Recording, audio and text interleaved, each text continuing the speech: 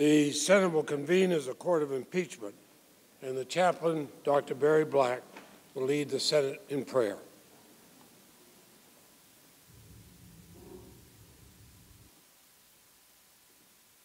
Let us pray.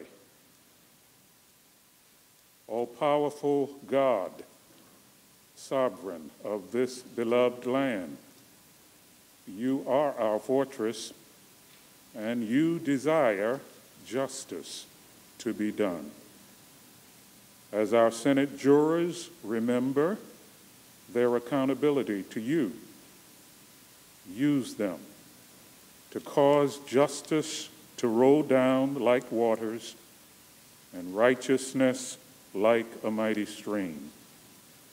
Lord, during this impeachment trial, give our lawmakers the gift of discernment so that they will know truth from falsehood. Inspire them to commit their thoughts and decisions to you.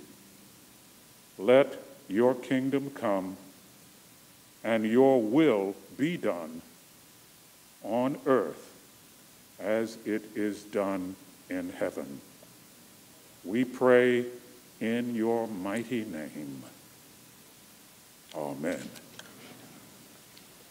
Please join me in reciting the Pledge of Allegiance.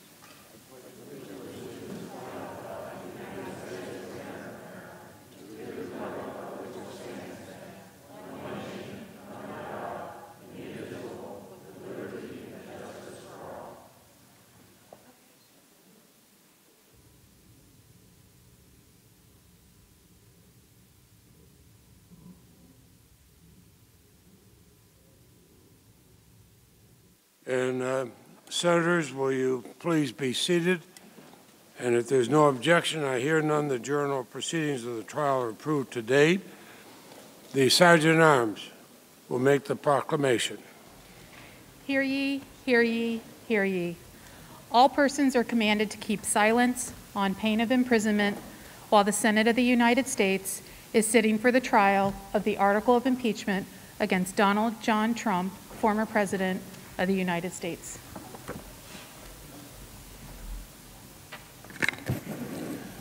Mr. President. The Majority Leader is recognized. Thank you, Mr. President. Now, for the information of all senators, no motions were filed this morning, so we'll proceed to the House Manager's presentation. We anticipate two 10-minute breaks and a 45-minute dinner break around 6 p.m. In pursuant to the provisions of Senate Resolution 47, the managers for the House of Representatives have 16 hours to make the presentation of the case.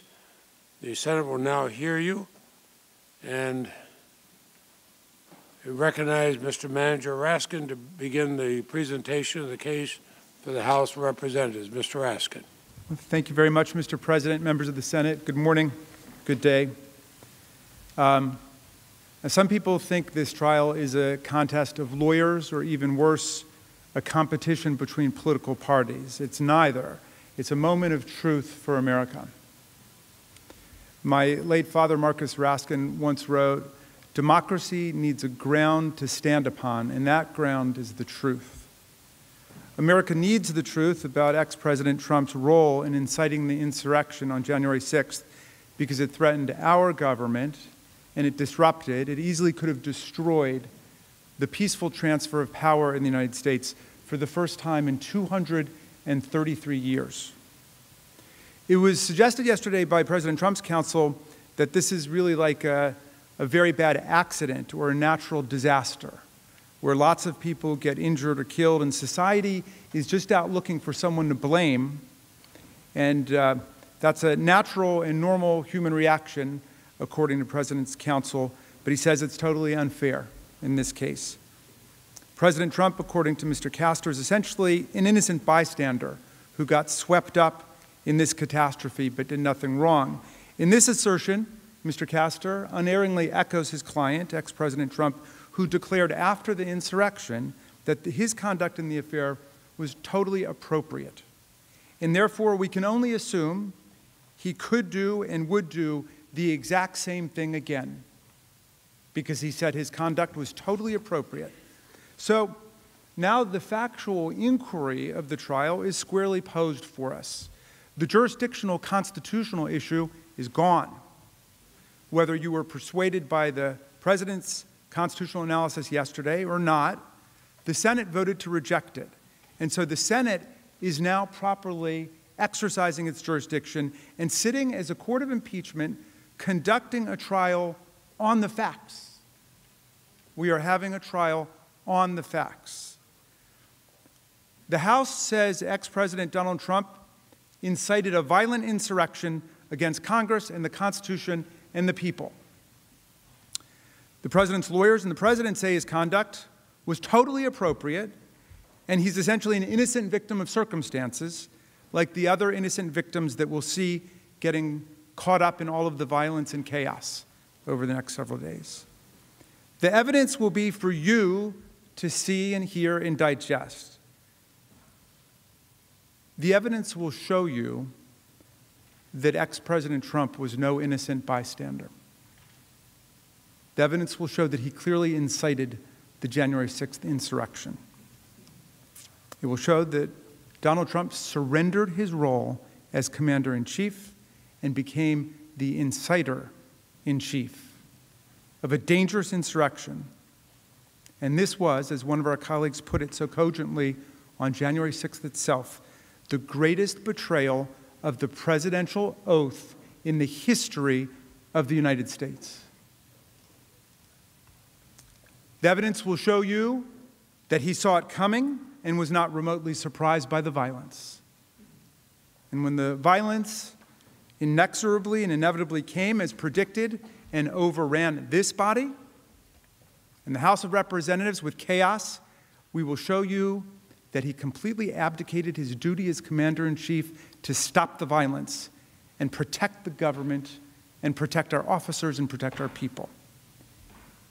He violated his oath of office to preserve, protect, and defend the Constitution, the government, and the people of the United States. The evidence will show you that he assembled, inflamed, and incited his followers to descend upon the Capitol to stop the steal, to block Vice President Pence and Congress from finalizing his opponent's election victory over him. It will show that he had been warned that these followers were prepared for a violent attack targeting us at the Capitol through media reports, law enforcement reports, and even arrests. In short, we will prove that the impeached president was no innocent bystander whose conduct was totally appropriate and should be a standard for future presidents, but that he incited this attack and he saw it coming. To us, it may have felt like chaos and madness, but there was method in the madness that day. This was an organized attack on the counting of the Electoral College votes in joint session of the United States Congress under the 12th Amendment and under the Electoral Count Act to prevent Vice President Mike Pence and to prevent us from, from counting sufficient Electoral College votes to certify Joe Biden's victory of 306 to 232 in the Electoral College, a margin that President Trump had declared a landslide uh, in 2016. When my colleague Mr. Neguse speaks after me, he will set forth in detail the exact roadmap of all the evidence in the case. My fellow House managers and I will then take you through that evidence step by step so everyone can see exactly how these events unfolded. But I want to tell you a few key reasons right now that we know this case is not about blaming an innocent bystander for the horrific violence and harm that took place on January 6th. This is about holding accountable the person singularly responsible for inciting the attack. Let's start with December 12th. You will see during this trial a man who praised and encouraged and cultivated violence. We have just begun to fight, he says, more than a month after the election has taken place. And that's before the second Million MAGA March, a rally that ended in serious violence and even the burning of a church. And as the president forecast, it was only the beginning. On December 19th, 18 days before January 6th, he told his base about where the battle would be that they would fight next. January 6th would be wild, he promised. Be there, we'll be wild, said the President of the United States of America. And that too turned out to be true. You'll see in the days that followed, Donald Trump continued to aggressively promote January 6th to his followers. The event was scheduled at the, at the precise time that Congress would be meeting in joint session to count the Electoral College votes and to finalize the 2020 presidential election. In fact, in the days leading up to the attack, you'll learn that there were countless social media posts, news stories, and most importantly, credible reports from the FBI and Capitol Police that the thousands gathering for the President's Save America March were violent, organized with weapons, and were targeting the Capitol. This mob got organized so openly because, as they would later scream in these halls and as they posted on forums before the attack, they were sent here by the President. They were invited here by the President of the United States of America. And when they showed up, knowing of these reports that the crowd was angry and it was armed, here's what Donald Trump told them. President Trump whipped the crowd into a frenzy, exhorting followers if you don't fight like hell, you're not going to have a country anymore. And then he aimed straight at the Capitol, declaring, You'll never take back our country with weakness. You have to show strength, and you have to be strong. He told them to fight like hell, and they brought us hell on that day. Incited by President Trump, his mob attacked the Capitol. This assault unfolded live on television before a horrified nation. According to those around him at the time, this is how President Trump reportedly responded to the attack that we saw him incite in public delight, enthusiasm, confusion as to why others around him weren't as happy as he was. Trump incited the January 6th attack, and when his mob overran and occupied the Senate and attacked the House and assaulted law enforcement, he watched it on TV like a reality show. He reveled in it. And he did nothing to help us as commander in chief. Instead, he served as the inciter in chief, sending tweets that only further incited the rampaging mob. He made statements lauding and sympathizing with the insurrectionists. Over at 4:17 p.m., over 3 hours after the beginning of the siege, for the very first time, he spoke out loud, not on Twitter, spoke out loud to the American people. Here's what he said I know your pain. I know you're hurt. So you might be saying, all right, the president is going to console us now. He's going to reassure America. He knows our pain. He knows we're hurt. We've just seen these horrific images of officers being impaled and smashed over the head um, we've just been under attack for three hours. But here's what he actually goes on to say I know your pain. I know you're hurt. We had an election that was stolen from us. It was a landslide election, and everyone knows it, especially the other side.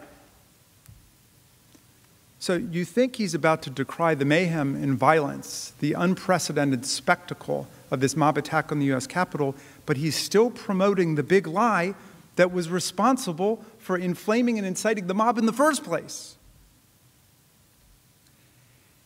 If anyone ever had a doubt as to his focus that day, it was not to defend us, it was not to console us, it was to praise and sympathize and commiserate with the rampaging mob. It was to continue to act as inciter in chief, not commander in chief, by telling the mob that their election had been stolen from them even then, after that vicious attack, he continued to spread the big lie. And as everyone here knows, Joe Biden won by more than 7 million votes and 306 to 232 in the Electoral College. But Donald Trump refused to accept his loss even after this attack. And he celebrated the people who violently interfered with the peaceful transfer of power for the first time in American history and did that at his urging. And when he did, in this video, finally tell them to go home in peace, he added this message We love you. You're very special. Distinguished members of the Senate, this is a day that will live in disgrace in American history. That is, unless you ask Donald Trump, because this is what he tweeted before he went to bed that night at 6:01 p.m.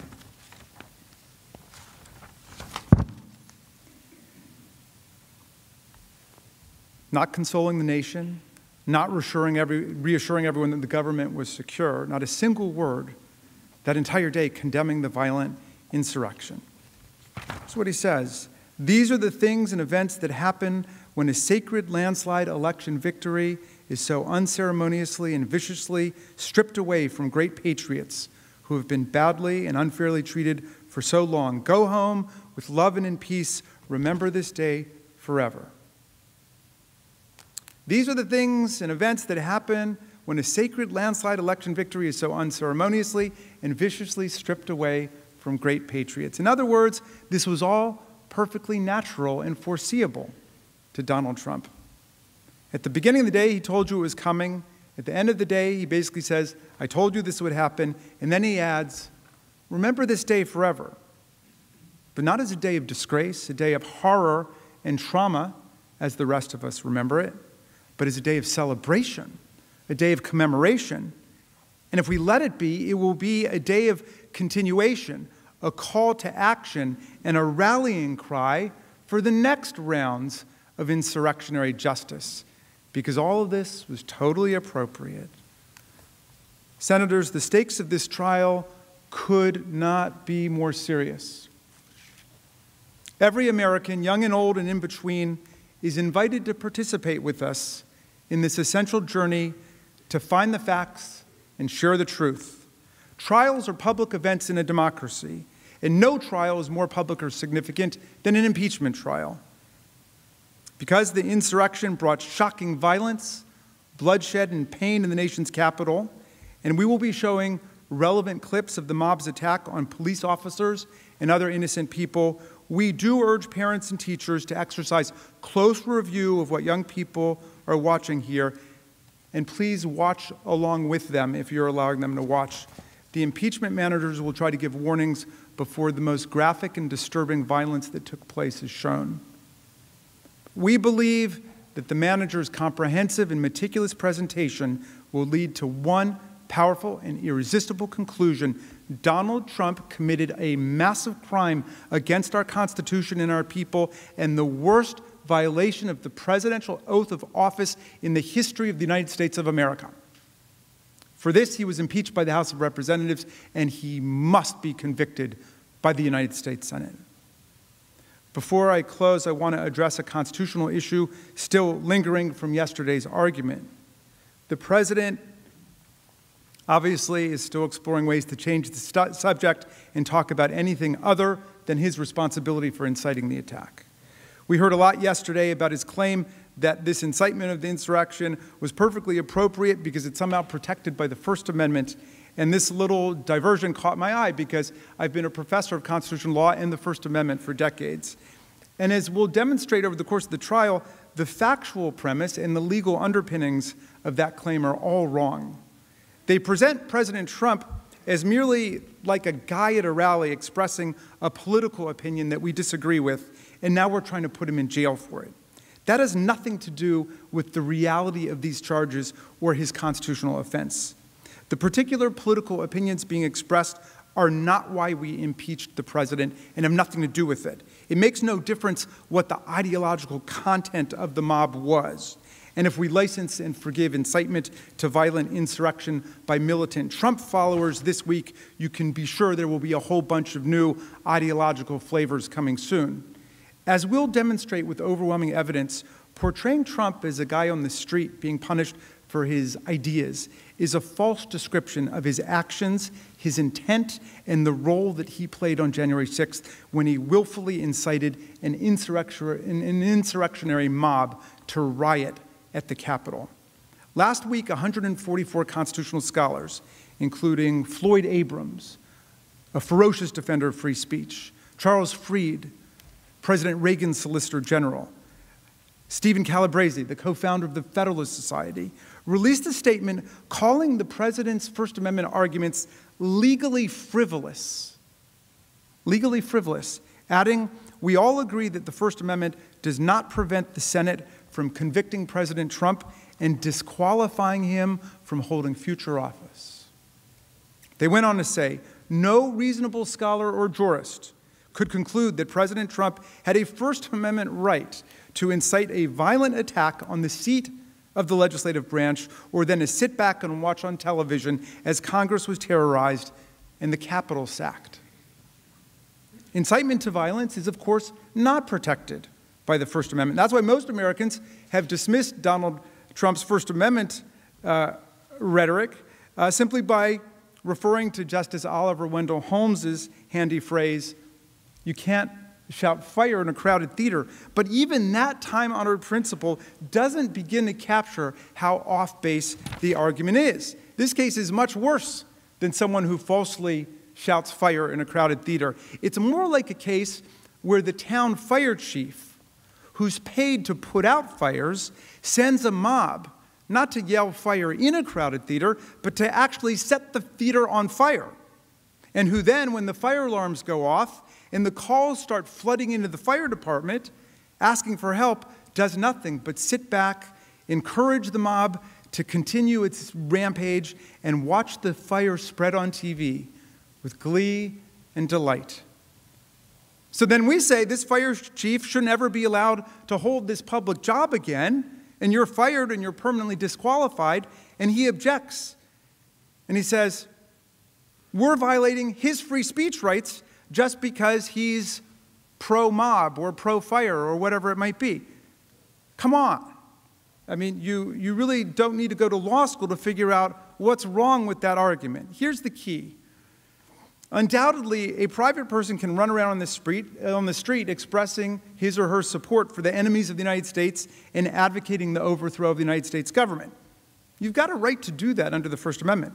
But if the president spent all of his days doing that, uttering the exact same words, expressing support for the enemies of the United States and for overthrowing the government. Is there anyone here who doubts that this would be a violation of his oath of office to preserve, protect, and defend the Constitution of the United States, and that he or she could be impeached for doing that? Look, if you're president of the United States, you've chosen a side with your oath of office, and if you break it, we can impeach, convict, remove, and disqualify you permanently from holding any office of honor, trust, or profit under the United States. As Justice Scalia once said, memorably, you can't ride with the cops and root for the robbers. And if you become inciter in chief to the insurrection, you can't expect to be on the payroll as commander in chief for the Union. Trump was the President of the United States, and he had sworn to preserve, protect, and defend the Constitution. He had an affirmative, binding duty, one that set him apart from everyone else in the country, to take care that the laws be faithfully executed, including all the laws against assaulting federal officers, destroying federal property, violently threatening members of Congress and the vice president, interfering with federal elections, and dozens of other federal laws that are well known to all of you. When he incited insurrection on January 6th, he broke that oath. He violated that duty. And that's why we're here today. And that's why he has no credible constitutional defense. I'll tell you a final sad story in this kaleidoscope of sadness and terror and violence. One of our Capitol officers who defended us that day was a longtime veteran of our force, a brave and honorable public servant who spent several hours battling the mob as part of one of those blue lines defending the Capitol in our democracy. For several hours straight, as the marauders punched and kicked and mauled and spit upon and hit officers with baseball bats and fire extinguishers, cursed the cops, and stormed our Capitol, he defended us and he lived every minute of his oath of office. And afterwards, overwhelmed by emotion, he broke down in the rotunda. And he cried for 15 minutes. And he shouted out, I got called an N word 15 times today. And then he recorded, I sat down with one of my buddies, another black guy, and tears just started streaming down my face. And I said, What the F, man? Is this America? That's the question before all of you in this trial. Is this America? Can our country and our democracy ever be the same if we don't hold accountable the person responsible for inciting the violent attack against our country, our capital, and our democracy, and all of those who serve us so faithfully and honorably? Is this America?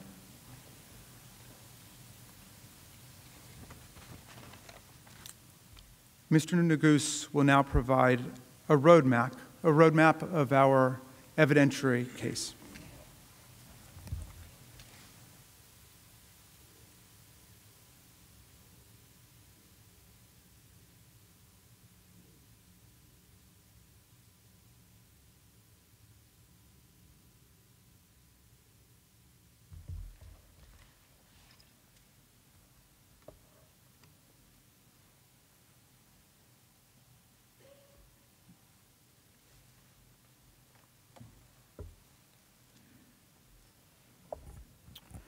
Mr. President, distinguished senators, counsel, like several of you, I am a child of immigrants.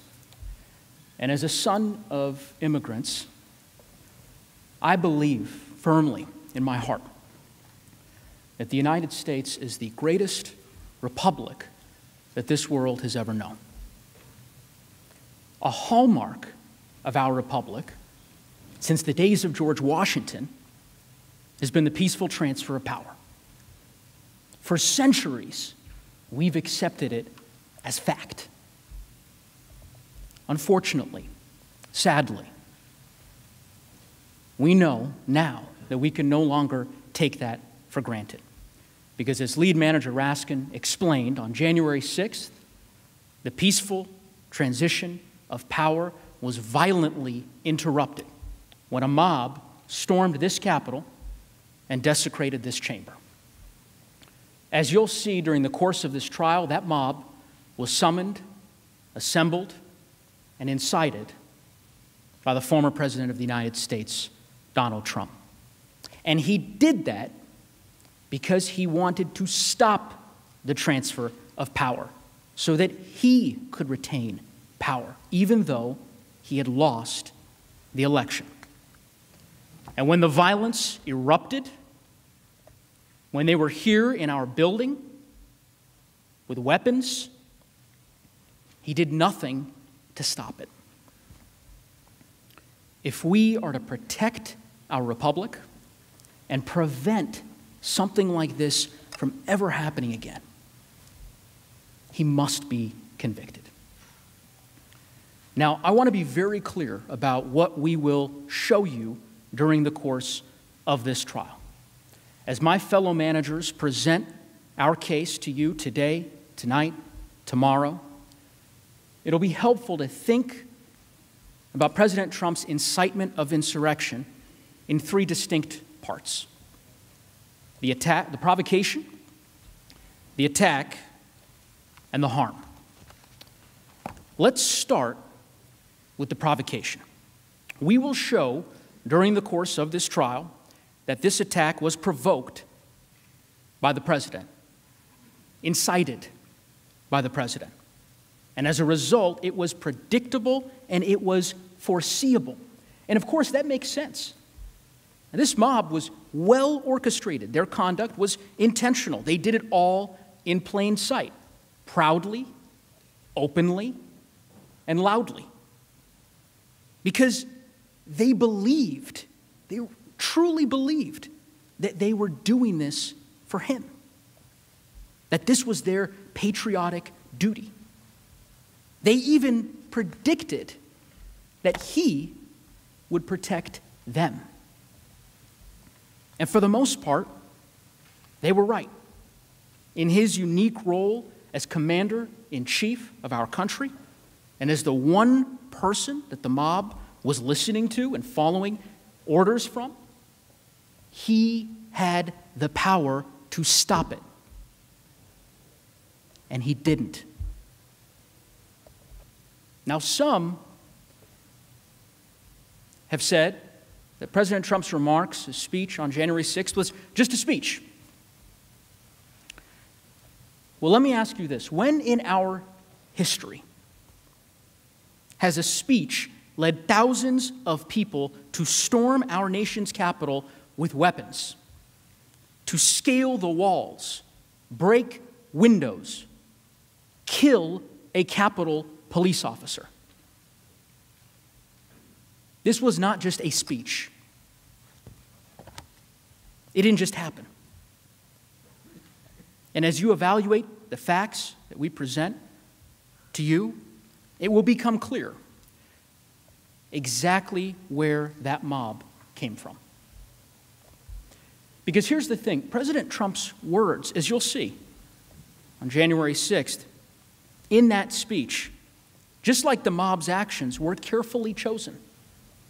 Those words had a very specific meaning to that crowd. And how do we know this? Because in the weeks prior to, during, and after the election, he used the same words over and over and over again. You will hear over and over three things. You can see them on the screens. First, what lead manager Raskin referred to as the big lie that the election was stolen, full of fraud, rigged. You will hear over and over him using that lie to urge his supporters to never concede and stop the steal.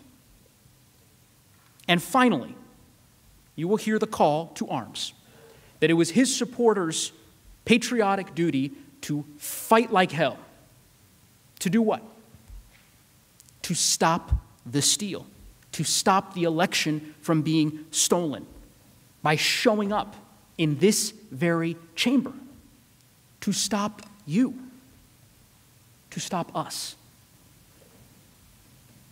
I'd respectfully ask that you remember those three phrases as you consider the evidence today. Election was stolen, stop the steal, and fight like hell because they did not just appear on January 6th. Let me show you what I mean. Let's start with the big lie. You will see during this trial that the president realized, really by last spring, that he could lose. He might lose the election. So, what did he do? He started planting the seeds to get some of his supporters ready by saying that he could only lose the election if it was stolen. I mean, in other words, really what he did is create a no lose scenario. Either he won the election, or he would have some angry supporters, not all, but some, who believed that if he lost, the election had to be rigged. And they would be angry because he was telling Americans that their vote had been stolen. And in America, our vote is our voice. So his false claims about election fraud, that was the drumbeat being used to inspire, instigate, and ignite them, to anger them. Watch this clip. Because we're not going to let this election be taken away from us. That's the only way they're going to win it. We're not going to let it happen. It's the only way we can be, it's the only way we can lose, in my opinion, is massive fraud. We all know what happened after that. He lost. He lost the election. But remember, he had that no lose scenario that I referenced earlier. He told his base that the election was stolen, as he had forecasted. And then he told them, Your election has been stolen, but you cannot concede. You must stop the steal. You can't let another person steal that election from you. All over the country, people are together in holding up signs Stop the steal. The Democrats are trying to steal the White House. You cannot let them. You just can't let them. Now, while he's inciting his supporters, he's also simultaneously doing everything he possibly can to overturn the election. First, he begins with the courts, a legitimate avenue, legitimate avenue to challenge the election. But he ignores all of their adverse rulings when all of his claims are thrown out. Then he moves on to trying to pressure state election officials to block the election results for his opponent, even though he'd lost in their states. You'll hear my fellow managers discuss that in detail.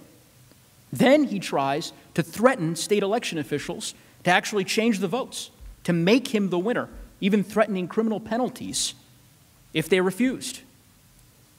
He had the Justice Department investigate his claims, and even they found no support for those claims. So he tried to persuade some members of his party in Congress to block the certification of his vote with attacks in public forums. When that failed, he tried to intimidate the Vice President of the United States of America to refuse to certify the vote and send it back to the states. None of it worked. So, what does he do? With his back against the wall, when all else has failed, he turns back to his supporters who he'd already spent months telling them that the election was stolen. And he amplified it further. He turned it up a notch. He told them that they had to be ready not just to stop the steal, but to fight like hell.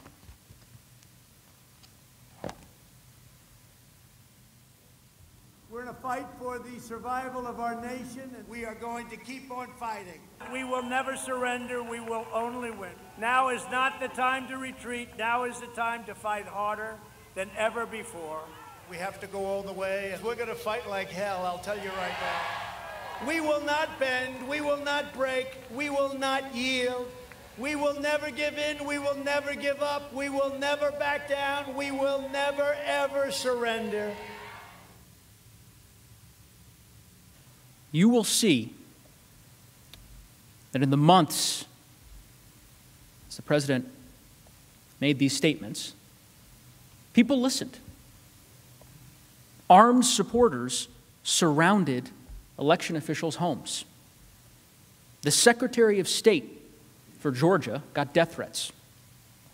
Officials warned the president that his rhetoric was dangerous and it was going to result in deadly violence. And that's what makes this so different because when he saw firsthand the violence that his conduct was creating, he didn't stop it. He didn't condemn the violence, he incited it further. And he got more specific. He didn't just tell them to fight like hell, he told them how, where, and when. He made sure they had advance notice 18 days advance notice.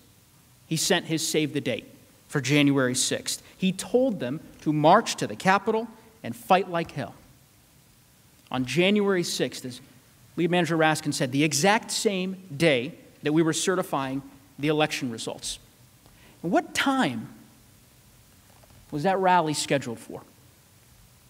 The exact same time that this chamber was certifying the election results in joint session. When did he conclude his speech?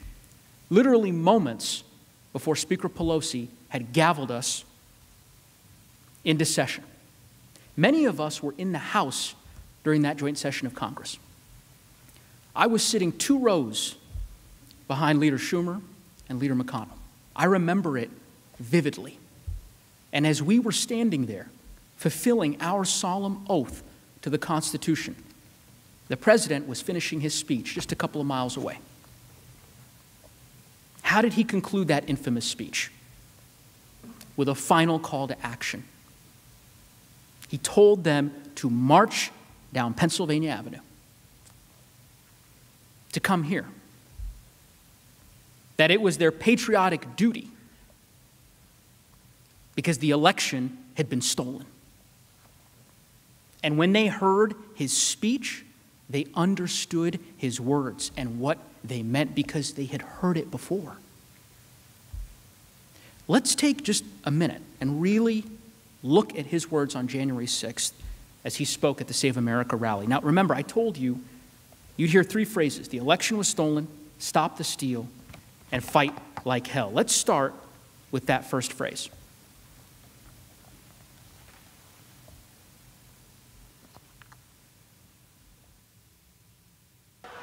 All of us here today do not want to see our election victory stolen. There's never been anything like this. It's a pure theft in American history. Everybody knows it. Make no mistake, this election was stolen from you, from me, and from the country. Now, of course, each of you heard those words before. So had the crowd.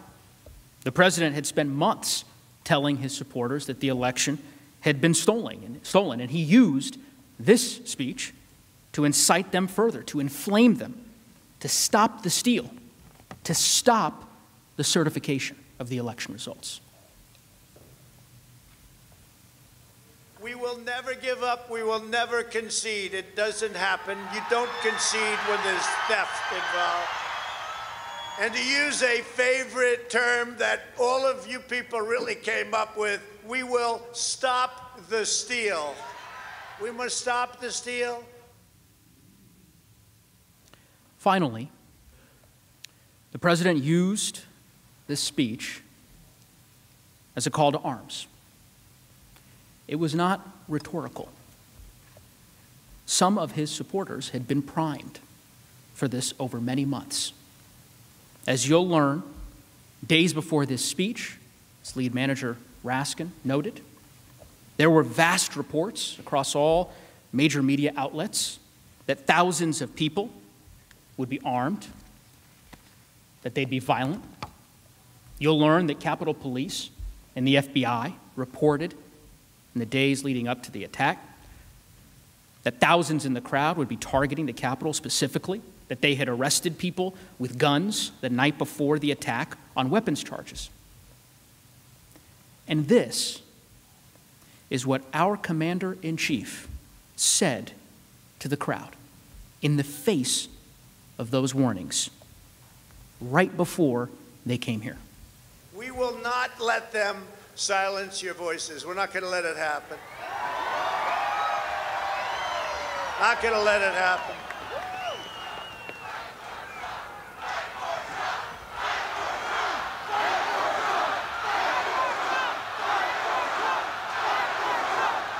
Thank you. And you have to get your people to fight because you'll never take back our country with weakness. You have to show strength and you have to be strong. And we fight. We fight like hell. And if you don't fight like hell, you're not going to have a country anymore. You have to get your people to fight. He told them. Senators, this clearly was not just one speech. It didn't just happen. It was part of a carefully planned, months long effort with a very specific instruction. Show up on January 6th and get your people to fight the certification. He incited it, it was foreseeable. And again, You don't have to take my word for it. The president's former chief of staff a retired Marine, four star general, was confirmed by this body to be the Secretary of Homeland Security, overwhelmingly, overwhelming vote. That man was John Kelly. And on the day after the insurrection, he said this.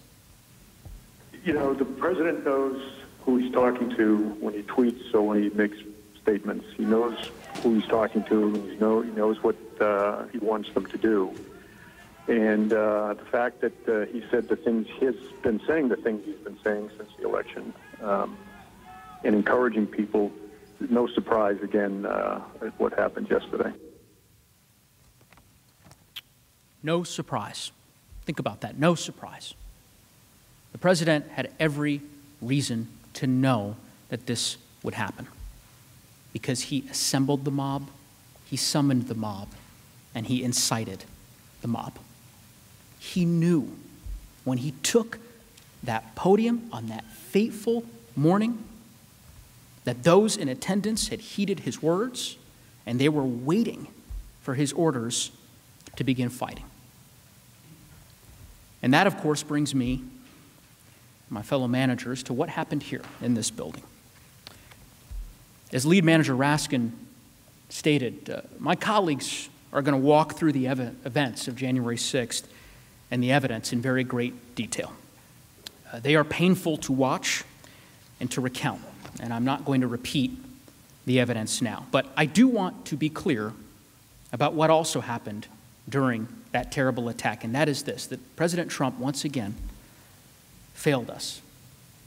Because when the violence erupted, when we and the law enforcement officials protecting us, protecting you, were under attack, as each of you were being evacuated from this chamber from a violent mob, as we were being evacuated from the House, he could have immediately and forcefully intervened to stop the violence. It was his duty as commander in chief to stop the violence, and he alone had that power.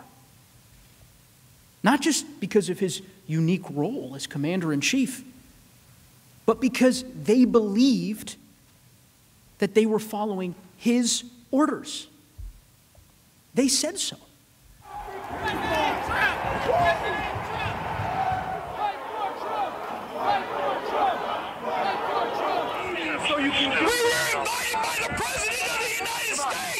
I thought I was following my president. I thought I was following what we were called to do. President Trump requested that we be in D.C. on the 6th.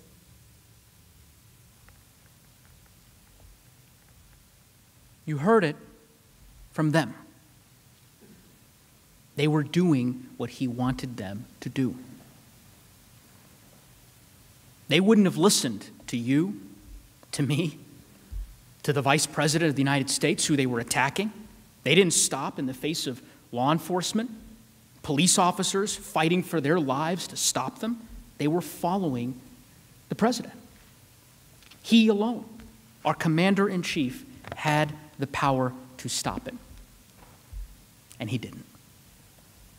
You will hear evidence tonight, tomorrow, throughout the trial about his refusal as commander in chief to respond to numerous desperate pleas on the phone, across social media, begging him to stop the attack. And you will see his relentless attack on Vice President Pence, who was at that very moment hiding with his family as armed extremists were chanting, Hang Mike Pence, calling him a traitor.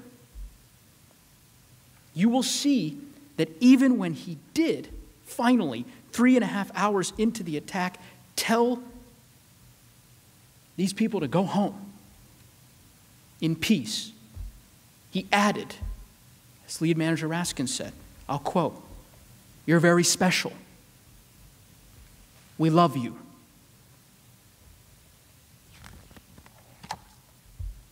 Think for a moment, just a moment, of the lives lost that day, of the more than 140 wounded police officers, and ask yourself if as soon as this had started, President Trump had simply gone onto TV, just logged onto Twitter and said, Stop the attack.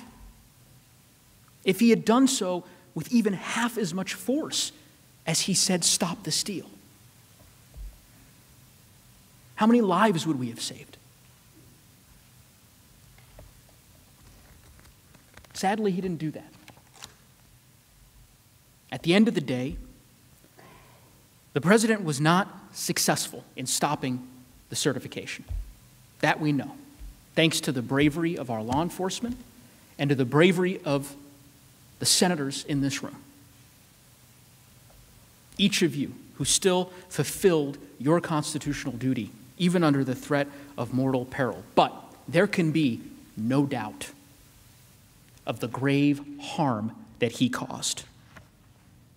To our elected leaders, to us, our families, to all who work in the Capitol, our staff, your staff, to our brave Capitol Police who defend us tirelessly with little thanks, who believed that they had a commander in chief who would defend and protect them and instead put them in harm's way, to those killed for heeding his command, to our democracy and the system which ensures that we have a president elected by the people, to our national security and our standing in the world. The harm was real, the damage was real. Five people lost their lives on that terrible, tragic day. A woman was shot dead 50 feet from where we later certified the election results. And for those who question just how bad it was, criminal complaints recently unsealed by the Department of Justice are more than revealing. You'll see one of these documents on the screen. In the charging affidavit of one of the leaders of the Proud Boys, we learned that members of this group said, I'm going to quote, they would have killed Mike Pence if given the chance.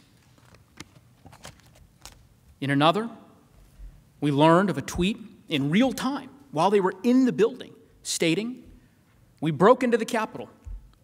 We got inside. We did our part. We were looking for Nancy Pelosi to shoot her in the frickin' brain, but we didn't find her.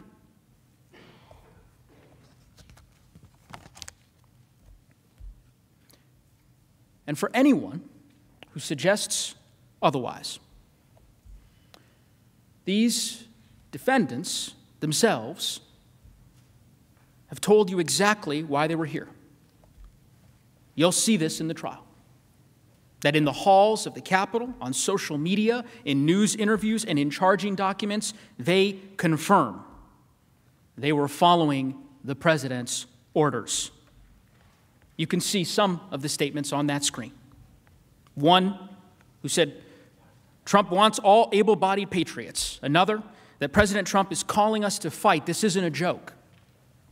Another one, I thought I was following my president. I thought I was following what we were called to do. Our president wants us here. We wait and take orders from the president. He made them believe over many weeks that the election was stolen and they were following his command to take back their country. As I prepared for today, yesterday, this trial, one memory that I couldn't shake, which was on the night of January 6th, and the feeling of walking back onto the House floor and seeing many of you there. I remember us finishing our task at four in the morning.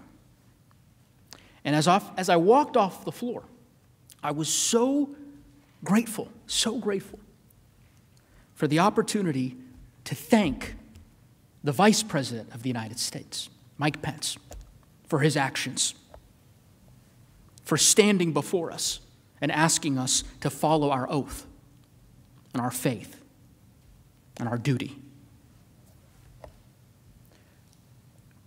We only got a couple hours of sleep that morning. Early the next day, I called my dad, who came to this country, as I mentioned, as an immigrant 40 years ago. And I told him that the proudest moment by far of serving in Congress for me was going back onto the floor with each of you to finish the work that we had started. I'm humbled to be back with you today. And just as on January 6th, when we overcame that attack on our capital, on our country, I'm hopeful that at this trial, we can use our resolve and our resilience to again uphold our democracy by faithfully applying the law, vindicating the Constitution, and holding President Trump accountable for his actions.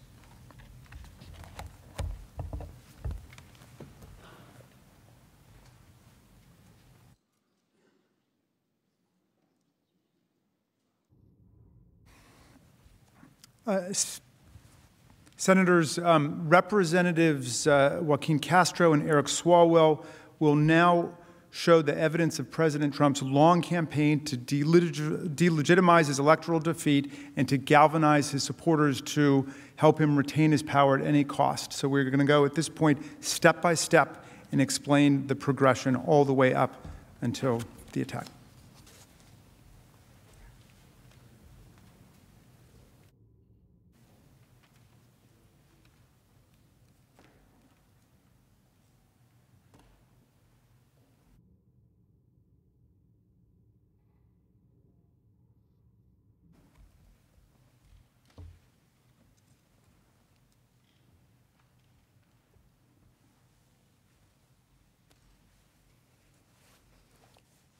Good afternoon, y'all. My name is Joaquin Castro, and I represent San Antonio in the United States Congress. There's a saying that a lie can travel halfway around the world before the truth has a chance to put on its shoes. And that was before the internet. The point of that saying is that a lie can do incredible damage and destruction. And that's especially true when that lie is told by the most powerful person on earth, our Commander in Chief, the President of the United States. This attack did not come from one speech, and it didn't happen by accident. The evidence shows clearly that this mob was provoked over many months by Donald J. Trump. And if you look at the evidence, his purposeful conduct, you'll see that the attack was foreseeable and preventable. I'll start by discussing President Trump's actions leading up to the election when he set up his big lie. Beginning in the spring of 2020, President Trump began to fall behind in the polls. And by July, President Trump had reached a new low. He was running 15 points behind his opponent. And he was scared he began to believe that he could legitimately lose the election. And so he did something entirely unprecedented in the history of our nation. He refused to commit to a peaceful transition of power. Here's what he said Can you give a direct answer? You will accept the election? I have to see. Look, you, I have to see. No, I'm not going to just say yes. I'm not going to say no. Do you commit to making sure that there's a peaceful transfer We want to have, get rid of the ballots, and you'll have a very trans, we'll have a very peaceful, there won't be a transfer, frankly, there'll be a continuation. Senators, the President of the United States said, quote, there won't be a transition of power. There'll be a continuation. President Trump was given every opportunity to tell his supporters, yes, if I lose, I will peacefully transfer power to the next president. Instead, he told his supporters the only way he could lose the election is if it was stolen. In tweet after tweet, he made sweeping allegations about election fraud that couldn't possibly be true. But that was the point. He didn't care if the claims were true. He wanted to make sure that his supporters were angry like the election was being ripped away from them. On May 24th, six months before the election, he tweeted, It will be the greatest rigged election in history. How could he possibly know it would be the greatest rigged election in history six months before the election happened? And on June 22nd, more of the same. Rigged 2020 election. It will be the scandal of our times. Again, about an election that had not even happened. On July 30th, 2020 will be the most inaccurate and fraudulent election in history. Again, just big words with nothing to prove them. But he wanted to make his supporters believe that an election victory would be stolen from him and from them. And this was to rile up his base, to make them angry. Now, these were just a few of the many times President Trump tweeted about this. And he did it in speeches, in rallies, and in television, too. This is going to be the greatest election disaster in history. Because the only way we're going to lose this election is if the election is rigged. Remember that. The only way they can take this election away from us is if this is a rigged election. We're going to win this election. It's a rigged election. It's the only way we're going to lose. But this will be one of the greatest fraudulent, and most fraudulent elections ever.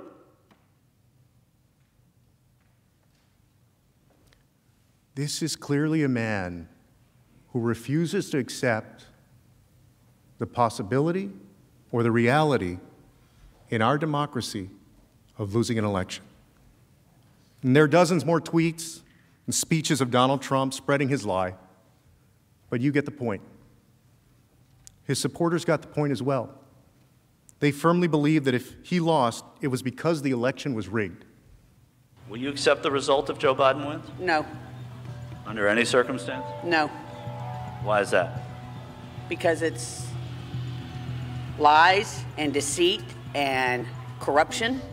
Do you think that if we get to election night or in the following days, if Biden winds up somehow becoming the winner, do you think it's rigged? Oh, yes. Very much so. Election night. Yes. Days after. If it shows up that Joe Biden won. Yes. In your opinion, would that be the only way that Trump could lose? That it'd be a rigged election? Is that the only way Joe Biden can win? Absolutely. I agree with that because there's no way in heck our president's going to lose. But yes, there, I, it would be a rigged election. There was there, some type of cheating went on, what have you. And I, I firmly believe that. Now, all of us in this room have run for election, and it's no fun to lose. I'm a Texas Democrat. We've lost a few elections over the years. But can you imagine telling your supporters that the only way you could possibly lose is if an American election was rigged and stolen from you? And ask yourself whether you've ever seen anyone at any level of government make the same claim about their own election. But that's exactly what President Trump did. He truly made his base believe that the only way he could lose was if the election was rigged. And, senators, all of us know and all of us understand how dangerous that is for our country. Because the most combustible thing you can do in a democracy is convince people that an election doesn't count, that their voice and their vote don't count, and that it's all been stolen, especially if what you're saying are lies. Let us turn now to the election. As you know, the results were not fully reported on election night, which is not unusual in our nation's history. But by November 7th, major news networks, including Fox News, reported that once the remaining votes were counted, Joe Biden would be the likely victor. So President Trump began urging his supporters to stop the count. I would imagine that if we went around this room, there are folks sitting here that started down on election night and ended up coming back up and winning their races. Perhaps that's why some of you are seated in this room today. But imagine if you were behind and the results start coming in, and as you started pulling ahead, your opponent said, That's not fair. Stop the count while I'm still ahead. That's what Donald Trump did. But that's not how America works. Here, every vote counts. You don't just stop counting when one person is ahead. We count every vote. And let's be clear President Trump knew that you can't just stop counting votes, but he wanted to inflame his base. There was a purpose behind this to truly make them believe that counting votes would result in a stolen, rigged election. He said at 12:49 a.m. on election night, quote, "They're trying to steal the election. We will never let them do it."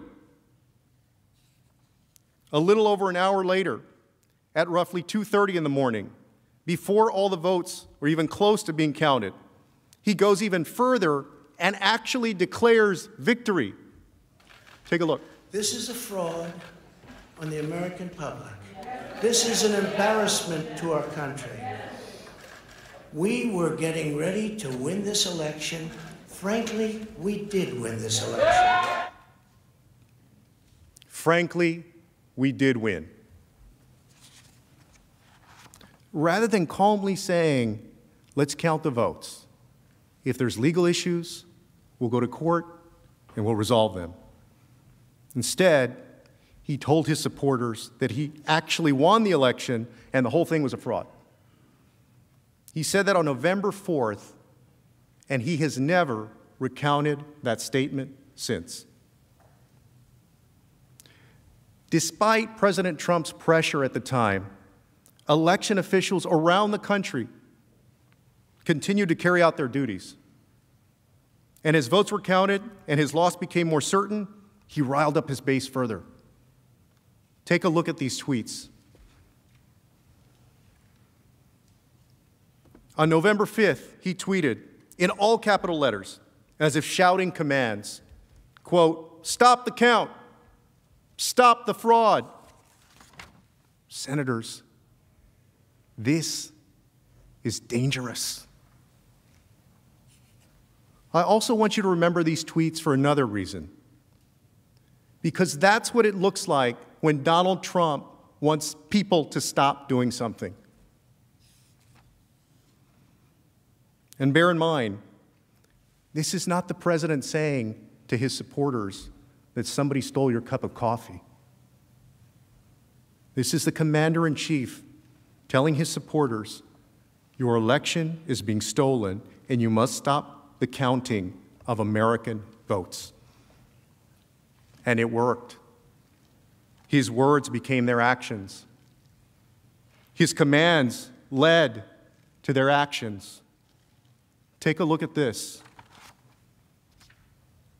The same day as those tweets, the same day as those tweets, around 100 Trump supporters showed up in front of the Maricopa County Election Center in Phoenix, some of them carrying rifles, literally trying to intimidate officials to stop the count, just as President Trump had commanded. Arizona Secretary of State Katie Hobbs said that protesters were, quote, causing delay and disruption and preventing those employees from doing their job. Let's call this what it was. We're facing a global pandemic. Workers were risking their health to ensure the integrity of our elections.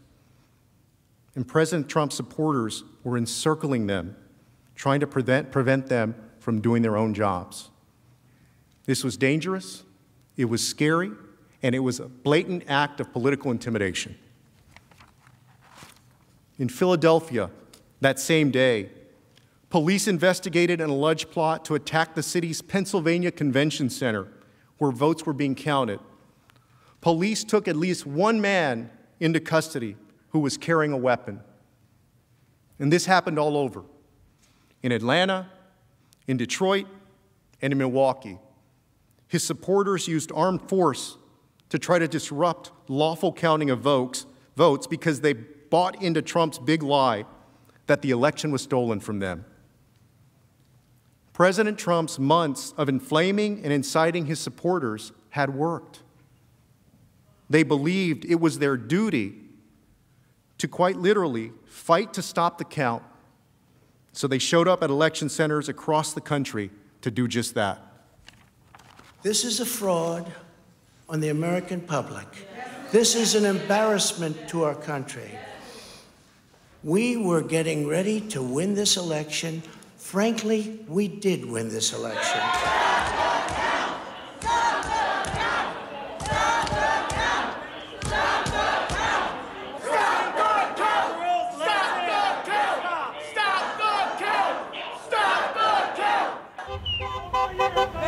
Taking it from us.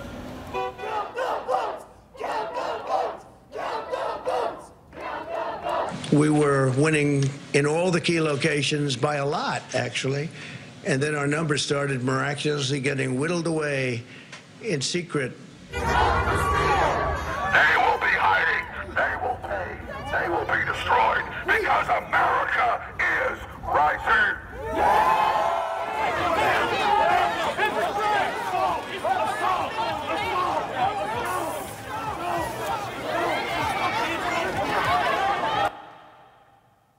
And there it is. They had bought into his big lie. President Trump told his supporters over and over again, nearly every day, in dozens of tweets, speeches, and rallies, that their most precious right in our democracy, their voice, their vote, was being stripped away, and they had to fight to stop that.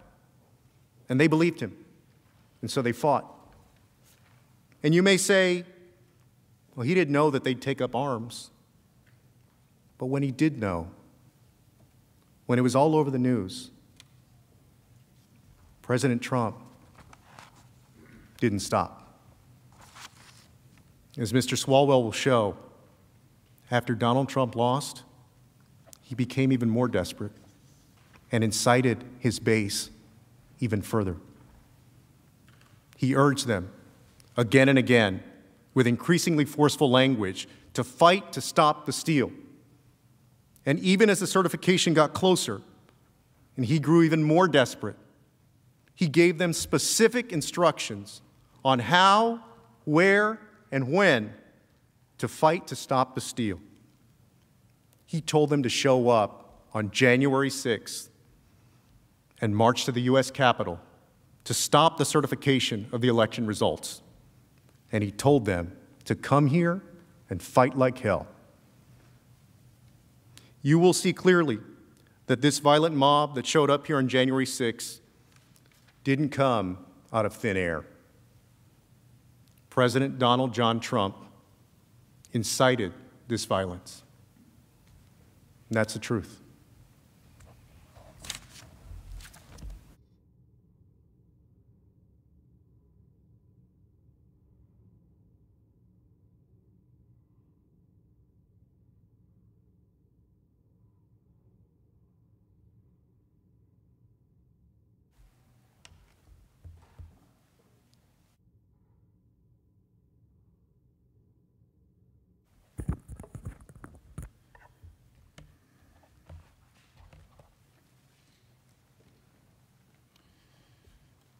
Mr. President, distinguished senators, my name is Eric Swalwell, and I represent California's 15th Congressional District. Manager Castro just told you about Donald Trump's lies and acts before the election. But, to paraphrase Winston Churchill, that wasn't the end of his efforts. That wasn't the beginning of the end. But perhaps it was the end of the beginning. Here's what I mean. You saw President Trump prime for months his supporters to believe that if the election was lost, it only could have been so because it was rigged. But that took time. Just like to build a fire, it doesn't just start with the flames. Donald Trump, for months and months, assembled the tinder, the kindling, threw on logs for fuel to have his supporters believe that the only way their victory would be lost was if it was stolen. So that way, President Trump was ready, if he lost the election, to light the match. And on November 7, after all the votes were counted, President Trump did lose by 7 million votes. But for Donald Trump, all was not lost. He had a backup plan. Instead of accepting the results or pursuing legitimate claims, he told his base more lies. He doused the flames with kerosene. And this wasn't just some random guy at the neighborhood bar blowing off steam. This was our commander in chief. Day after day, he told his supporters false, outlandish lies that the victory, that the election outcome was taken and it was rigged. And he had absolutely no support for his claims. But that wasn't the point. He wanted to make his base angrier and angrier. And to make them angry, he was willing to say anything. On November 15, he states, I concede nothing. We have a long way to go. Rigged election. Doesn't say why the election is rigged. November 17, in a Twitter statement, dead people voted. That's it. No evidence, just dead people voted. November 28 Twitter statement. We have found many illegal votes. Stay tuned. This just wasn't true. He never found illegal votes. He didn't even try to pretend that he had evidence for that. And stay tuned, well, that was all about inciting his base, not about bringing legitimate claims. It was about dramatizing the election to anger his supporters. December 5, you see here, he goes after the governors of Arizona and Georgia, governors from his own party, claiming that they weren't with him. You see, senators, he is casting this in combat terms that either you are with him, making sure that he won the election, or you're fighting against him. These are just a few of the hundreds of Twitter statements that President Trump sent. And it wasn't just Twitter statements. As you'll see, he was dialing into meetings, holding rallies, appearing on television, continuing to spread the big lie that his election victory was stolen. People that were dead were signing up for ballots. Not only were they coming in and putting in a ballot, but dead people were requesting ballots. And they were dead for years, and they were requesting ballots. Dead people voting all over the place? The alleged Biden margin of victory in several states is entirely accounted for by extraordinarily large midnight vote dumps. You saw them with going up to the sky. Massive midnight vote dumps. Dead people voting all over the place. He said there were votes going up to the sky. This was never about pursuing legitimate claims. He was saying anything he could to trigger and anger his base so that they would fight like hell to overturn a legitimate election. And it worked. Just as Manager Castro showed you, President Trump's supporters were taking up arms to stop the count. His message to fight like steel, fight like hell was having real consequences. In Michigan, you'll recall that President Trump was attacking that state and its officials.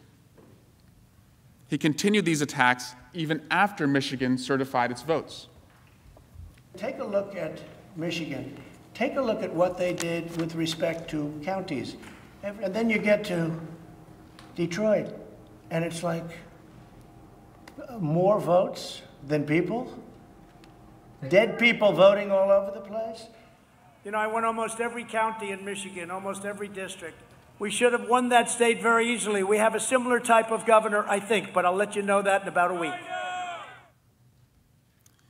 He's literally telling them that there were more votes in Detroit than people.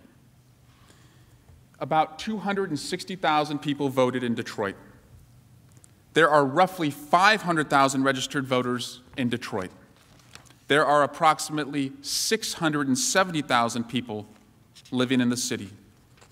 So, again, not true. But he needed to make these outlandish claims to truly make his supporters believe that their victory was stolen from them. And it was working. A few days after these clips, on December 5, his supporters surrounded the Michigan Secretary of State's home. Secretary of State's house and uh, the steal. Stop the steal! Stop the steal! Stop the steal! Stop the steal! Stop the steal! Stop the steal! Stop the steal! You're a threat to democracy! You're a threat to free and honest elections! Nine o'clock at night, Secretary's family's inside. Protesters have surrounded her home, and they're chanting that she's a felon. And as we saw, when armed protesters showed up to follow President Trump's direction to stop the steal, this was not the first time that President Trump's supporters used threats and intimidation. President Trump cannot say, I didn't know what I was inciting. From what Manager Castro showed and what I just showed, there was plenty of evidence that his words had consequences. And if he wanted to stop it, he could stop it. You saw Mr. Castro read statement after statement from our commander in chief saying, Stop the count, stop the steal. President Trump was never shy about using his platforms to try and stop something. He could have very easily told his supporters, Stop threatening officials, Stop going to their homes. Stop it with the threats. But each time he didn't. Instead, in the face of escalating violence, he incited them further. The next phase in the certification of results was the certification on December 14 of the Electoral College votes. The night before, President Trump personally issued 14 Twitter statements with more false claims about the election being stolen and directing his supporters to make sure that, quote, they cannot be certified. He states here the RINOs, the RINOs that run the state voting apparatus have caused us the problem of allowing the Democrats to so blatantly cheat in their attempt to steal the election, which we won overwhelmingly. We will never give up. In the face of threats to elected officials, this is his message. And he calls them RINOs, Republicans in name only, and tells them to never give up. President Trump, to him, it was his supporters against anyone who would not overturn the election results so that President Trump could win. But on December 14, Despite all of President Trump's efforts to stop, the electors cast their votes according to the will of the American people, and Joe Biden was certified as having won 306 Electoral College votes. The day after this occurred, Leader McConnell recognized this, stating, Many of us hoped that the presidential election would yield a different result. But our system of government has processes to determine who will be sworn in on January 20. The Electoral College has spoken. As Manager Castro said, no one here, no one among us wants to lose an election. Sometimes there's a reason to dispute an election. Sometimes the count is close. Sometimes we ask for a recount or we go to court. That's entirely appropriate. But what President Trump did was different. What President Trump did was the polar opposite of what any of us would do if we lost an election. Because once the outcome is clear and a judge rules, we concede. We recognize the will of the American people because we let the people decide. And that's what all of the courts, the Justice Department, and the 50 states that had counted the votes, they said it was time for a peaceful transition of power because that's what our Constitution and rule of law demands. Except President Trump. He directed all of the rage that he had incited to January 6. That was his last chance to stop the peaceful transition of power. And that brings us to the attack. Manager Castro told you the power of the lie, especially when the lie comes from the most powerful person in the world, the commander in chief.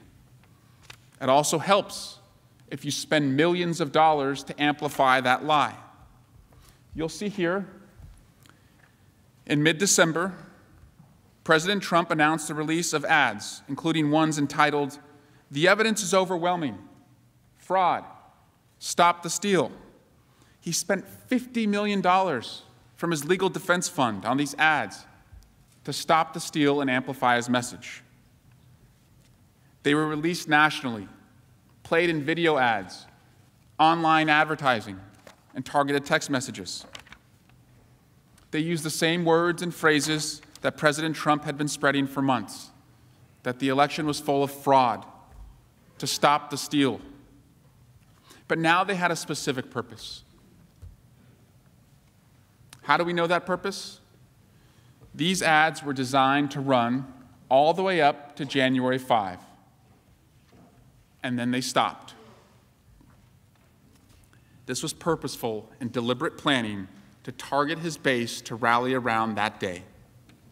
And it wasn't just his ads. He continued to use his own platform. He told his supporters, who truly believed their victory had been stolen and who were ready to fight, when, where, and how to stop what he believed was a steal.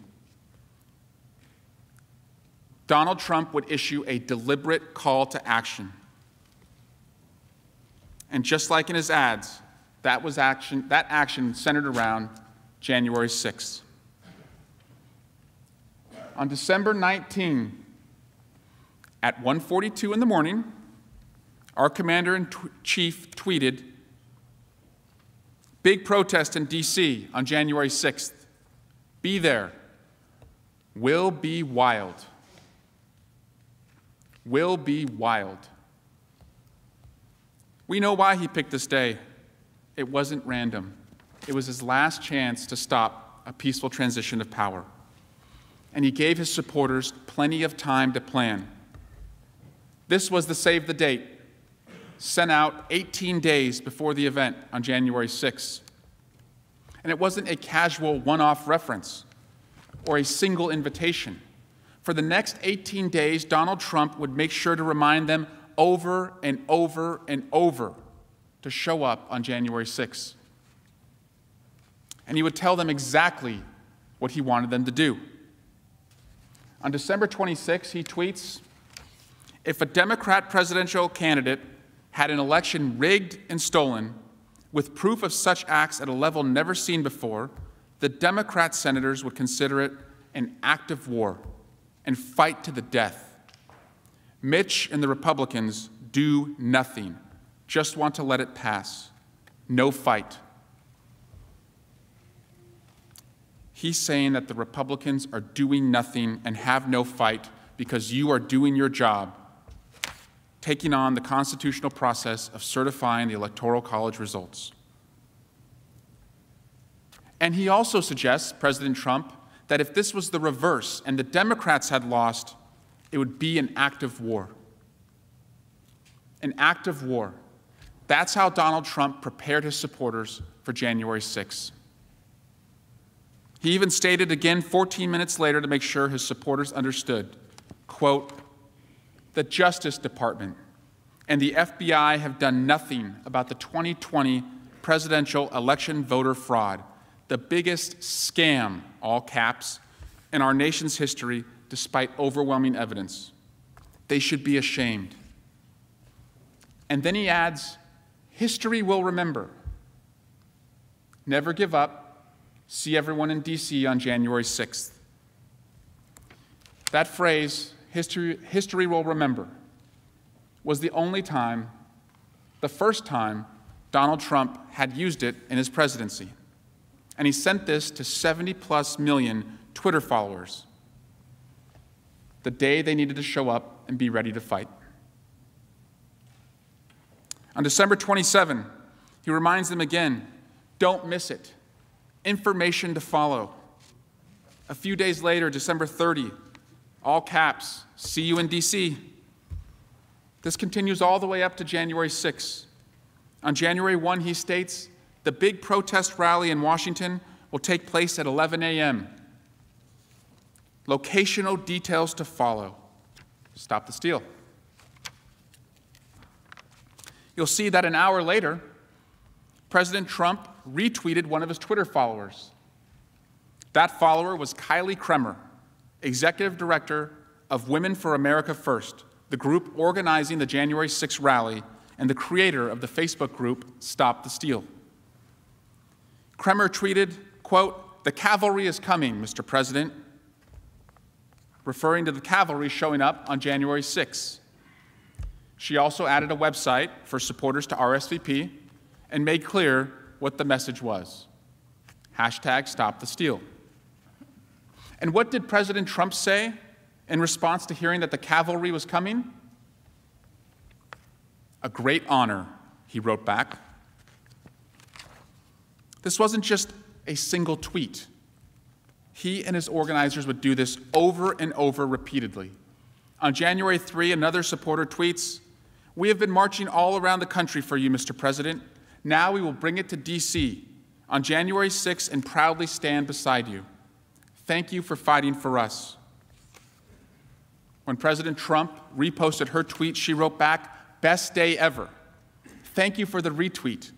It has been an honor to stand up and fight for you and our nation. We will be standing strong on January 6th in D.C. with you. We are bringing the cavalry, Mr. President. We are bringing the cavalry. That was the consistent message. This was not just any old protest. President Trump was inciting something historic. The cavalry was coming. And he was organized. In her post, Miss Lawrence tagged Kylie Kremer, the organizer of the event, whose post we just saw President Trump retweet.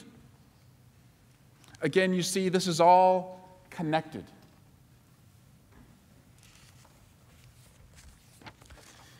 I won't show you all of the Twitter statements, and there are a lot, but here's one more. President Trump retweeted another of Ms. Kremer's posts, which had all the details of January 6 with the same hashtags March for President Trump, do not certify, stop the steal.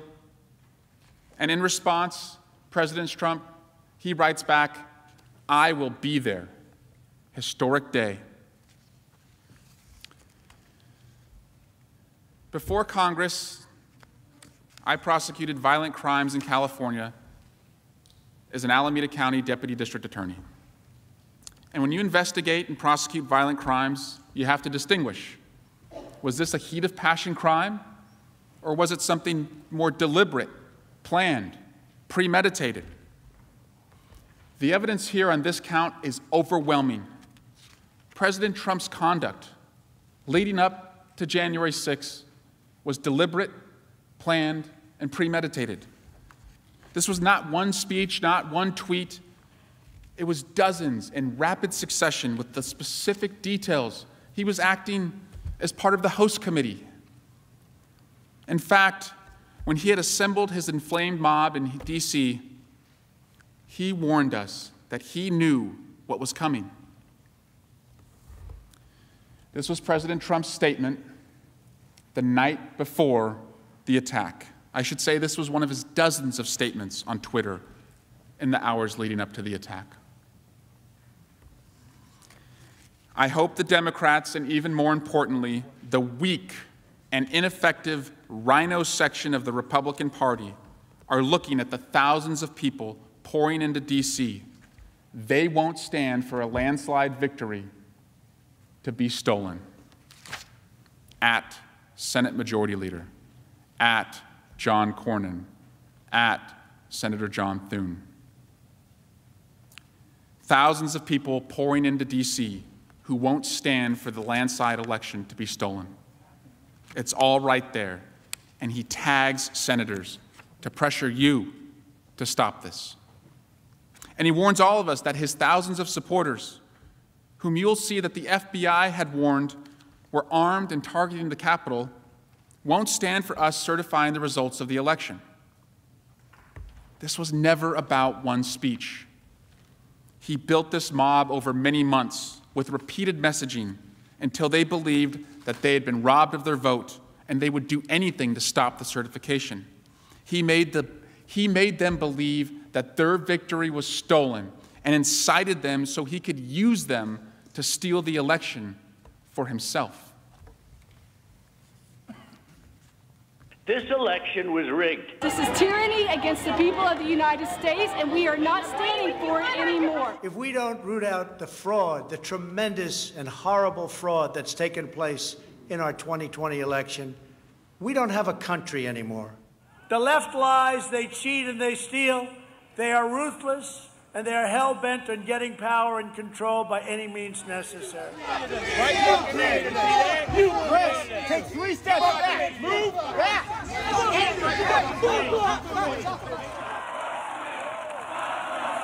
Can't let it happen. Can't let it happen.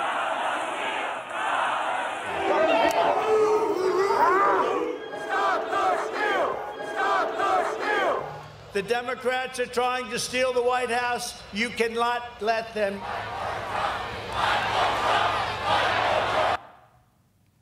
Can't let it happen. Never concede. Fight. He told them in speech after speech. These crowds were ready to fight. This is what President Trump was inciting. He foresaw what was coming, and this is what he deliberately led to our doorstep on January 6. I want to be clear. During this trial, when we talk about the violent mob during the attack, we do not mean every American who showed up at President Trump's rally. Certain Americans came to protest peacefully, as is their right. That is what makes our country so great to debate freely, openly, and peacefully our differences, just like all of you were attempting to do in this very room on January 6. But what President Trump did was different. He didn't tell his supporters to fight or be strong in a casual reference. He repeatedly, over months, told them to fight for a specific purpose. He told them their victory was stolen, the election was rigged, and their patriotic duty was to fight to stop the steal. And he repeated this messaging even after he saw the violence it was inciting.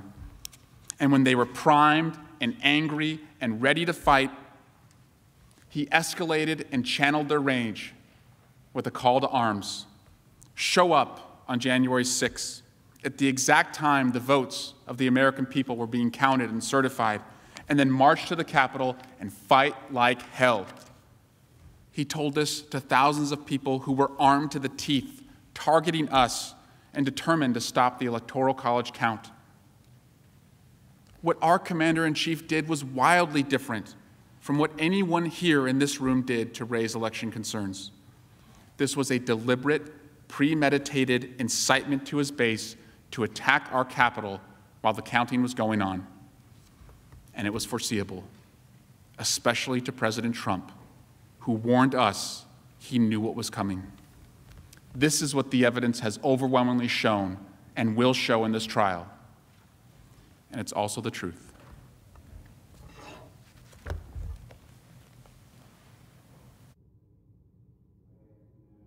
Mr. President. The Majority Leader. I ask unanimous consent the Senate recess for a 15-minute break. Without objection, so ordered.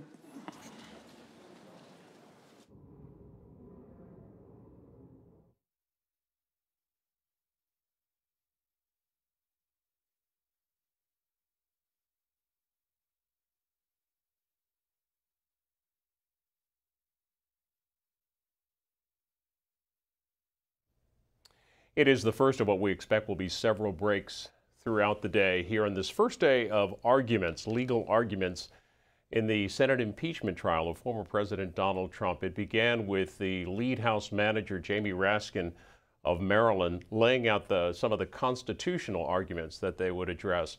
Then we heard from uh, then we heard from Joe Neguse of Colorado, who talked about the arc of the manager's legal case and what they would present ahead. After that came um, uh, Joaquin Castro of Texas, and he looked at some of the pre-election alleged provocations by then President, former President Trump, ahead of the election. While wrapping up there, Eric Swalwell of California was um, was uh, laying out the after election, what happened after the election, how the president uh, contested the election, and some of the events, the rallies, et cetera, leading up to the attack on the U.S. Capitol on January 6th. As you can see, as you heard from Senator Chuck Schumer, a 15-minute break in the proceedings in the Senate. 15 minutes yesterday, the 10 minutes uh, turned into 20 minutes, so it could be a little bit longer. And here's how the, the schedule looks for today. They've already begun, as we mentioned, there are 16 hours of presentation here by the House managers. They'll do eight hours today, eight hours tomorrow, and then the president's team, his lawyers, will get their turn on Friday and Saturday, with again a total of 16 hours over those two days. We expect on Sunday that the Senate will come in at um, 2 o'clock Eastern and may take up any questions, any, um, any uh, questions that senators have of the attorneys. They may also uh, choose to decide on witnesses and uh, submitting subpoenas for documents in the trial. Final arguments, uh, equal amount each side, expected early next week with the final vote on impeachment, keeping in mind that the final vote in the Senate takes two thirds, a two thirds majority, in this case 67. There are 50 Republicans, there are 48 Democrats, with two independents who caucus with Democrats, effectively making it a 50 50 chamber with the Senate in majority. And the, um, and the uh, majority leader is uh, Chuck Schumer. A couple of comments from um, people watching the Senate impeachment trial, people participating this is a tweet from Mark Meadows, the former president's former chief of staff. He says there's one line from President Trump's January 6th speech that Democrats keep conveniently leaving out peacefully and patriotically make your voices heard. From the majority leader just before they gambled in today, he said Donald Trump is char charged with inciting an insurrection. The United States Capitol was invaded and desecrated. The Senate impeachment trial of Donald Trump is about truth and accountability following the despicable January 6th attack. Yesterday, the vote in the Senate was 56 to 44 to move ahead to uh, decide that, yes, indeed, these proceedings were constitutional. One of the Republicans voting with the Democrats of that was uh, Bill Cassidy of Louisiana.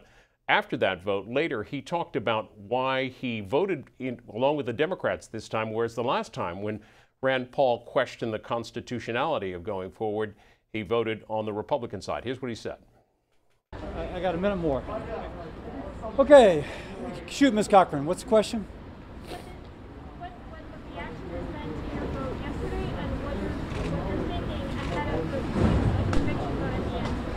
So uh, the reaction uh, to the vote yesterday was very mixed. Some folks incredibly positive, some folks very negative. Those who are negative, I replied that this is a constitutional question and clearly it had been established that it is constitutional, and the Constitution obviously becomes, it is Constitution and country over party. Uh, for some, they get it, and for others, they're not quite so sure. But that's to be expected. This does not predict my vote on anything else. It does predict that I will listen to these arguments as I did to the arguments yesterday with an open mind. I, I, I got to run. Sorry, that's Bill Cassidy, Senator Bill Cassidy. That's yesterday after the um, the Senate voted 56 to 44 to move ahead with the the trial, deciding on the constitutionality of um, attempting to impeach a former president, keeping in mind he was impeached by the U.S. House uh, in the House on January 13th, a week ahead of the inauguration of Joe Biden. Here's a tweet, though, from our own Craig Caplan uh, Capitol Hill producer, caught up with Indiana Senator Mike Braun this morning. And on the Cassidy vote, he talked to Mike Braun. And in that, Mike Braun said Senator Cassidy voting to move ahead with impeachment trial, quote, after that, when you have one senator that changed a point of view, I think that says a lot. So I think pretty well fixes in place what you might see as the eventual outcome.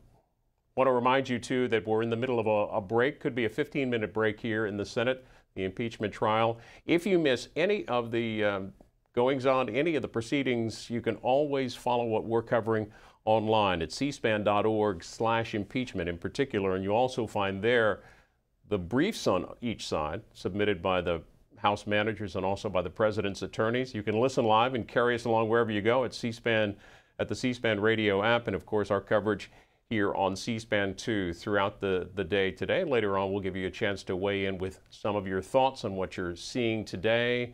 And over the uh, next couple of days, we'll do that as well. A tweet here from the, uh, the, the, Democratic side, basically the House managers, the House Judi Judiciary Committee, their overall view of this. And Jamie Raskin, Jamie Raskin uh, said some of this earlier, saying incitement of insurrection against the United States government is the most, uh, most grievous constitutional crime ever committed by a president.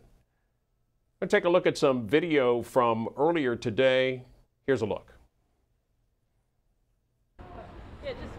So I'm going to take this off. So I'm going to be throwing out here real fast. Can I ask you about Cassidy real fast? Just a minute. I, I, am trying to talk to um, So the question was, um, regardless of what happens this week, how do I feel about 2024? Would I continue to support um, President Trump in 2024? Well, he have he, if he's not convicted and, and not impeached, then of course he'd have the opportunity to run. That to me raises another question, which is why are Democrats so concerned about having him on the ballot four years from now? Clearly, he surprised them once. They think that maybe that maybe they think he could surprise them again, um, which raises the questions about their confidence at all. So, back to me.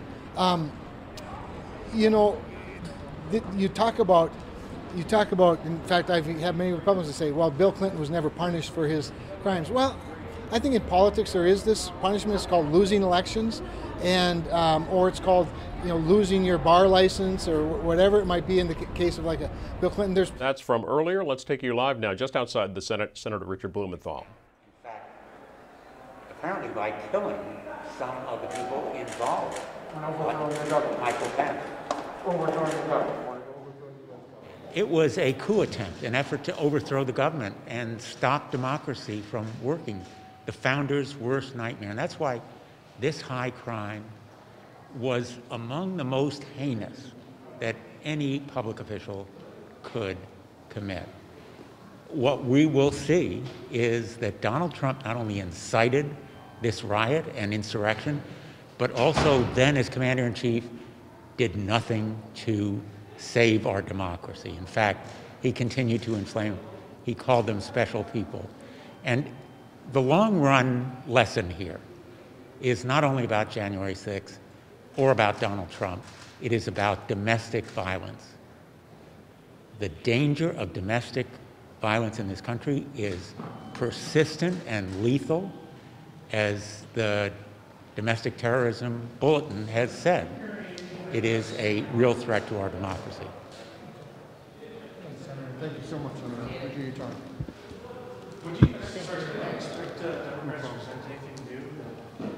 Senator Richard Blumenthal of Connecticut, live just outside the uh, Senate chamber. We're keeping our eye for statements like that as the Senate's in a break. The impeachment trial is in a break, the first one of the afternoon. They gavelled in today at noon Eastern keeping in mind that the, uh, the uh, House managers, the Democrats, will have 16 hours total of uh, presentations today and tomorrow. Likewise with the president's attorneys on Friday and on Saturday. So they should return shortly here from that uh, first uh, break of the day.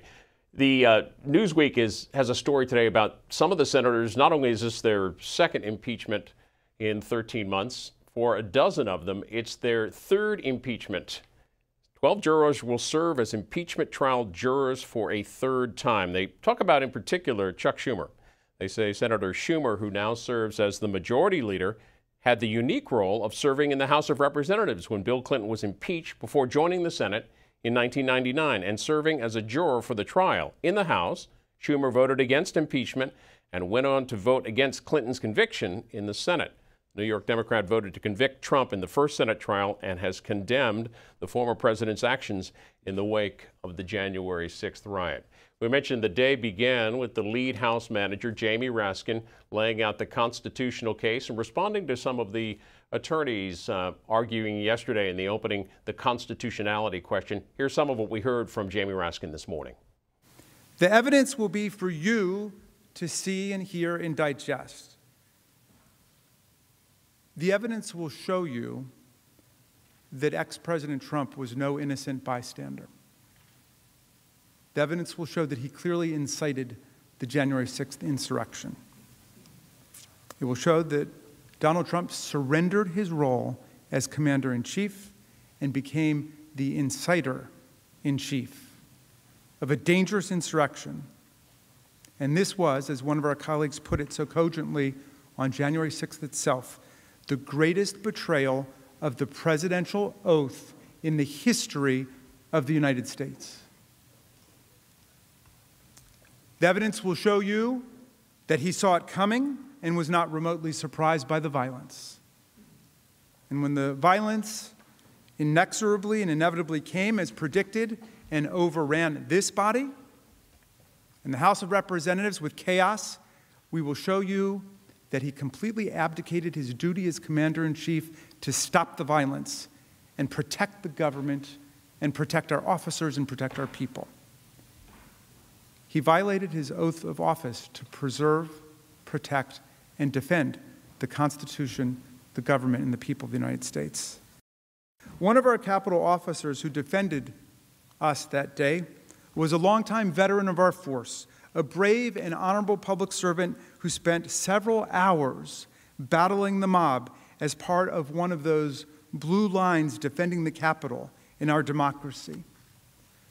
For several hours straight, as the marauders punched and kicked and mauled and spit upon and hit officers with baseball bats and fire extinguishers, cursed the cops, and stormed our Capitol, he defended us and he lived every minute of his oath of office. And afterwards, overwhelmed by emotion, he broke down in the rotunda. And he cried for 15 minutes.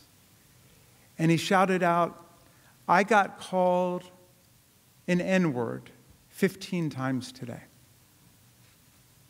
And then he recorded, I sat down with one of my buddies, another black guy, and tears just started streaming down my face. And I said, What the F, man? Is this America? That's the question before all of you in this trial. Is this America? Can our country and our democracy ever be the same if we don't hold accountable the person responsible for inciting the violent attack against our country, our capital, and our democracy, and all of those who serve us so faithfully and honorably? Is this America? That's Jamie Raskin from earlier. Democrats are about two hours into their total of 16 hours of arguments against the president. As you can see, the Senate in a recess here, a break here in the Senate impeachment trial. We expect them uh, to return shortly. So they've so far heard from four of the nine managers Jamie Raskin, Joaquin Castro, Eric Swalwell, and Joe Neguse. Uh, uh, Joaquin Castro of Texas was talking a bit about uh, the supporters and what they had to say. Here's a look. They had bought into his big lie. President Trump told his supporters over and over again, nearly every day, in dozens of tweets, speeches, and rallies, that their most precious right in our democracy, their voice, their vote, was being stripped away, and they had to fight to stop that. And they believed him. And so they fought. And you may say, well, he didn't know that they'd take up arms. But when he did know, when it was all over the news, President Trump didn't stop. As Mr. Swalwell will show, after Donald Trump lost, he became even more desperate and incited his base even further. He urged them again and again with increasingly forceful language to fight to stop the steal. And even as the certification got closer, And he grew even more desperate. He gave them specific instructions on how, where, and when to fight to stop the steal. He told them to show up on January 6th and march to the U.S. Capitol to stop the certification of the election results. And he told them to come here and fight like hell. You will see clearly that this violent mob that showed up here on January 6th didn't come out of thin air. President Donald John Trump incited this violence. And that's the truth. You heard it from them. They were doing what he wanted them to do. They wouldn't have listened to you, to me, to the vice president of the United States who they were attacking. They didn't stop in the face of law enforcement, police officers fighting for their lives to stop them. They were following the president. He alone, our commander in chief, had the power to stop it. And he didn't. You will hear evidence tonight, tomorrow, throughout the trial about his refusal as commander in chief to respond to numerous desperate pleas on the phone, across social media, begging him to stop the attack. And you will see his relentless attack on Vice President Pence, who was at that very moment hiding with his family as armed extremists were chanting, Hang Mike Pence, calling him a traitor. You will see that even when he did, finally, three and a half hours into the attack, tell these people to go home in peace, he added, as lead manager Raskin said, I'll quote, You're very special. We love you.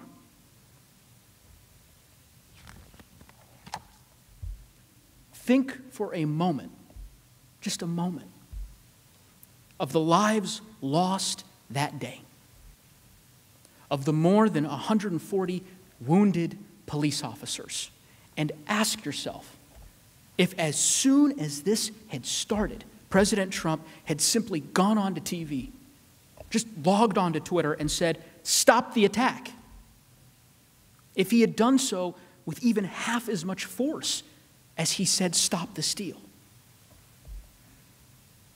How many lives would we have saved? To him, it was his supporters against anyone who would not overturn the election results so that President Trump could win. But on December 14, despite all of President Trump's efforts to stop, the electors cast their votes according to the will of the American people, and Joe Biden was certified as having won 306 electoral college votes. The day after this occurred, Leader McConnell recognized this, stating, Many of us hoped that the presidential election would yield a different result. But our system of government has processes to determine who will be sworn in on January 20. The Electoral College has spoken. As Manager Castro said, no one here, no one among us wants to lose an election. Sometimes there's a reason to dispute an election. Sometimes the count is close. Sometimes we ask for a recount or we go to court. That's entirely appropriate. But what President Trump did was different. What President Trump did was the polar opposite of what any of us would do if we lost an election. Because once the outcome is clear and a judge rules, we concede. We recognize the will of the American people because we let the people decide. And that's what all of the courts, the Justice Department, and the 50 states that had counted the votes, they said it was time for a peaceful transition of power because that's what our Constitution and rule of law demands. Except President Trump. He directed all of the rage that he had incited to January 6th that was his last chance to stop the peaceful transition of power. And that brings us to the attack. Manager Castro told you the power of the lie, especially when the lie comes from the most powerful person in the world, the commander in chief. It also helps if you spend millions of dollars to amplify that lie. You'll see here in mid December, President Trump announced the release of ads, including ones entitled, The Evidence is Overwhelming, Fraud, Stop the Steal. He spent $50 million from his legal defense fund on these ads to stop the steal and amplify his message. They were released nationally, played in video ads, online advertising, and targeted text messages. They used the same words and phrases that President Trump had been spreading for months that the election was full of fraud, to stop the steal. But now they had a specific purpose. How do we know that purpose? These ads were designed to run all the way up to January 5, and then they stopped.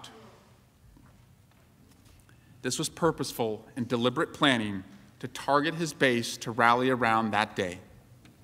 And it wasn't just his ads. He continued to use his own platform. He told his supporters, who truly believed their victory had been stolen and who were ready to fight, when, where, and how to stop what he believed was a steal. Donald Trump would issue a deliberate call to action. And just like in his ads, that was action that action centered around January 6th. On December 19, at 1:42 in the morning, our commander in chief tweeted, "Big protest in DC on January 6th. Be there. Will be wild.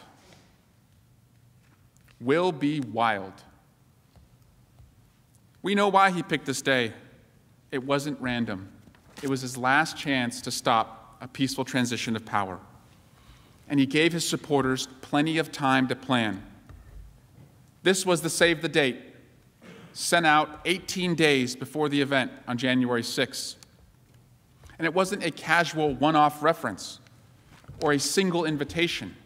For the next 18 days, Donald Trump would make sure to remind them over and over and over to show up on January 6. And he would tell them exactly what he wanted them to do. On December 26, he tweets If a Democrat presidential candidate had an election rigged and stolen, with proof of such acts at a level never seen before, the Democrat senators would consider it an act of war and fight to the death. Mitch and the Republicans do nothing, just want to let it pass. No fight. He's saying that the Republicans are doing nothing and have no fight because you are doing your job, taking on the constitutional process of certifying the Electoral College results.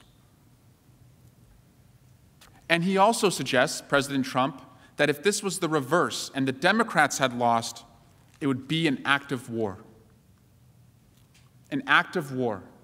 That's how Donald Trump prepared his supporters for January 6.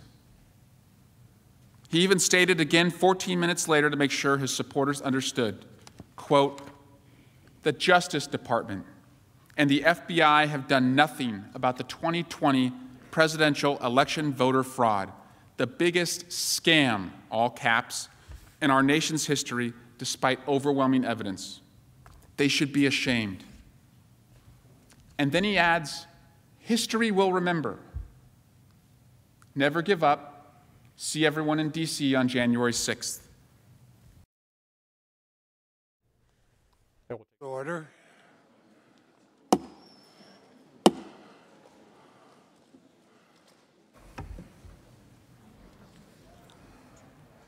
My kids, my kids.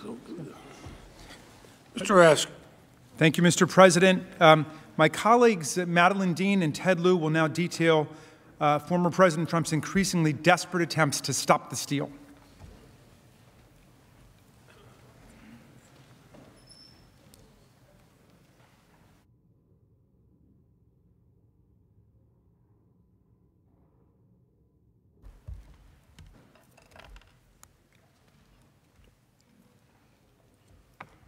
President. Esteemed members of the Senate, it is my solemn honor to be before you today. I am Madeline Dean, Congresswoman from the 4th Congressional District of Pennsylvania. I'm a lawyer. I'm a former professor of writing. I'm a sister. I'm a wife. I'm a mother. I'm a grandmother to three with fourth on her way. I'm a person of faith. And I'm an American. Along with Manager Lieu, I will present the actions of a desperate president. And we will present evidence today of a class of public servants who, standing up to enormous pressure from the President of the United States, did the right thing and upheld their oaths. My colleagues just presented evidence of a President Trump's months long efforts to incite his base, leading them to believe the election was stolen, that they needed to fight like hell to stop the steal on January the 6th. These weren't President Trump's only efforts to overturn the results. Manager Lieu and I will present evidence of President Trump's relentless, escalating campaigns to fabricate an election victory by ignoring adverse court rulings, pressuring and threatening election officials, attacking senators and members of Congress, pressuring the Justice Department, and finally bullying his own vice president. President Trump and his allies filed 62 separate lawsuits in federal courts across more than half a dozen states and the District of Columbia, including Pennsylvania, my home state, as well as Arizona, Georgia, Michigan, Minnesota, Nevada, and Wisconsin.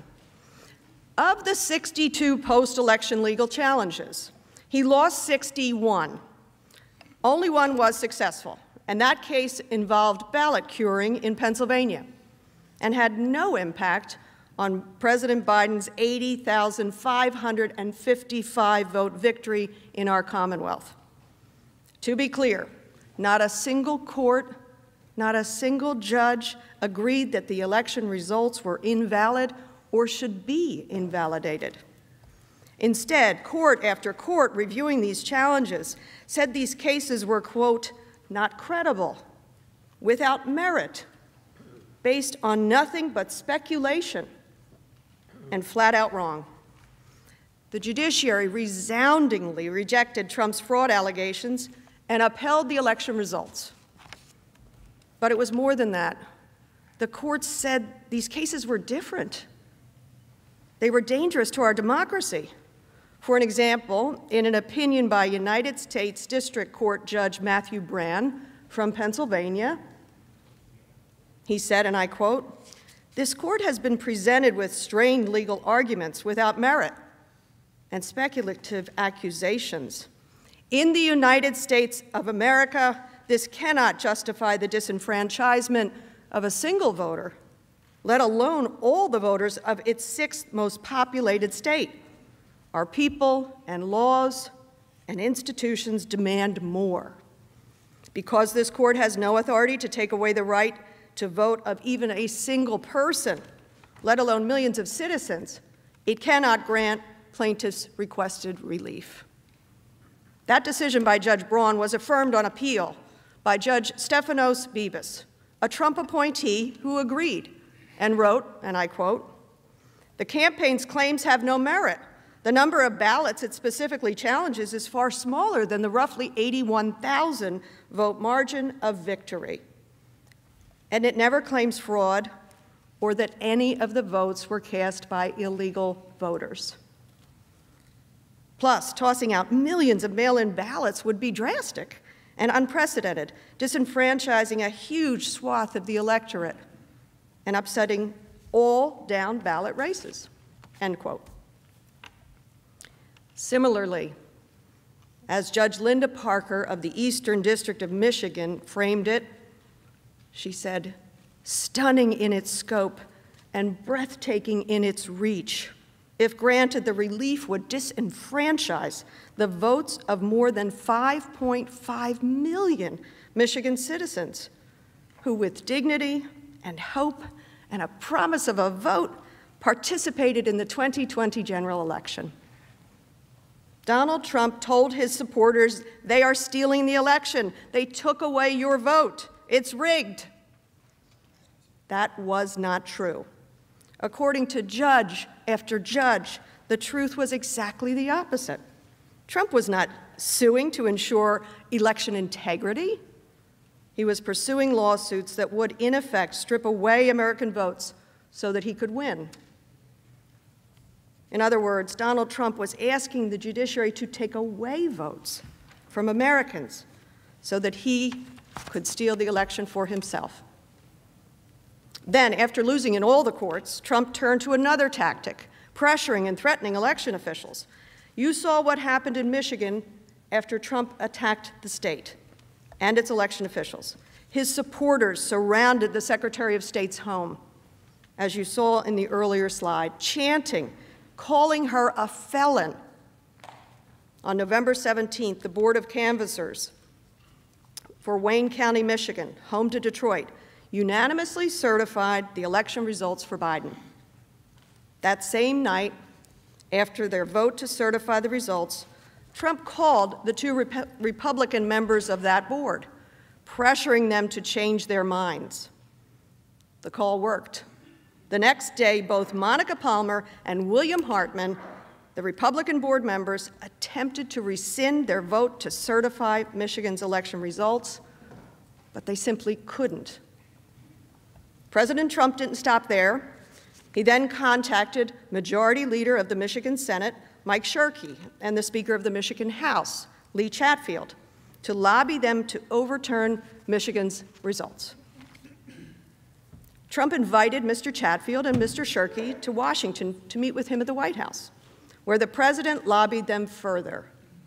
Let's be clear Donald Trump was calling officials, hosting them at the White House, urging them to defy the voters in their state and instead award votes to Trump. The officials held strong, and so Trump moved on to a different state, my home state of Pennsylvania. I am certain my senators, Casey and Senator Toomey, remember what happened there.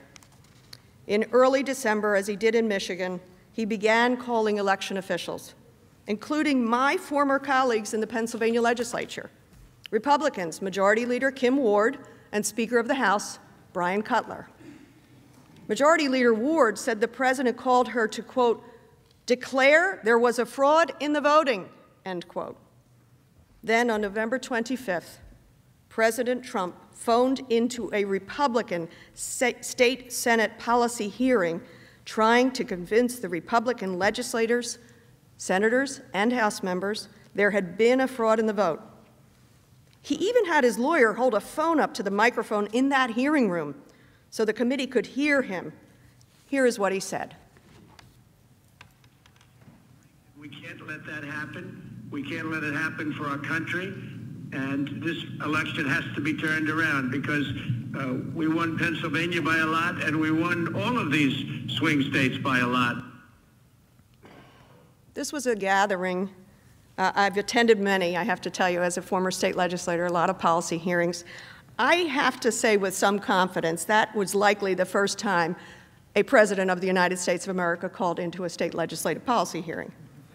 And remember, here is the president saying he won Pennsylvania. And Pennsylvania had been certified for, that Biden had won by more than 80,000 votes. Less than a week after calling into that meeting, he invited multiple Republican members of the Pennsylvania legislature to the White House the same scheme he had used on the Michigan legislators. It didn't work with those public servants either. Think about it. The President of the United States was calling public officials, calling from the White House, inviting them into the Oval Office, telling them to disenfranchise voters of their state, telling them to overturn the will of the American people. Also, he could take the election for himself. And then in Georgia, a state Trump had counted on for victory, his conduct was perhaps the most egregious. On November 11th, Republican Secretary of State Brad Raffensperger confirmed that he believed ballots were ac- uh, ac- accurately counted for Biden. Trump went on a relentless attack. Here are just a few examples. In all, Trump tweeted at Raffensperger 17 times in the coming week. I'll show you just a few. Calling him a disaster, obstinate, not having a clue, being played for a fool, and being a so called Republican.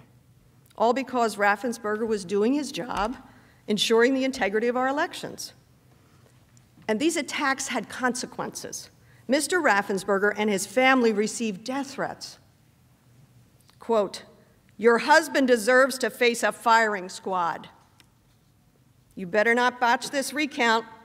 Your life depends upon it. The Raffenspergers should be put on trial for treason and face execution.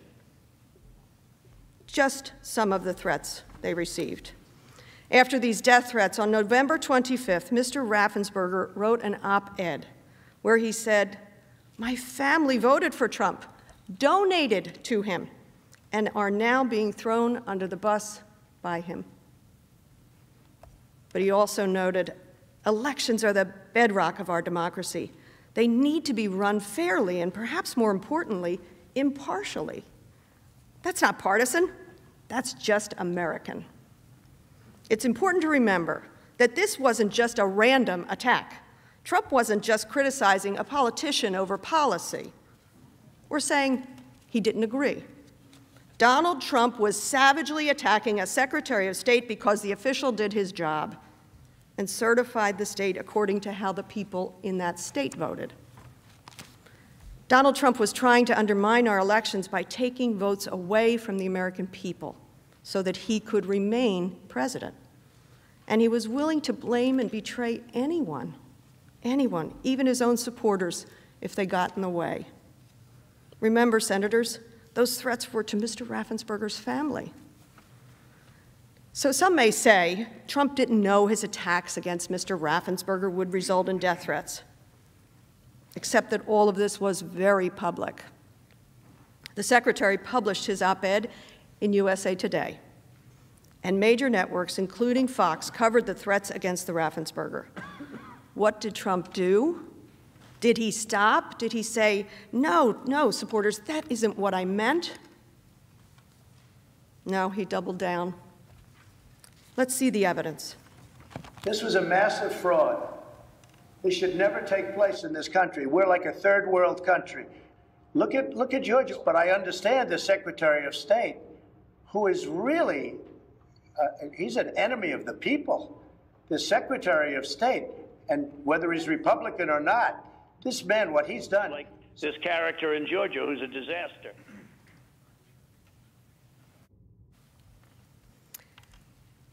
Let that sink in. A Republican public servant doing his job, whose family had just received death threats, and the President of the United States labeled him an enemy of the people. And that's why this is different, because this was not just one attack or one comment. This was attack after attack in the face of clear threats of violence. And on December 1st, another official, Gabriel Sterling, a Republican who voted for Trump, made this point and appealed directly to our president to stop his dangerous conduct. Mr. President, it looks like you likely lost the state of Georgia. We're investigating. There's always a possibility. I get it. And you have the rights to go through the courts. What you don't have the ability to do, and you need to step up and say this, is stop inspiring people to commit potential acts of violence. Someone's going to get hurt. Someone's going to get shot. Someone's going to get killed. Mr. Sterling put this perfectly. In this country, we can appropriately challenge a close count, or go to the courts, or disagree with others, or make bold statements. But what Trump was doing was different. Someone's going to get hurt, someone's going to get shot, someone's going to get killed. Mr. Sterling saw what Trump's conduct was fomenting. He warned him on live TV that violence was already happening and that more violence was foreseeable and inevitable. Sterling's pleas were played over and over on every network. Rather than heed that warning, Trump escalated again. In early December, Trump called Brian Kemp, the governor of Georgia, and pressured him to hold a special session of the state legislature to overturn the election results and to appoint electors who would vote for Trump. A few weeks later, on December 23rd, Trump called the chief investigator for the, for the Georgia Bureau of Investigations, who was conducting an audit, an audit of the signature matching procedures for absentee ballots. Trump urged him, find the fraud, and claimed the official would be a national hero if he did.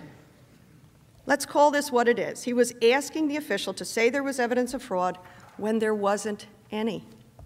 The official refused, and the investigation was completed. And on December 29th, Raffensperger announced that the audit found, quote, no fraudulent absentee ballots with a 99% confidence level. On January 3rd, Trump tweeted about a call he had with uh, a Georgia, Georgia election official the day before. He said, and I quote, I spoke to Secretary of State Brad Raffensperger yesterday about Fulton County and voter fraud in Georgia. He was unwilling or unable to answer questions such as the ballots under the table scam, ballot destruction, out of state voters, dead voters, and more. He has no clue.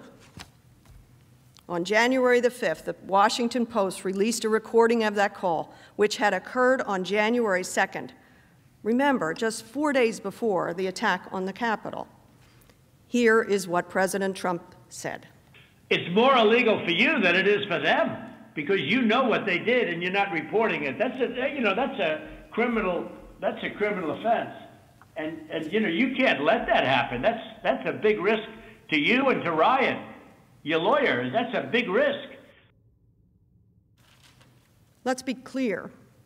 This is the President of the United States telling a Secretary of State that if he does not find votes, he will face criminal penalties. And not just any number of votes. Donald Trump was asking the Secretary of State to somehow find the exact number of votes Donald Trump lost the state by. Remember, President Biden won Georgia by 11,779 votes. In his own words, Trump said, All I want to do is this I just want to find 11,780 votes. He wanted the Secretary of State to somehow find the precise number plus one so that he could win. Here's what he said. So, look, all I want to do is this I just want to find uh, 11,000. 780 votes, which is one more than we have. He says it right there. The President of the United States telling a public official to manufacture the exact votes needed so he can win. Senators, we must not become numb to this.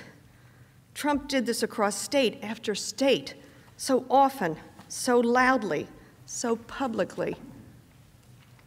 Public officials like you and me received death threats and calls threatening criminal penalties, all because Trump wanted to remain in power.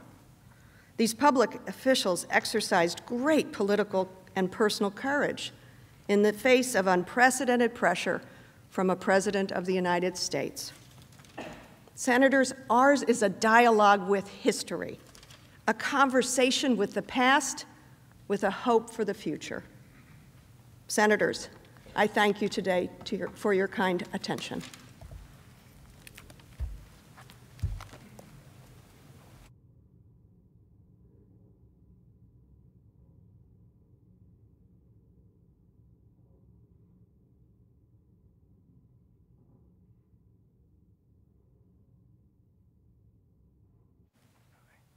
Good afternoon.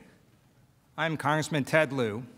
My colleague, Congresswoman Dean, went through President Trump's efforts to overturn the election through the courts, and when that started failing, his deeply disturbing attacks on state and local officials. I'm going to walk through President Trump's extraordinary efforts remaining until January 6, when he tried again to overturn the election. I first want to highlight Representative Raskin's question to all of you today. Is this America? Like all of you, I love this country. I am an immigrant.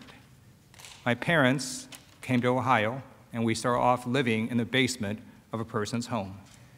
We were poor, and they went to flea markets to sell gifts to make ends meet. Over many years, they built a small business, opened six gift stores, and achieved the American dream.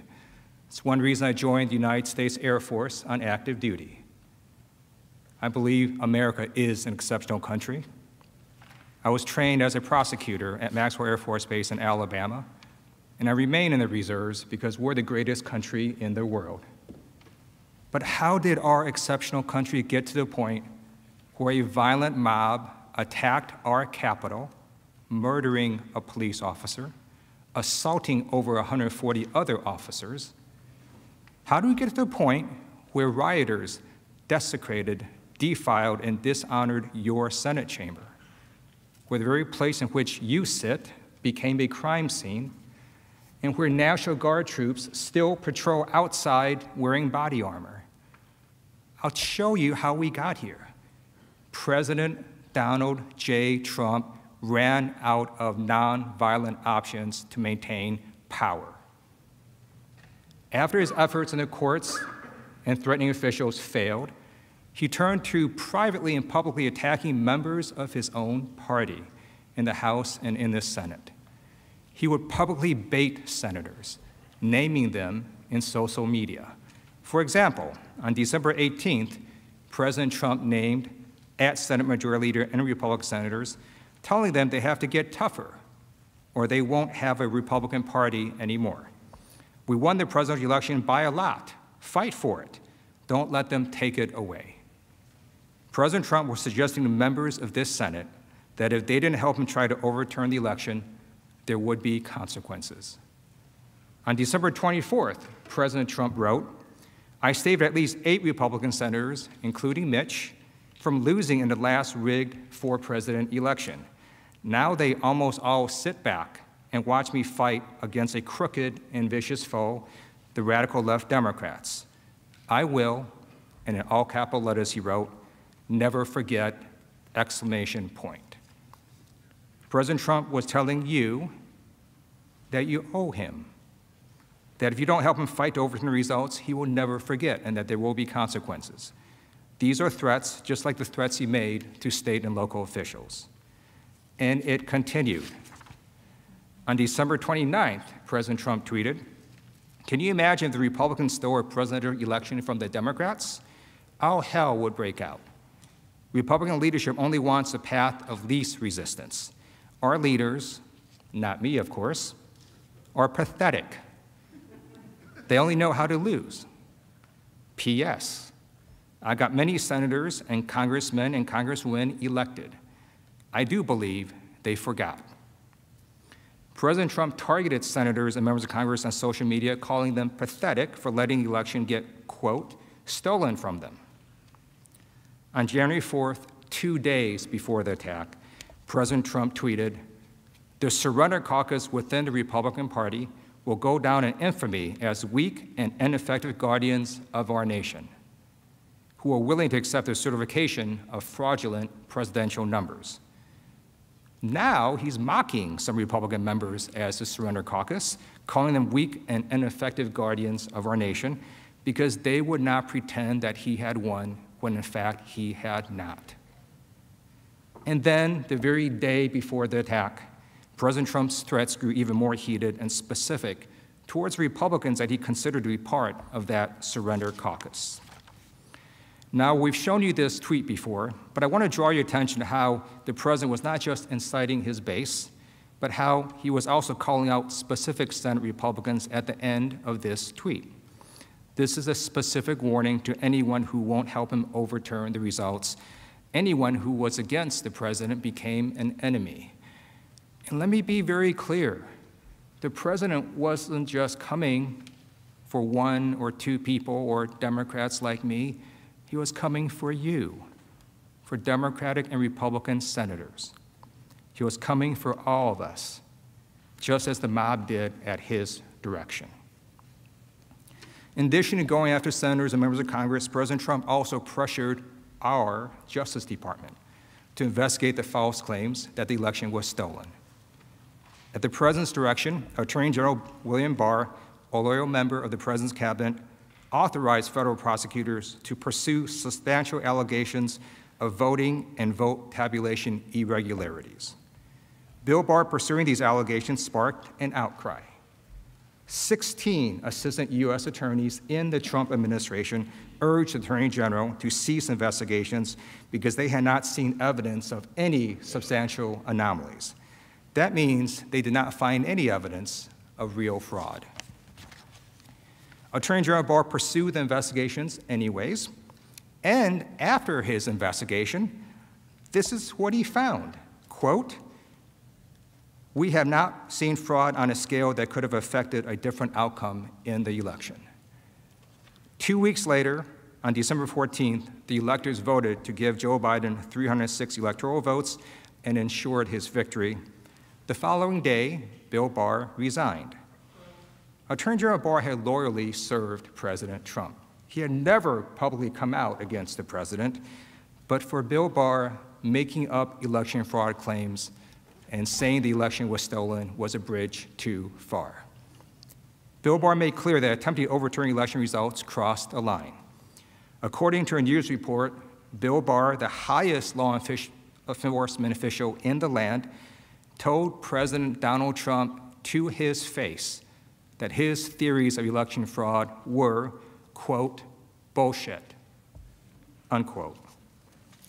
When Bill Barr resigned, his former deputy, Jeff Rosen took his place. President Trump initially tweeted about Mr. Rosen that he was an outstanding person when he announced that he would become acting attorney general. But when Rosen took over, President Trump put the same pressure on him that he had done with state officials, members of Congress, U.S. senators, and his former attorney general. President Trump reportedly summoned acting attorney general Rosen to the Oval Office the next day and pressured Rosen to appoint special counsels to keep investigating the election, including unfounded accusations of widespread voter fraud, and also to investigate Dominion, the voting machines firm. According to reports, Mr. Rosen refused. He maintained that he would make decisions based on the facts and the law, and reminded President Trump what he had already been told by Attorney General Bill Barr that the department had already investigated and, quote, found no evidence of widespread fraud.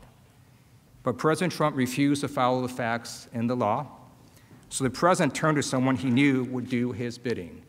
He turned to Jeffrey Clark, another Justice Department lawyer, who had allegedly expressed support for using the Department of Justice to investigate the election results. Shortly after Acting Attorney General Rosen followed his duty and the law to reopen to refuse to reopen investigations. President Trump intended to replace Mr. Rosen with Mr. Clark, who could then try to stop Congress from certifying the Electoral College results. According to reports, White House counsel Pat Cipollone advised President Trump not to fire acting Attorney General Rosen. Department officials had also threatened to resign in mass if he had fired Rosen.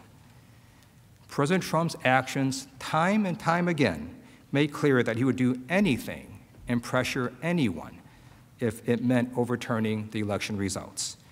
We watched President Trump use any means necessary to pursue this aim, feverishly grasping for straws at retaining his hold on the presidency. But all his efforts prior to January 6 kept failing. And finally, in his desperation, he turned on his own vice president he pressured Mike Pence to violate his constitutional oath and to refuse to certify the oath.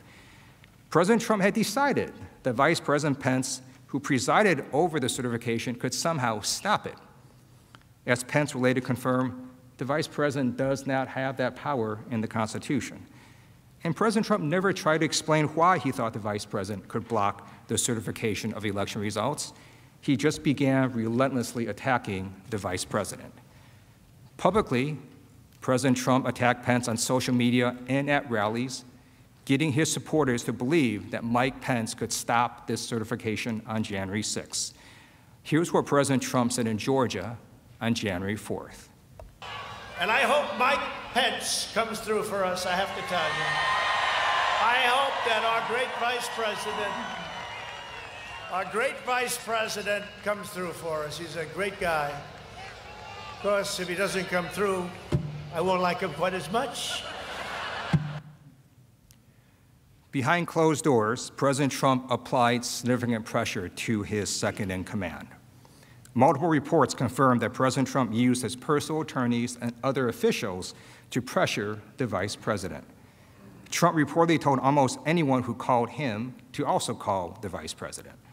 According to reports, when Mike Pence was in the Oval Office, President Trump would call people to try to get them to convince the vice president to help him. And President Trump kept repeating the myth that Pence could stop the certification to his base to anger them, hoping to intimidate Mike Pence. On the morning of the rally on January 6, President Trump tweeted, All Mike Pence has to do is send them back to the states, and in all caps he wrote, and we win. Do it, Mike. This is a time for extreme courage. President Trump later went on to attack Pence nearly a dozen times in his speech at the Save America March. Privately, in person, before Pence headed to oversee the joint session on January 6, President Trump again threatened Pence. You can either go down in history as a patriot, Mr. Trump told him, according to two people briefed on the conversation, or you can go down in history as a pussy. As a veteran, I find it deeply dishonorable that our former president and commander in chief equated patriotism with violating the Constitution and overturning the election.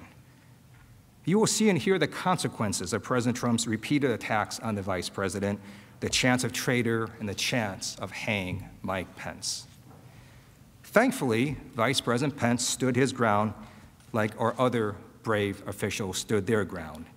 He refused the president and fulfilled his duty on January 6, even after the Capitol was attacked, even after he was personally targeted, even after his family was targeted. Vice President Pence stood strong and certified the election. Vice President Pence showed us what it means to be an American, what it means to show courage. He put his country, his oath, his values, and his morals above the will of one man. The president had tried everything in his power to seize the, um, everything in his attempt to seize power from the rightful victor of the election. President Trump's extraordinary actions grew increasingly more desperate. You saw him go from pursuing claims in the courts to threatening state and local election officials to then attacking members of Congress and the Senate to compromising our Justice Department and then to attacking the Republican vice president. These brave public servants were being pressured by our commander in chief to overturn the results. Some of them and their families got death threats. Thankfully, at every turn, our democratic processes prevailed and the rule of law prevailed. It is only because all of these people stayed strong and re refused President Trump that our republic held fast and the will of the electorate was seen through. And at this point, President Donald J. Trump ran out of nonviolent options to maintain power. I began, to, raise, I began today by raising the question of how we got here. What you saw was a man so desperate to cling to power that he tried everything he could to keep it. And when he ran out of nonviolent measures, he turned to the violent mob that attacked your Senate chamber on January 6. As you cast your vote after this trial, I hope each of you will think of the bravery of all these people who said no to President Trump because they knew that this was not right, that this was not America.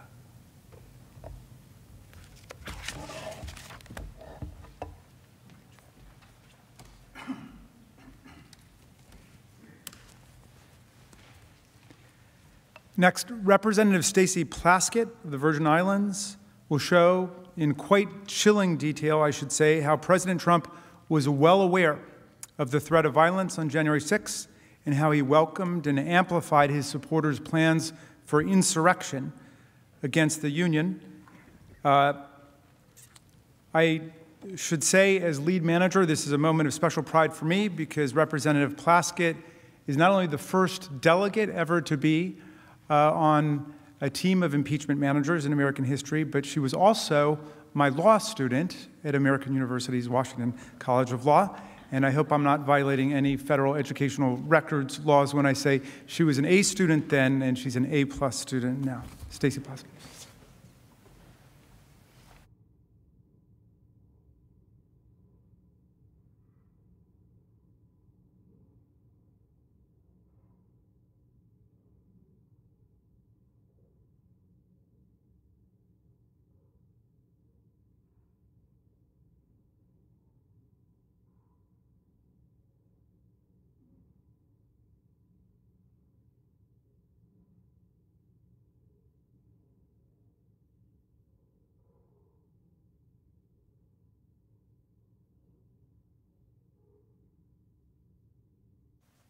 Thank you so much. Height. Mr. President, distinguished senators, I'm Stacey Plaskett, and I represent the people of the Virgin Islands of the United States. Over this past weekend, my 11 year old daughter, I overheard her telling one of my sons, Mommy doesn't seem really nervous about the impeachment trial. To which that son, sounding like an older brother, said, Talia, you'll learn that most of the time, mommy really seems to have it under control. Now, we know as parents that's not always the case. But I've learned throughout my life that preparation and truth can carry you far, can allow you to speak truth to power. I've learned that as a young black girl growing up in the projects in Brooklyn, housing community on St. Croix, sent to the most unlikeliest of settings, and now as an adult woman representing an island territory speaking to the US Senate. And because of truth, I am confident today speaking before you because truth and facts are overwhelming that our president, the president of the United States, incited a mob to storm the Capitol to attempt to stop the certification of a presidential election. My fellow managers have shown and will continue to show clear evidence that President Trump incited a violent mob to storm our capital when he ran out of nonviolent means to stop the election. Once assembled, that mob, at the president's direction, erupted into the bloodiest attack on this capital since 1814. Some of you have said there's no way the president could have known how violent the mob would be. That is false because the violence, it was foreseeable. I want to show you why this violence was foreseeable and why Donald Trump was different than any other politician just telling their fighters, their supporters, to fight for something.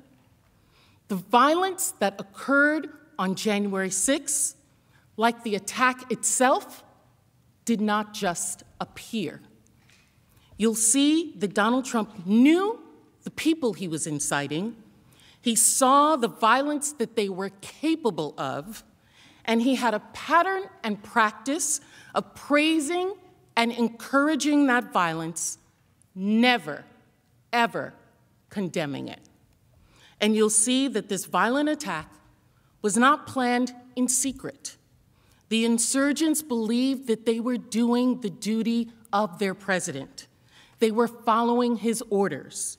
And so they publicized it openly, loudly, proudly, exact blueprints of how the attack would be made. Law enforcement saw these postings and reported that these insurgents would violently attack the Capitol itself. This was not just a, com a, comment by an official to fight for a cause.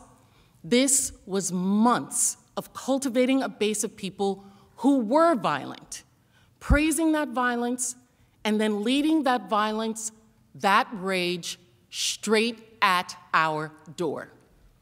The point is this by the time he called the cavalry of his thousands of supporters on January 6th, and an event he had invited them to, he had every reason to know that they were armed, that they were violent, and that they would actually fight. He knew who he was calling and the violence they were capable of. And he still gave that marching orders to go to the Capitol and, quote, fight like hell and stop the steal. Make no mistake, the violence was not just foreseeable to President Trump, the violence was what he deliberately encouraged. As early as September, Trump set the precedent that when asked to denounce violence, he would do the opposite and encourage it.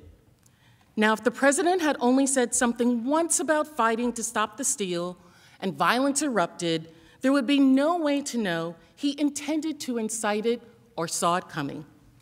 But just as the president spent months spreading his big lie of the election, he also spent months cultivating groups of people who, following his command, repeatedly engaged in real, dangerous violence. And when they did, when the violence erupted as a response to his calls to fight against the stolen election, he did not walk it back. He did not tell them no. He did the opposite. The opposite. He praised and encouraged the violence so that it would continue. He fanned the flame of violence, and it worked. You'll see this over time. These very groups and individuals whose violence the president praised helped lead the attack on January 6th. And that's how we know clearly that President Trump deliberately incited this, and how we know he saw it coming. There are many examples where the president engaged in this pattern, and I'm just going to walk you through a few of them. Let's start with the President Trump's incitement of the Proud Boys. Many of you have heard of this group, which since 2018 has been classified by the FBI as an extremist organization. Since that classification, the group has repeatedly engaged in serious acts of violence, including at pro Trump rallies. In one such act, on September 7th, the Proud Boys attacked a man with a baseball bat and then punched him while he was down on the ground. On September 29th, during a presidential debate, President Trump was asked specifically if he was willing to condemn white supremacy and militia groups, if he was willing to tell them to stand down and stop the violence. Let's watch. But are you willing tonight to condemn white supremacists and militia groups sure. and to say that they need to stand down and not add to the violence in a number of these cities, as we saw in Kenosha and as we've seen in Portland. Sure, Are you I'm prepared to, to specifically that, do it? Well, I go would ahead, say. Sir. Let's hear now the president's response. Do it, sir. Say it. Do it. Say it. Do you want to call them? What do you want to call them? Give me a name. Give me a white name. Supremacists and Who white would you like me to condemn? White Proud supremacists boys. and right Proud militia. boys. Stand back and stand by. When asked to condemn the Proud Boys and white supremacists, what did our president say? He said, stand back and stand by. His message was heard loud and clear. The group adopted that phrase, stand back and stand by, as their official slogan. They created merchandise with their new slogan, which they wore proudly across their backs at Trump's rallies, and they followed the president's orders.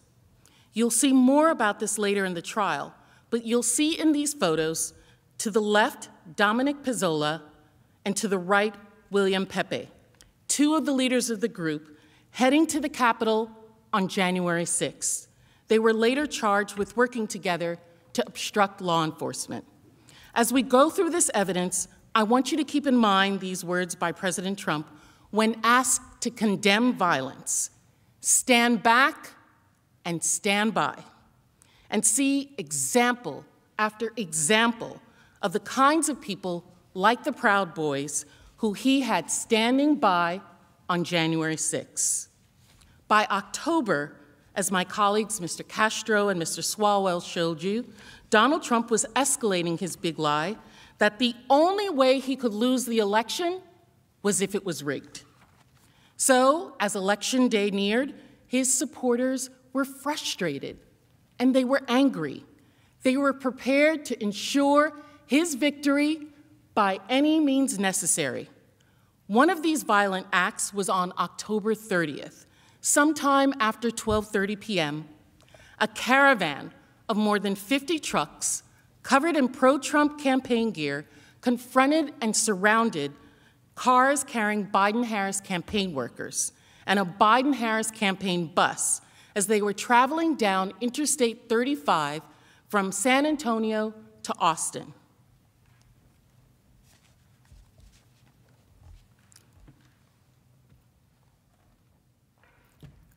According to witnesses, this caravan repeatedly tried to force the bus you saw and you see in that video to slow down in the middle of the highway and then to run it off the road. What that video you just saw does not show is that the bus that they tried to run off the road was filled with young campaign staff, volunteers, supporters, surrogates, people. As the Trump supporters closed in on the bus, a large black pickup truck adorned with Trump flags suddenly and intentionally swerved and crashed into a car driven by a Biden Harris volunteer. News of the event went viral on social media. The President of the United States, in a campaign, saw his own supporters trying to run a bus carrying his opponent's campaign workers off the highway, to physically intimidate people in this country campaigning. Here was his response the next day.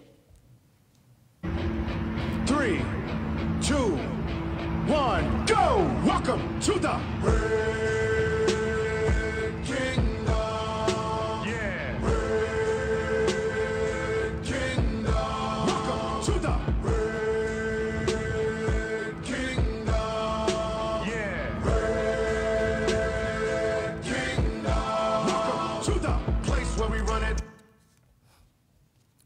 President of the United States tweeted a video of his supporters trying to drive a bus off the road. You'll recall in that first video that I showed you, there was no sound. Well, the one that he tweeted had a fight theme song placed to it that the president, the president put that music to that video. And he added at the top, I love Texas. By the next evening, that tweet that he did had been viewed 12.6 million times. And it wasn't just a tweet. On November 1st, at a Michigan rally with a sea of supporters, the president talked about that incident again. Here it is. Something. Do you see the way our people, they, you know, they were protecting his bus yesterday because they're nice. So his bus, they had hundreds of cars. Trump, Trump, Trump and the American flag. That's it. You see Trump and American flag. The president made a public joke of violence against campaigners in an American election. He made light of it. This was not a joke. In fact, It was so violent, it put so many people in harm's way that the FBI investigated the incident and the criminal responsibility of those who attacked these campaign workers. Now, our President Donald Trump could have said, okay, I didn't realize how bad that was. This was very violent. Please stop. But he didn't. He saw the investigation and made a statement in defense of his supporters' attack on the bus, writing, quote, In my opinion, these patriots did nothing wrong. Engaging in violence for him made them patriots to Donald Trump. For anyone who says Donald Trump didn't know the violence he was inciting, I ask you to consider his supporters tried to drive a bus off the highway in the middle of the day to intimidate his opponent's campaign workers. And his response was to tweet the video of the incident that had fight music, joke about it, and call those individuals in that incident patriots. And once again, Donald Trump's praise worked to incite them further. Emboldened by that praise, they remained ready to fight, ready to stand back and stand by. This link is not hypothetical. Just like we saw with the Proud Boys showing up in full force on January 6, Donald Trump's encouragement of this attack made sure his supporters were ready for the next one. The caravan bus attack had been organized by a Trump supporter named Keith Lee. Leading up to the attack on our Capitol of January 6, Mr. Lee teamed up with other supporters to fundraise to help to bring people to Washington, D.C. for that day. The morning of the attack, he filmed footage of the Capitol, pointed out the flimsiness of fencing, and then addressed his supporters before the attack saying, quote, as soon as you all get done hearing the president, y'all get to the Capitol. We need to surround this place. During the attack, he used a bullhorn to call out for the mob to rush in. He later went to the rotunda himself and then back outside to urge the crowd to come inside. These are the people that President Trump cultivated, who were standing by. I'd like to look at another example. After the election on December 12th, Trump supporters gathered in mass to protest the stolen election in D.C. It was billed by his loyalists as the second Million MAGA March. The, the rally was organized by Women for America First, the same group that you'll see later secured the permit for the January 6 rally. And who else was there? The Proud Boys, standing by. Donald Trump did not attend that rally but he made sure to make clear his supporters throughout the day how he felt about the event. At 8:47 a.m., he sent out a tweet. We have just begun to fight. And then the rally began. And Donald Trump's allies, who spoke at the rally, carried on his message of the stolen election and the importance of fighting to stop the steal. Here's Nicholas Fuentes, a commentator who had organized a Stop the Steal rally in Michigan with Trump supporters. In the first Million MAGA March, we promised that if the GOP would not do everything in their power to keep Trump in office, then we would destroy the GOP. Yeah! And as we gather here in Washington, D.C. for a second Million MAGA March, we're done making promises. It has to happen now. We are going to destroy the GOP.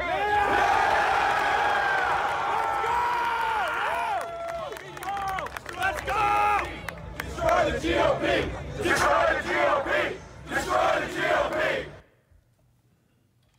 Those words, that was Trump's message. Destroy anyone who won't listen, who won't help them take the election for Trump. And as you will see, this was just the preview for Fuentes, who, like the Proud Boys and the Trump caravan organizers, would later heed the president's call and come to Washington and be there on January 6th. Later in the rally, a former Trump campaign spokeswoman, Katrina Pearson, also spoke. During her speech, she stated, quote, this isn't over. This is just beginning, referring to the fight to stop the steal. And then she added, we knew both Republican and Democrats were against we people, we the people. We are the cavalry. No one's coming for us. It's clear that Trump and some of his supporters saw this as war, a fight against anyone who was unwilling to do whatever it took to keep Donald Trump in power. We are the cavalry. And President Trump continued to reinforce his support of these messages throughout the day. At 1:48 p.m., after both speeches, he retweeted his deputy chief of staff's tweet showing his crowd that he had flown over on Marine One, and he tweeted, quote, "Thank you, patriots." These people were, as you can see, gathered in mass and being told by the president's allies that their election had been stolen. And they were told they were the cavalry. No one else could do it. And after hearing these speeches and seeing the president's support, this is what Donald Trump's cavalry was capable of.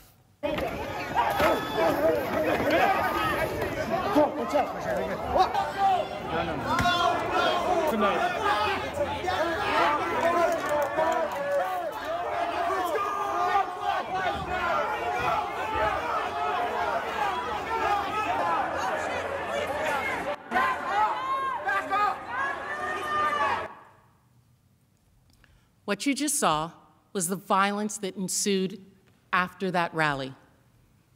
The Proud Boys, after that rally, engaged in serious acts of violence in downtown DC. Some Trump supporters and self identified Proud Boys vandalized churches after that rally. If we look at these events, it's clear how we got here. Because what did the president do after that? He turned right around, and a little over a week later, he began coordinating the January 6th Save America rally with the same people who had planned the second Million MAGA March.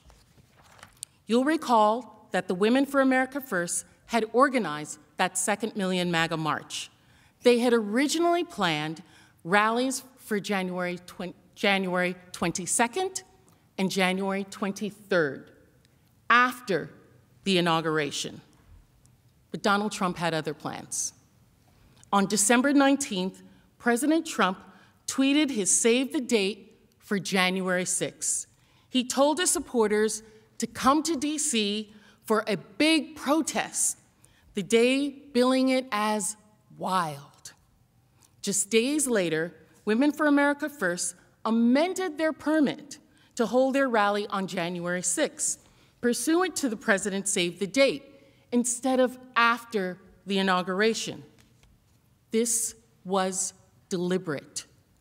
Reports confirm that the president himself, President Trump, became directly involved with the planning of the event, including the speaking lineup, even the music to be played, just as he chose the music for his retweet of the caravan driving the Biden Harris bus off the road with that fight song. And he brought the same people who spoke at the second Million MAGA rally to help as well. Trump's campaign advisor, Katrina Pearson, who you recall said on December 12th that this is the only the beginning, we are the cavalry, also became directly involved in planning the event. They even sent out invitations together. This is Amy Kremer, one of the founders of Women for America First, tweeting the invitation, tagging Donald Trump and other organizers, inviting the same supporters who had just engaged in serious violence at the second Million MAGA rally to show up to the largest rally to stop the steal. And President Trump seemed to have other plans for what was going to happen at that rally, too. Women for America First had initially planned for the rally goers to remain at the ellipse until the counting of the state electoral slates was completed, just like they had remained at Freedom Plaza after the second Million MAGA March. In fact, the permit stated in no uncertain terms that the march from the ellipse was not permitted. It was not until after President Trump and his team became involved in the planning that the march from the ellipse to the Capitol came about in direct contravention of the original permit. This was not a coincidence. None of this was. Donald Trump, over many months, cultivated violence, praised it, and then when he saw the violence his supporters were capable of, he channeled it to his big, wild, historic event. He organized January 6th with the same people that had just organized a rally, resulting in substantial violence, and made absolutely sure this time these violent rally goers wouldn't just remain in place. He made sure that those violent people would literally march right here to our steps, from the ellipse to the Capitol, to stop the steal. His cavalry. This was deliberate. And because the President of the United States incited this, because he was orchestrating this, because he was inviting them, the insurgents were not shy about their planning.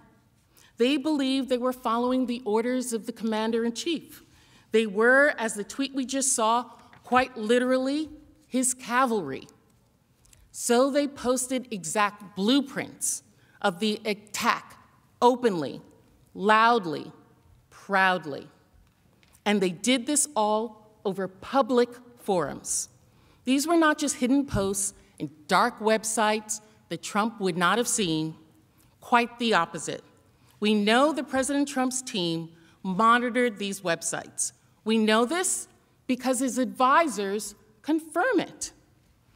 An ex White House and campaign insider, as you'll read, who has known both Scavino and the president for years, said there was no way that Scavino and the Trump social media operation would not have been aware of the plan circulating online to storm the Capitol.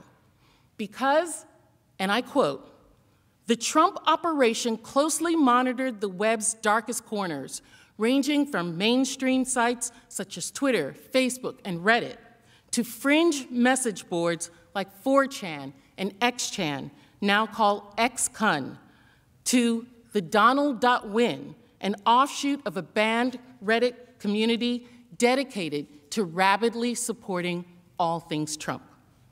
They actively monitored the exact sites, like the Donald.win, on which these insurrectionists wrote their posts. And so, what would Trump and his team have seen when they were monitoring these white sites? What would his supporters have said? They would have seen a clear roadmap of exactly what happened. This is an example of a post that was captured from one of the sites dedicated to Donald Trump that we just talked about, shortly before the site was taken down. And the meme reads, quote, the Capitol is our goal. Everything else is a distraction. Every corrupt member of Congress locked in one room and surrounded by real Americans is an opportunity that will never present itself again. Let that sink in. Think about that. The exact thing that happened on January 6th, that was their goal. And they said it out loud on sites that the Trump administration was actively monitoring. A third party site captured a post on the Donald.win where one user posted, quote, this cannot simply be a protest. It has to be the establishment of the MAGA militia with the command offices set up, with all further militia tactical missions spreading from there. Another user said in response, quote, we will have to achieve an actual tactical victory, like storming and occupying the Capitol, to have the intended effect. That's what they understood Donald Trump to want. There it is in black and white. And they explained why they felt justified in this. Another poster on the forum, the Donald.win, wrote on January 4th, quote, if Congress illegally certifies Biden, Trump would have absolutely no choice but to demand us to storm Congress and kill slash beat them up. Donald Trump will have no choice. That was what he made them believe, to the point his supporters felt justified even in carrying weapons and storming our Capitol.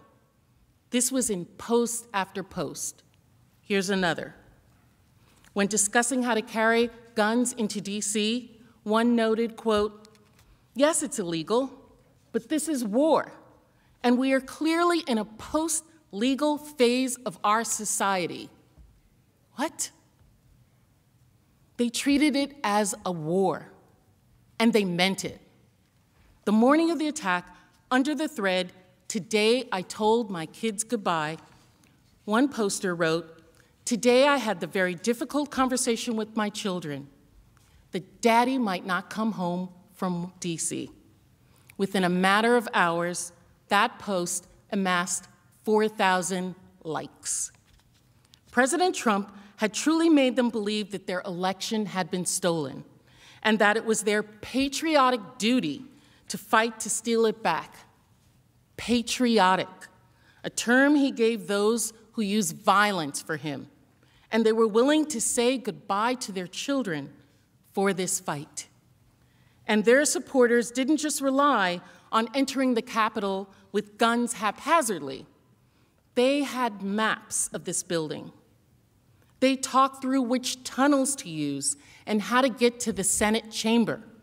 Some posted specific floor plans, layouts of the Capitol, alongside hopes of overwhelming law enforcement to, quote, find the tunnels, arrest the worst traitors.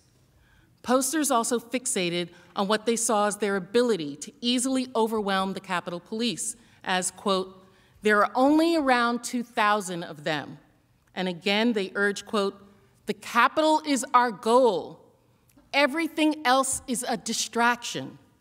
There were hundreds of these posts, hundreds, monitored by the Trump administration. And these posts they were chillingly accurate, right down to communication devices. A new affidavit filed by the FBI described preparations by the right wing group, the Proud Boys, to storm the Capitol, including using earpieces and walkie talkies to direct movements throughout the building. This happened.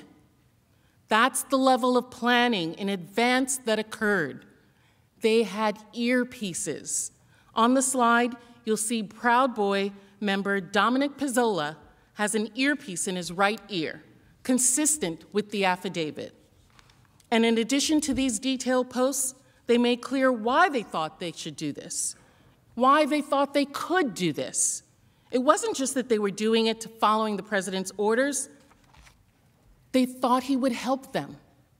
A third party site captured a post on the Donald.win again the site monitored by Trump's team, and he wrote, wrote, quote, he, meaning Donald Trump in this instance, can order the Nat Guard to stand down if needed. Unfortunately, he has no control over the Capitol Police, but there are only around 2,000 of them, and a lot are useless fat asses or girls. It's all right there. The overall goal, maps of the Capitol, the weapons, communication devices.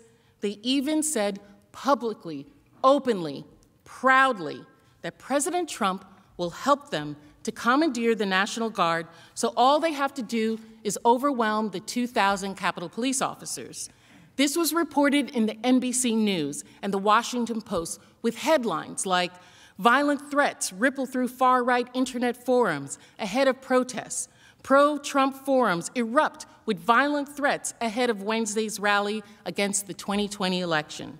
Fox News also reported that the Proud Boys would come to the January 6 rally prepared for violent action, even quoting a Proud Boy member who said they would, quote, incognito and spread across downtown DC in smaller numbers. City officials, seeing these same warnings, also publicly warned about the violence and unlawful weapons at the event. DC Mayor Muriel Bowser cautioned residents of the District of Columbia to avoid the downtown area while the rally attendees were in town. Federal law enforcement warned of these threats also. On January 3rd, a Capitol Police intelligence report warned of a violent scenario in which Congress itself could be the target of the angry supporters of President Trump on January 6. According to that report, obtained by the Washington Post, supporters of the current president see January 6, 2021, as the last opportunity to overturn the results of the presidential election. This sense of desperation and disappointment may lead to more incentive to become violent.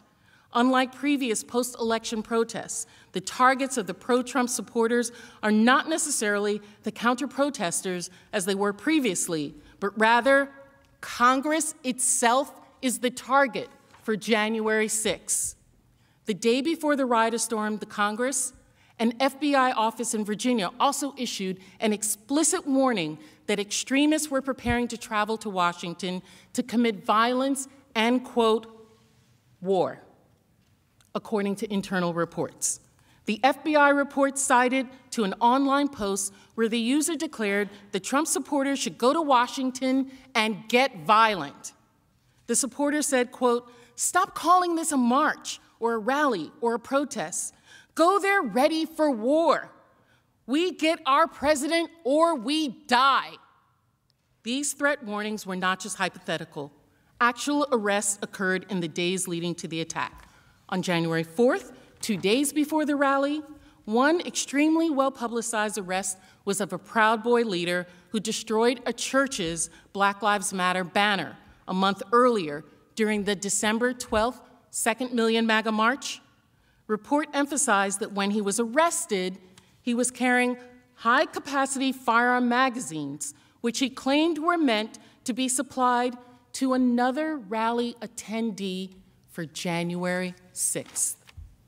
By the night of January 6th attack, DC police had already made six arrests in connection with the planned protests on charges of carrying weapons, ammunitions, assault, assaulting police.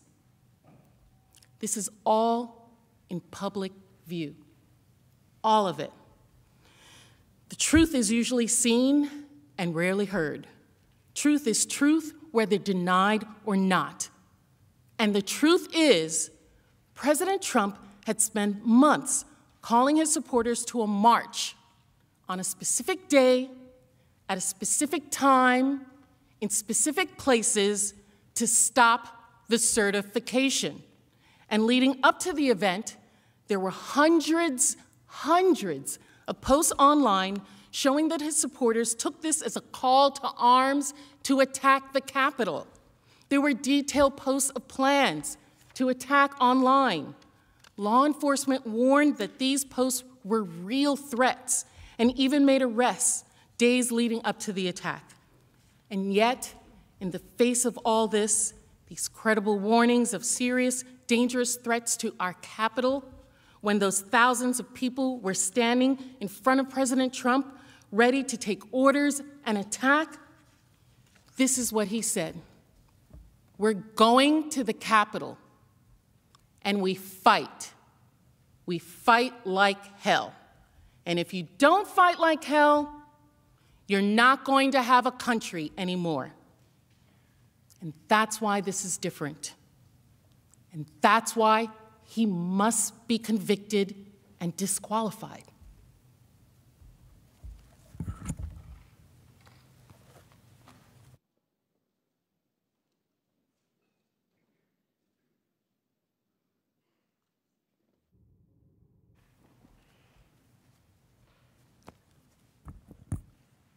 Representative Dean will now return to the events of January 6th itself.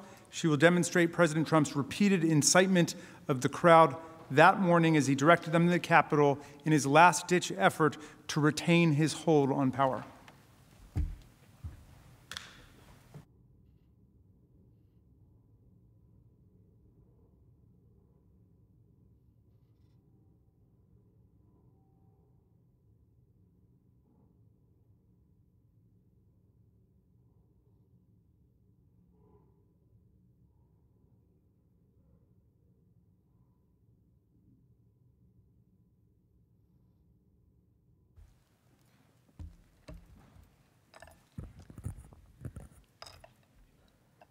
For me and for many Americans, January 6th is forever etched in our memories.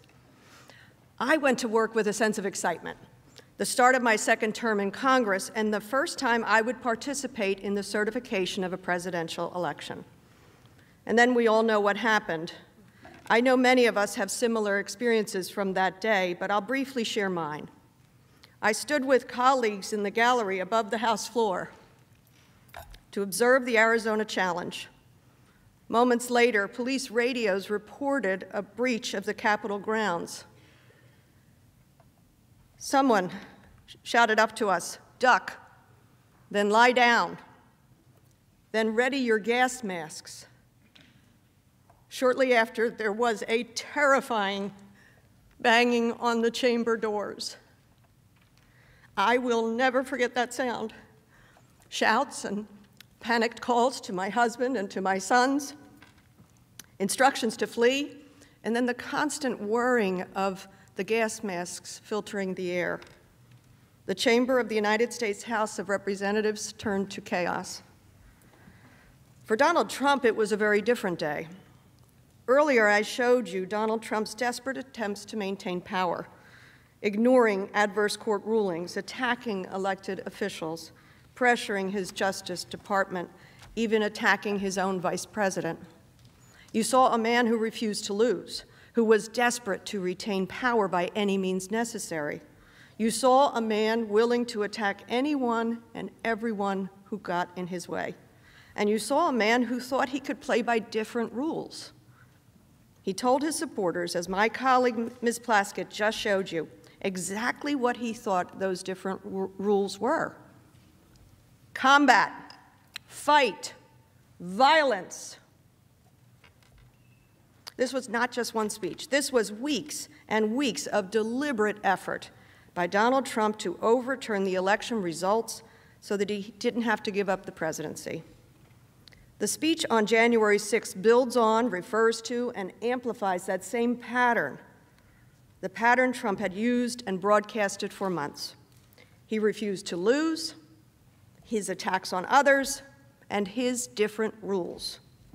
The only thing different about his speech on January 6th from all these other times that we went through was that he was no longer telling his base just that they had to fight to stop the steal.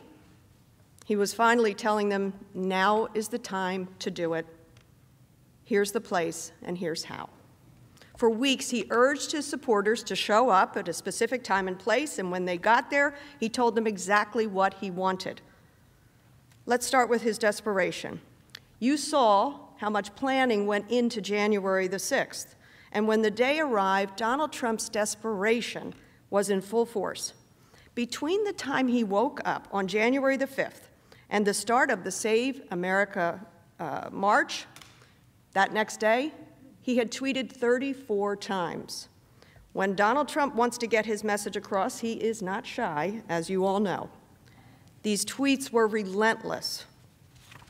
And these tweets all centered on his singular focus, his drumbeat to motivate, anger, and incite his supporters, his big lie. The presidential election had been rigged, it had been stolen from him, and they had to fight to stop it.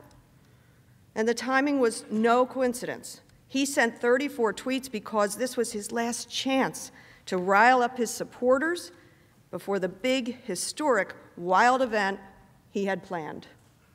Now, I won't go through all of these tweets, but let me just highlight a few. At 1 in the morning, he tweeted, If Vice President Mike Pence comes through for us, we will win the presidency. Mike can send it back. This will look familiar to you because Mr. Lieu just showed you how Trump had privately, he was pressuring and publicly attacking his vice president to stop the certification. And when Vice President Pence refused, when he explained that the Constitution simply does not allow him to stop certification, Donald Trump provoked his base to attack him. The late in the evening tweet was no different. It just got more forceful. Let's be clear what Donald Trump was saying that Vice President Pence could send back the certification was not true. For one thing, all 50 states had ratified this election. And for another, Vice President Pence explained to him that he does not have the power to unilaterally overturn states' votes and just send the certification back.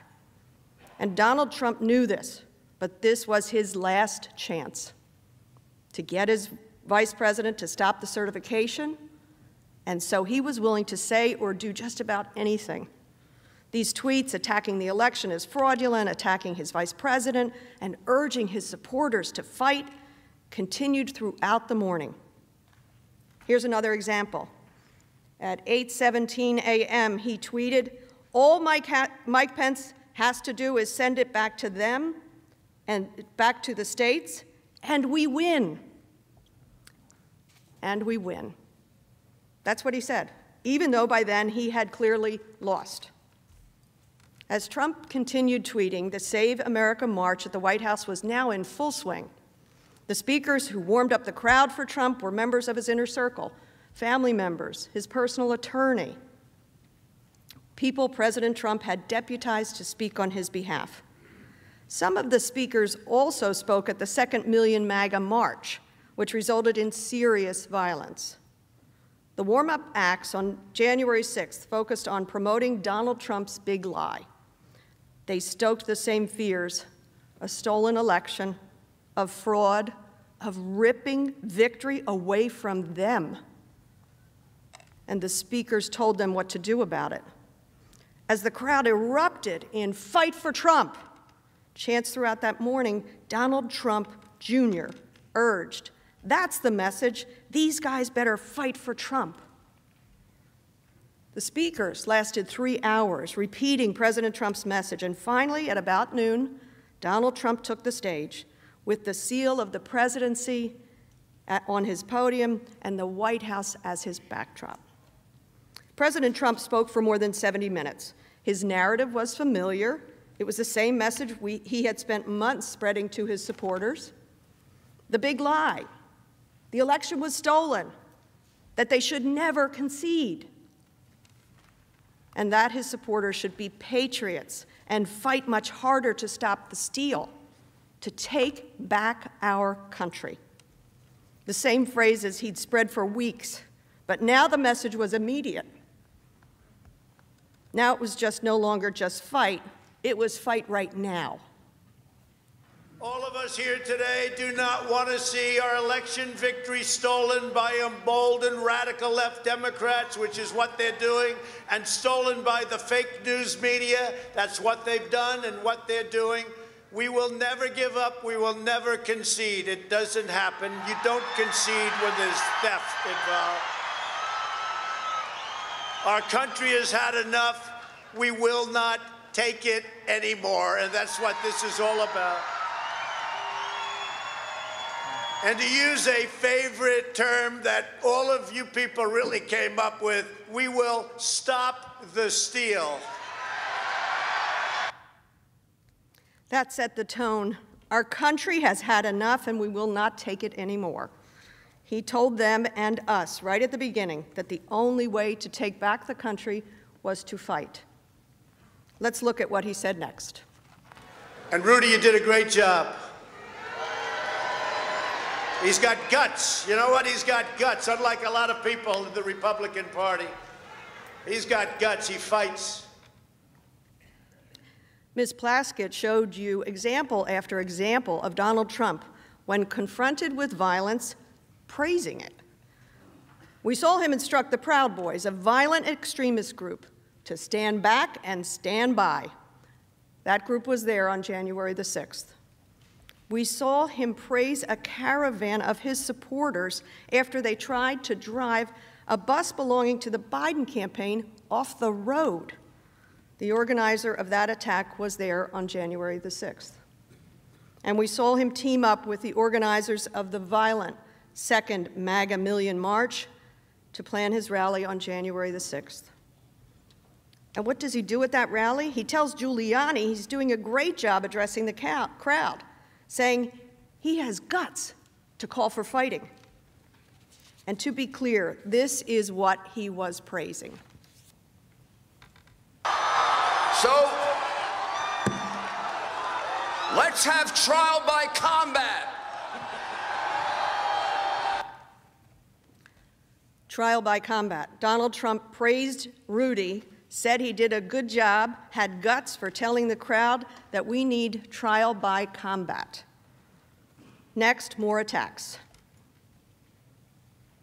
All Vice President Pence has to do is send it back to the states to recertify. And we become president, and you are the happiest people. This attack, like the tweets he sent that morning, had a purpose convincing his supporters that the future of our country, of our democracy, hinged on whether Vice President Pence would overturn the election, something he knew Pence could not and would not do. He called out Vice President Pence nine times that day. And each time, he got more forceful. Here's what he said at 12:15.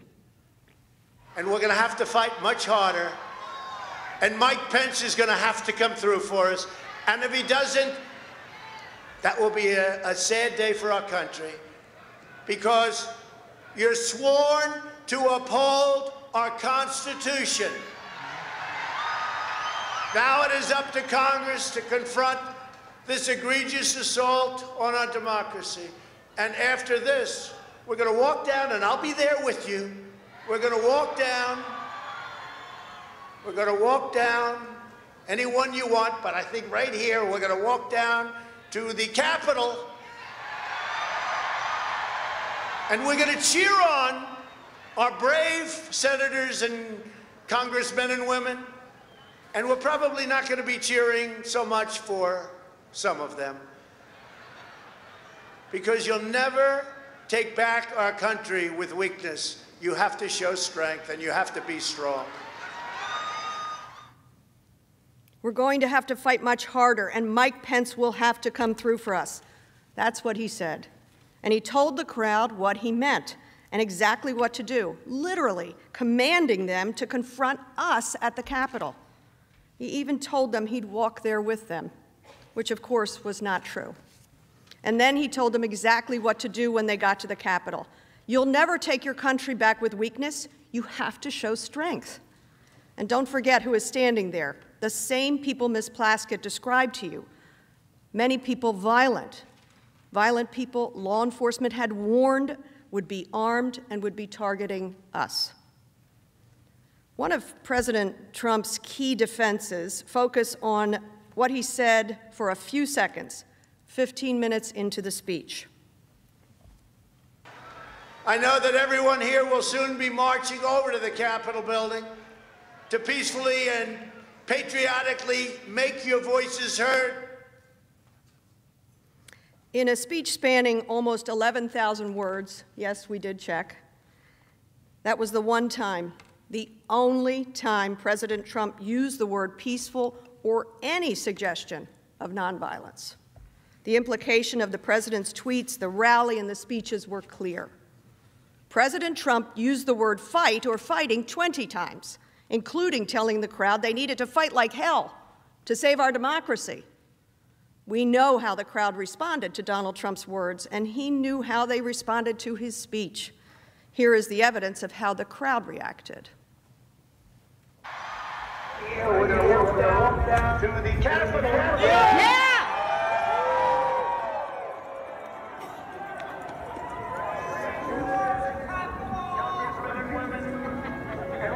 Probably not going to be cheering so much for some of them.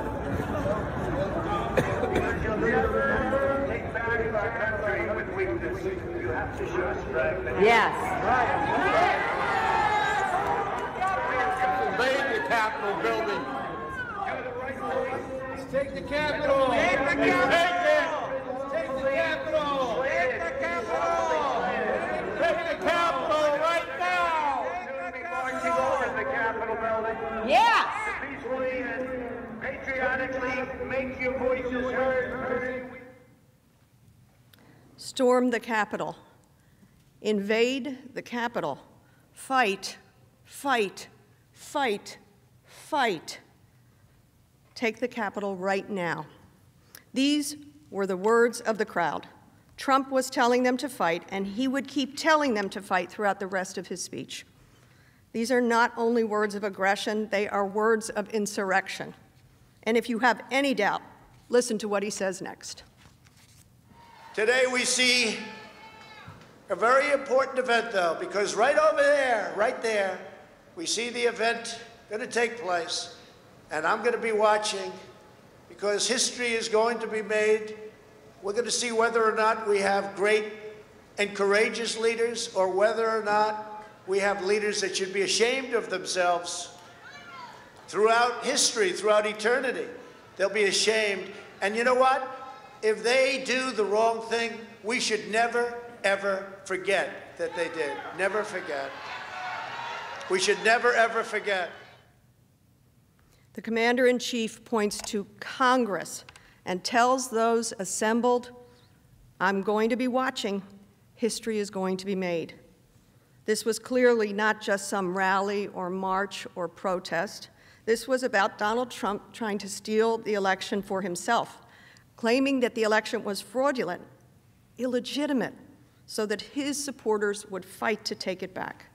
In fact, after stoking the crowd's anger for nearly 40 minutes, after repeating false election conspiracy after false election conspiracy, he said this in no uncertain terms. You will have an illegitimate president. That's what you'll have. Any outcome besides him keeping the presidency would be illegitimate. This was building on the big lie of a rigged and stolen election. And here's what he said a little later in the speech. When you catch somebody in a fraud, you're allowed to go by very different rules. So I hope Mike has the courage to do what he has to do. When you catch somebody in a fraud, you're allowed to go by very different rules. We told you that context matters. Here's the context. This was not just one reference or a message to supporters by a politician to fight for a cause. He'd assembled thousands of violent people, people he knew were capable of violence, people he had seen be violent. They were standing now in front of him. And then he pointed to us, lit the fuse, and sent an angry mob to, to fight the perceived enemy his own vice president and the members of Congress as we certified an election. But I said, something's wrong here. Something's really wrong. Can't have happened. And we fight. We fight like hell. And if you don't fight like hell, you're not going to have a country anymore. Our exciting adventures and boldest endeavors have not yet begun. My fellow Americans, for our movement, for our children, and for our beloved country. And I say this despite all that's happened, the best is yet to come. So we're going to, we're going to walk down Pennsylvania Avenue. I love Pennsylvania Avenue. And we're going to the Capitol, And we're going to try and give, you know, the Democrats are hopeless. They're never voting for anything, not even one vote. But we're going to try and give our Republicans, the weak ones, because the strong ones don't need any of our help, we're going to try and give them the kind of pride and boldness that they need to take back our country. So let's walk down Pennsylvania Avenue. I want to thank you all. God bless you, and God bless America. Thank you all for being here. This is incredible. Thank you very much. Fight for Trump! Fight for Trump! Fight for Trump! Fight for Trump! Fight for Trump! We for Trump! We here for Trump! Fight for Trump! Fight for Trump! Fight for Trump! Fight for Trump! Fight for Trump! Fight for Trump! Fight for Trump!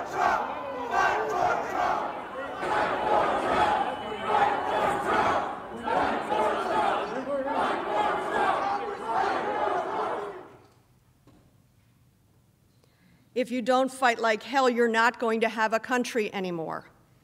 And there was only one fight left, and it was a mile up the road. Donald Trump, the President of the United States, ordered the crowd to march on Congress, and so the crowd marched. This is incredible, you heard him say. That's how President Trump ended his speech. I'd like to close with a very brief timeline of what was happening in parallel alongside the president as he spoke on the 6th of January. A little after noon, President Trump began his speech with a fiery refusal to concede. He commanded the crowd to fight and march down Pennsylvania Avenue. And around 1220, some rally goers, some attendees, began marching. By 1230, as President Trump continued to incite his supporters, large segments of the rally crowd had amassed at the Capitol. At 1253, as the president's speech was playing on cell phone broadcasts, the outermost barricade of the northwest side of the Capitol was breached. And Capitol Police were forced back to the steps of the Capitol. At 1:10, the president ended his speech with a final call to fight and a final order to march to the Capitol. At 1:45, the president's followers surged past Capitol Police, shouting, This is a revolution! Just after 210, an hour after President Trump ended his speech, the insurrectionist mob overwhelmed Capitol security and made it inside the halls of Congress. Because the truth is, this attack never would have happened but for Donald Trump.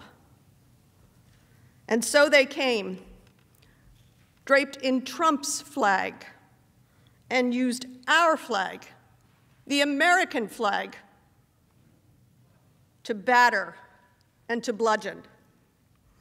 And at 2:30, I heard that terrifying banging on House chamber doors. For the first time in more than 200 years, the seat of our government was ransacked on our watch.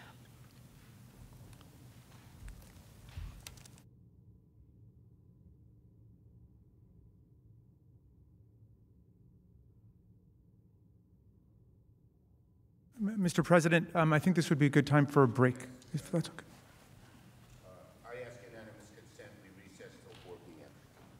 Objection, hearing none, we're recessed. 4 p.m. 4 o'clock. 4 o'clock.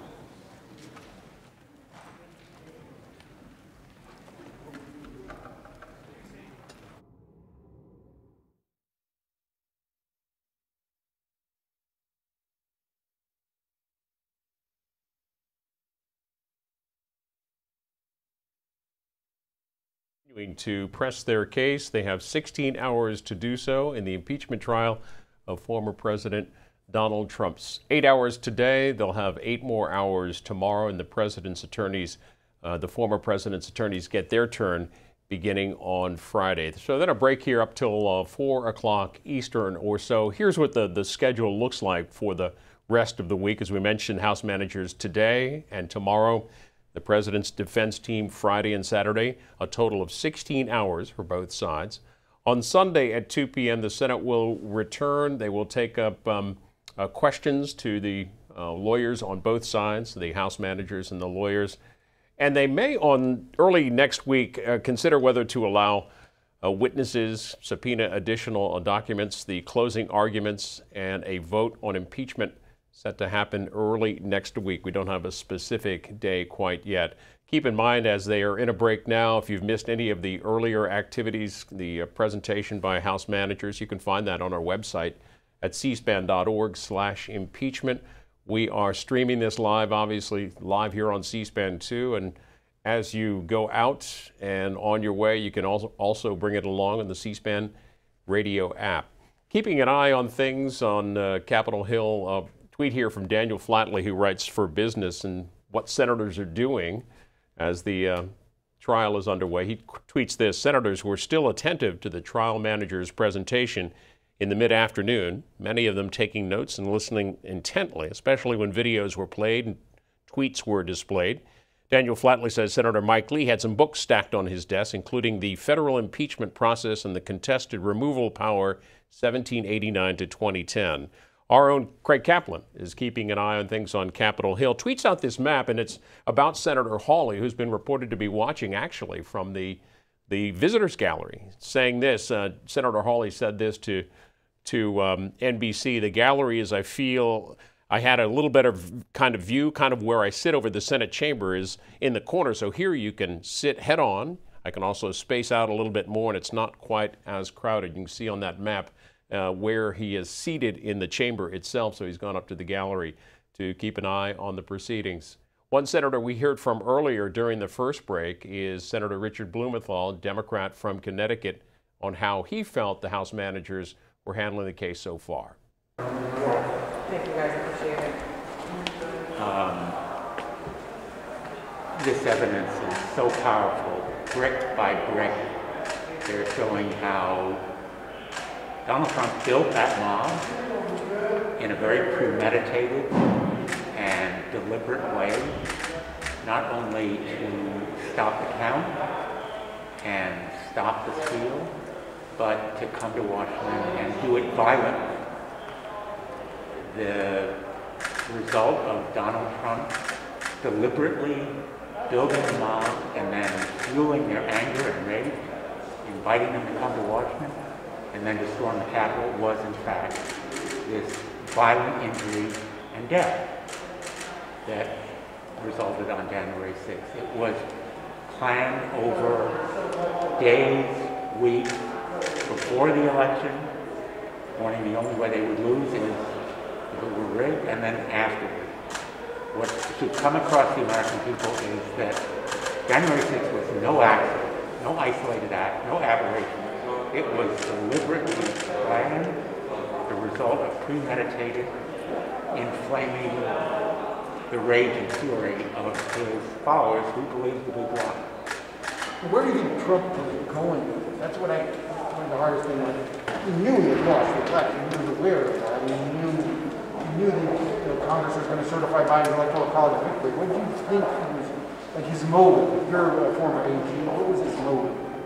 He knew he had lost, and the only way he could retain power was by physically stopping the count. In fact, apparently by killing some of the people involved overthrowing the government. Michael Pence.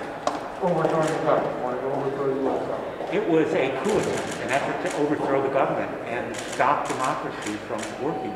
The founders' worst nightmare. And that's why this high crime was among the most heinous that any public official could commit. What we will see is that Donald Trump not only incited this riot and insurrection, but also then as commander-in-chief did nothing to save our democracy. In fact, he continued to inflame it. He called them special people. And the long run lesson here is not only about January 6th or about Donald Trump, it is about domestic violence. The danger of domestic violence in this country is persistent and lethal as the domestic terrorism bulletin has said. It is a real threat to our democracy. Thank you so much. A little over three hours into the arguments by House managers in the impeachment trial of former President Donald Trump. We heard from his attorneys yesterday in the in the argument over constitutionality. And CNN tweets this about the president, the former president's reaction. A Trump aide says the former president thinks his lawyers need to, quote, tighten up their arguments. Jason Donner from Fox tweets this Senator Graham, on speaking with Trump, quote, I reinforced to the president the case is over. It's just a matter of getting the final verdict now. Asked if he sensed frustration from Trump about his attorney's performance, quote, quote no, not particularly. We mostly talked about the vote. Uh, Rand Paul, Senator Paul, tweeting this afternoon about one of the managers who spoke. This afternoon, we've been lectured by Eric Swalwell, a guy accused of consorting with a Chinese spy. How appropriate. Frank Bowman's an attorney, um, an author, I should say, who's written a new book on impeachment, uh, observing this, saying, uh, first really new fact I've he heard. Delegate Plaskett said original permit for the protest was January 22 or 23, but that changed to January 6. The date of certification was made by or behest of Trump. Would like more details. True, but if true, a key point. Delegate Plaskett, as was pointed out by um, Jamie Raskin, the first ever delegate to present a impeachment case. She, among the four um, managers who spoke at that last session, we heard twice from Madeleine Dean. We also heard from uh, Ted Lieu, and um, we expect to hear from uh, Diana DeGette. She's the only one so far who has not spoken in the in the Senate. Here on C-SPAN 2, waiting for the Senate to return to resume the court of impeachment against former President Donald Trump, set to be back in the next 10 minutes or so at 4 o'clock Eastern. We'll show you some of the arguments made in this last session by House managers. Donald Trump told his supporters they are stealing the election. They took away your vote. It's rigged. That was not true. According to judge after judge, the truth was exactly the opposite. Trump was not suing to ensure election integrity. He was pursuing lawsuits that would, in effect, strip away American votes so that he could win. In other words, Donald Trump was asking the judiciary to take away votes from Americans so that he could steal the election for himself. Then, after losing in all the courts, Trump turned to another tactic, pressuring and threatening election officials. You saw what happened in Michigan after Trump attacked the state and its election officials. His supporters surrounded the Secretary of State's home, as you saw in the earlier slide, chanting, calling her a felon. On November 17th, the Board of Canvassers for Wayne County, Michigan, home to Detroit, unanimously certified the election results for Biden. That same night, after their vote to certify the results, Trump called the two Rep Republican members of that board, pressuring them to change their minds. The call worked. The next day, both Monica Palmer and William Hartman, the Republican board members, attempted to rescind their vote to certify Michigan's election results, but they simply couldn't. President Trump's actions, time and time again, made clear that he would do anything and pressure anyone if it meant overturning the election results. We watched President Trump use any means necessary to pursue this aim, feverishly grasping for straws at retaining his hold on the presidency. But all his efforts prior to January 6 kept failing. And finally, in his desperation, he turned on his own vice president he pressured Mike Pence to violate his constitutional oath and to refuse to certify the oath. President Trump had decided that Vice President Pence, who presided over the certification, could somehow stop it. As Pence will later confirm, the Vice President does not have that power in the Constitution. And President Trump never tried to explain why he thought the Vice President could block the certification of election results. He just began relentlessly attacking the Vice President. Publicly, President Trump attacked Pence on social media and at rallies, getting his supporters to believe that Mike Pence could stop this certification on January 6th. Here's what President Trump said in Georgia on January 4th. And I hope Mike Pence comes through for us, I have to tell you. I hope that our great vice president Our great vice president comes through for us. He's a great guy. Of course, if he doesn't come through, I won't like him quite as much. Behind closed doors, President Trump applied significant pressure to his second in command. Multiple reports confirm that President Trump used his personal attorneys and other officials to pressure the vice president. Trump reportedly told almost anyone who called him to also call the vice president. According to reports, when Mike Pence was in the Oval Office, President Trump would call people to try to get them to convince the vice president to help him. And President Trump kept repeating the myth that Pence could stop the certification to his base to anger them, hoping to intimidate Mike Pence. On the morning of the rally on January 6, President Trump tweeted, All Mike Pence has to do is send them back to the states, and in all caps he wrote, and we win. Do it, Mike. This is a time for extreme courage. President Trump later went on to attack Pence nearly a dozen times in his speech at the Save America March. Privately, in person, before Pence headed to oversee the joint session on January 6, President Trump again threatened Pence. You can either go down in history as a patriot, Mr. Trump told him, according to two people briefed on the conversation, or you can go down in history as a pussy. As a veteran, I find it deeply dishonorable that our former president and commander in chief equated patriotism with violating the Constitution and overturning the election. You will see and hear the consequences of President Trump's repeated attacks on the vice president, the chance of traitor, and the chance of hang Mike Pence. Thankfully, Vice President Pence stood his ground like our other brave officials stood their ground.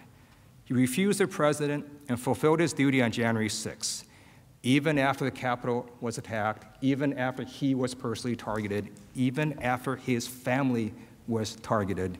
Vice President Pence stood strong and certified the election. Vice President Pence showed us what it means to be an American, what it means to show courage.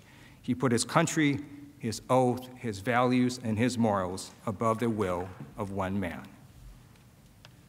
The president had tried everything in his power to seize the, um, everything in his attempt to seize power from the rightful victor of the election. President Trump's extraordinary actions grew increasingly more desperate. You saw him go from pursuing claims in the courts to threatening state and local election officials to then attacking members of Congress and the Senate to compromising our Justice Department and then to attacking the Republican vice president. These brave public servants were being pressured by our commander in chief to overturn the results. Some of them and their families got death threats. Thankfully, at every turn, our democratic processes prevailed and the rule of law prevailed. And the impeachment trial of former President Donald Trump set to resume shortly here. They're on a bit of a break, but here at about 4 o'clock Eastern, they should get back underway and continue into the early evening at least. We do expect a dinner break at some point. Again, the House managers get 16 hours spread over two days. Same with President Trump's attorneys. Uh, 16 hours spread over two days. That will carry the legal arguments on both sides into um, into Saturday as well. Delegate Stacey Plaskett focused on the, the, the Proud Boys, and I want to show an article from Politico about that. This is, this is published today. The headline in Politico says Proud Boy charged in insurrection blasts Trump's deception. In the new court filing, they say the defendant's criticism of Trump dovetails with the House impeachment manager's case. And again, her focus in her presentation was on how the violence built up. We'll show you as much as what she has to say as we can until the Senate gabbles back in here momentarily. My fellow managers have shown and will continue to show clear evidence that President Trump incited a violent mob to storm our Capitol when he ran out of nonviolent means to stop the election. Once assembled, that mob, at the president's direction, erupted into the bloodiest attack on this Capitol since 1814. Some of you have said there's no way the president could have known how violent the mob would be. That is false because the violence, it was foreseeable. I want to show you why this violence was foreseeable and why Donald Trump was different than any other politician just telling their fighters, their supporters, to fight for something. The violence that occurred on January 6th, like the attack itself, did not just appear. You'll see that Donald Trump knew the people he was inciting, he saw the violence that they were capable of, and he had a pattern and practice of praising and encouraging that violence, never, ever condemning it. And you'll see that this violent attack was not planned in secret. The insurgents believed that they were doing the duty of their president. They were following his orders. And so they publicized it openly, loudly, proudly, exact blueprints of how the attack would be made. Law enforcement saw these postings and reported that these insurgents would violently attack the Capitol itself. This was not just a, com a, comment by an official to fight for a cause. This was months of cultivating a base of people who were violent, praising that violence, and then leading that violence, that rage, straight at our door. The point is this by the time he called the cavalry of his thousands of supporters on January 6th, and an event he had invited them to, he had every reason to know that they were armed, that they were violent, and that they would actually fight. He knew who he was calling and the violence they were capable of. And he still gave that marching orders to go to the Capitol and, quote, fight like hell and stop the steal. Make no mistake, the violence was not just foreseeable to President Trump, the violence was what he deliberately encouraged. As early as September, Trump set the precedent that when asked to denounce violence, he would do the opposite and encourage it. Now, if the president had only said something once about fighting to stop the steal and violence erupted, there would be no way to know he intended to incite it or saw it coming. But just as the president spent months spreading his big lie of the election, he also spent months cultivating groups of people who, following his command, repeatedly engaged in real, dangerous violence. And when they did, when the violence erupted as a response to his calls to fight against the stolen election, he did not walk it back. He did not tell them no. He did the opposite. The opposite. He praised and encouraged the violence so that it would continue. He fanned the flame of violence, and it worked. You'll see this over time. These very groups and individuals whose violence the president praised helped lead the attack on January 6th. And that's how we know clearly that President Trump deliberately incited this and how we know he saw it coming. There are many examples where the president engaged in this pattern, and I'm just going to walk you through a few of them. Let's start with the President Trump's incitement of the Proud Boys. Many of you have heard of this group, which since 2018 has been classified by the FBI as an extremist organization. Since that classification, the group has repeatedly engaged in serious acts of violence, including at pro Trump rallies. In one such act, on September 7th, the Proud Boys attacked a man with a baseball bat and then punched him while he was down on the ground.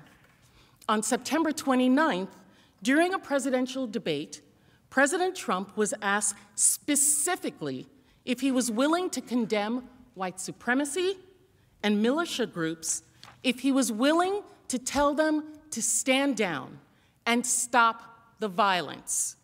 Let's watch.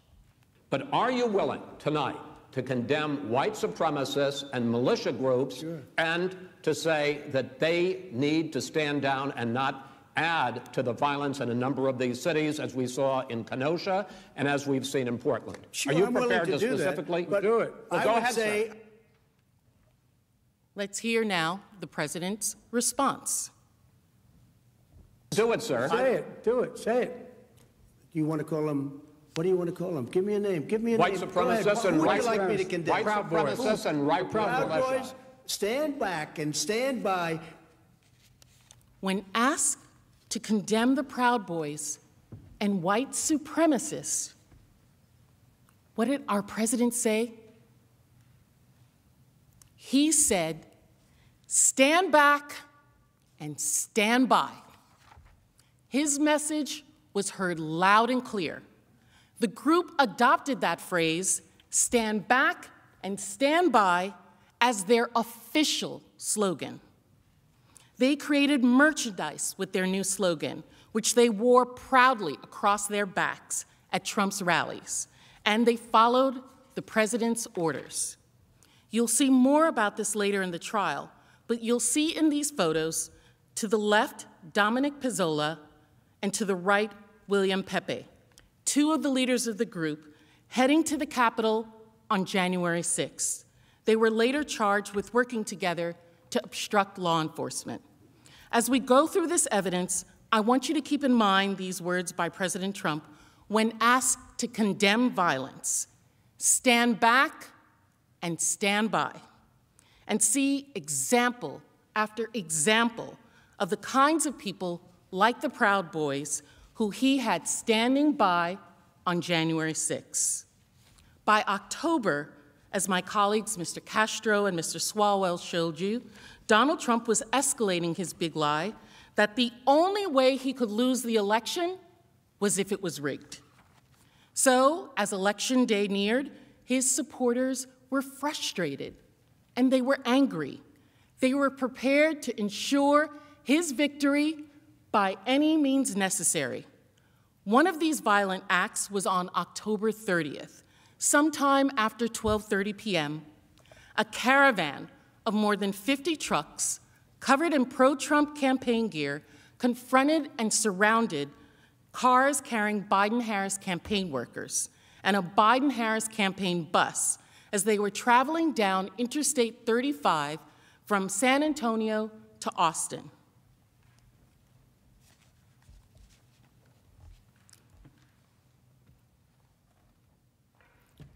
According to witnesses, this caravan repeatedly tried to force the bus you saw and you see in that video to slow down in the middle of the highway and then to run it off the road. What that video you just saw does not show is that the bus that they tried to run off the road was filled with young campaign staff, volunteers, supporters, surrogates, people. As the Trump supporters closed in on the bus, a large back black pickup truck adorned with Trump flags suddenly and intentionally swerved and crashed into a car driven by a Biden Harris volunteer. News The uh, Senate will come to order.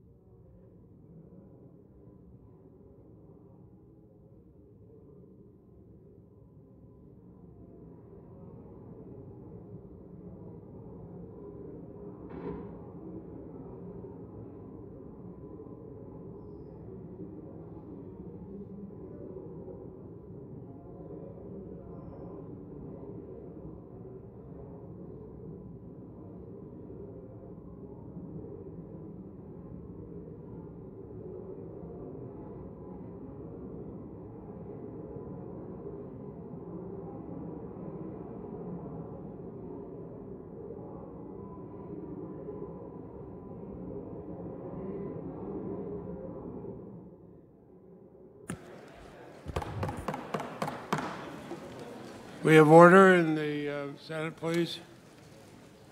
Thank you, Mr. Raskin. Thank you, Mr. President, members of the Senate. Um, at this point, uh, Representatives Plaskett and Swalwell uh, will take you through the actual day of the attack. Uh, they will recreate the attack as it unfolded, focusing on the threats to Vice President Pelosi, uh, Vice President Pence, Speaker Pelosi, um, the joint session, and uh, law enforcement. Um, I, I, do want to uh, alert everyone that there is uh, some very graphic, uh, violent footage uh, coming, just so people are aware. And I'm going to call again on um, Ms. Plaskett, who I should also tell you uh, went to work at the Department of Justice and was the senior counsel for Deputy Attorney General Larry Thompson under Attorney General Ashcroft. So she's a very well trained and experienced prosecutor, as you can tell.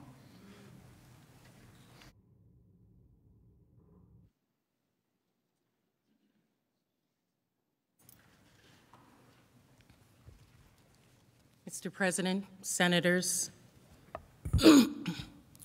almost all of us were here on January 6th, and we all have our individual experiences what we felt, what we saw, what we heard. We've seen clips and reports in the media, but I have to tell you, it was not until preparing for this trial that I understood the full scope and learn the information that you're going to see that I understood the effort to attack our seat of government in order to carry out President Trump's mission to prevent the certification of a presidential election. It was an attack to our republic, to our democratic process. My colleagues, Manager Swalwell and I, are going to walk you through the attack onto the on the Capitol that day and the danger that it posed to the Vice President, to the Speaker of the House, to you all as senators, my colleagues in the House, Capitol Police, and everyone who works in and around this Capitol. As you have heard, President Trump had been telling his supporters and his millions of Twitter followers that Pence had the ability to secure the presidency for Trump, that Mike Pence alone had the power to overturn the election results if he would just do it. But at 12:55 p.m. on January 6, Vice President Pence formally refused the president's demand.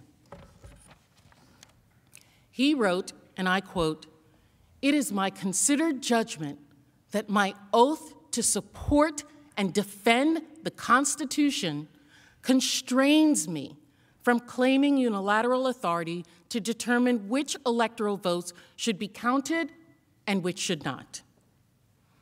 Pence ended his letter with a passage including the words, I will do my duty. Even though the count resulted in the defeat of his party and his own candidacy, Vice President Pence had the courage to stand against the president, tell the American public the truth, and uphold our Constitution. That is patriotism. That patriotism is also what put Vice President in so much danger on January 6 by the mob sent by our president to the president and the mob he incited, that duty to our Constitution was an all out betrayal. And the vice president was the direct target of that rage. At 12:53 p.m., senators, members of Congress, Vice President Pence were in their respective chambers. Outside, rioters, including some linked to the Proud Boys, broke through the outer barricade surrounding the lawn of the Capitol.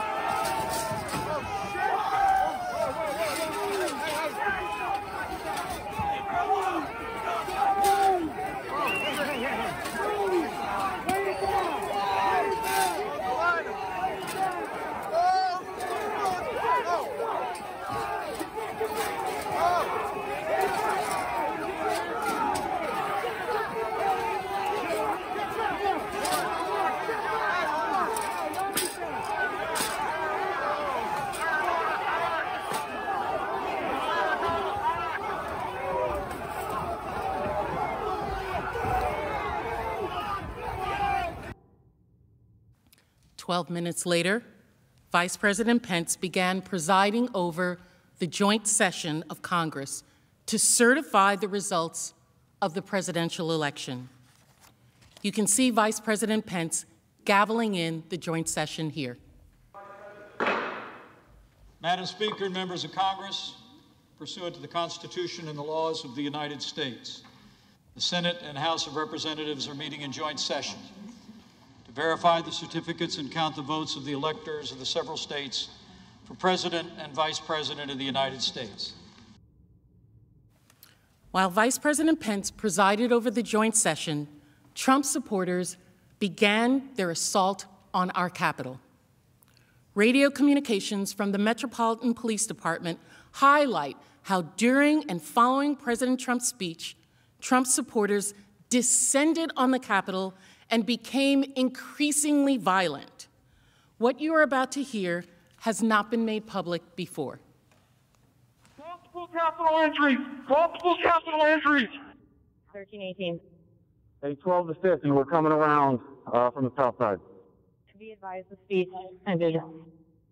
Intel 1, be advised, you got a group of about 50 uh, charging up the hill on the west front, uh, just north of the, the stairs. Uh, they're approaching the wall now. Starting to dismantle reviewing stand and throwing metal poles at us. Cruiser 50, give me up here now! DSO! Multiple law enforcement entries! DSO, get up here! Alright, we're 30 seconds out. We need some reinforcements up here now. They're starting to pull the gates down. They're throwing metal poles at us. Cruiser 50, DSO, get up here! Okay, we're here. 12 to 50, we're here. Oh, we just had an explosion go on up here. I know the fireworks or what, but they're starting to explode explosives. Fireworks material.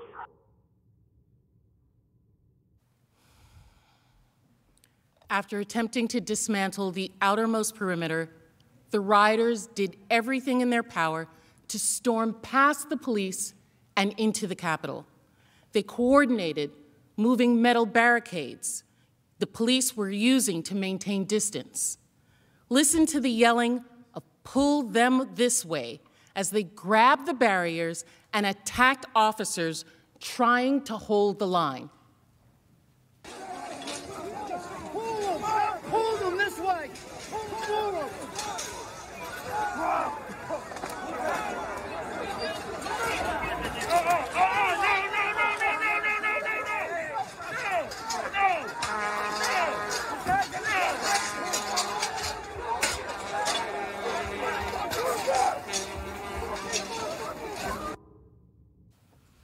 At about 1:10 and 1:23 p.m., respectively, Capitol Police sent out the first evacuation alerts of the day, telling people to evacuate the Madison Building and the Cannon Building, respectively. Shortly after, at 1:45 p.m., Trump supporters surged past Capitol Police, protecting the Capitol's west steps, the side that is facing the White House. In another radio communication between Metropolitan Police officers, you can hear an officer declare that there is a riot at the Capitol at 1:49 p.m. We're going to give riot warnings as soon as the apparatus here. We're going to give riot warnings. We're going to try to get compliance, but this is now effectively a riot. 1349 hours declaring it a riot. The next video, as well as several videos that follow, have a model of the Capitol complex. The video is from the west front of the Capitol on the Senate side, the side facing the White House. Watch the red dot, which moves up the lower steps of the Capitol, indicating the approximate location of the rioters as they surge past the police.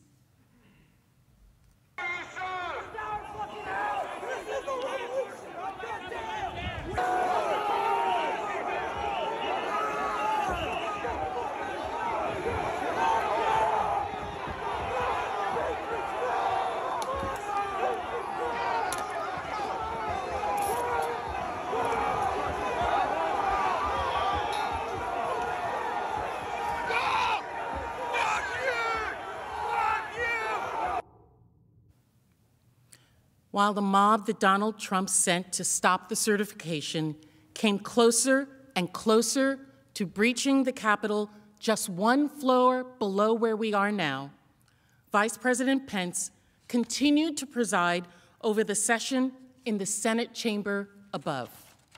At about 2:12 p.m., Secret Service quickly and suddenly evacuated Vice President Pence from the Senate floor. Here's the immediate reaction to that evacuation. No audio. They, The they just cut out. It looks like they, they and sometimes it the seemed Senate like they just ushered Mike it. Pence out really quickly. Yes, they did. That's exactly what just happened there. And- they ushered Mike Pence out. They moved him fast. There was, I saw the motions too. While the Vice President Pence was being evacuated from the Senate chamber, rioters were at that time breaking into the Capitol. This next video shows their approach and the initial breach of the Capitol complex. Remember to watch the red dot, which Broke is being tracking throughout this incident.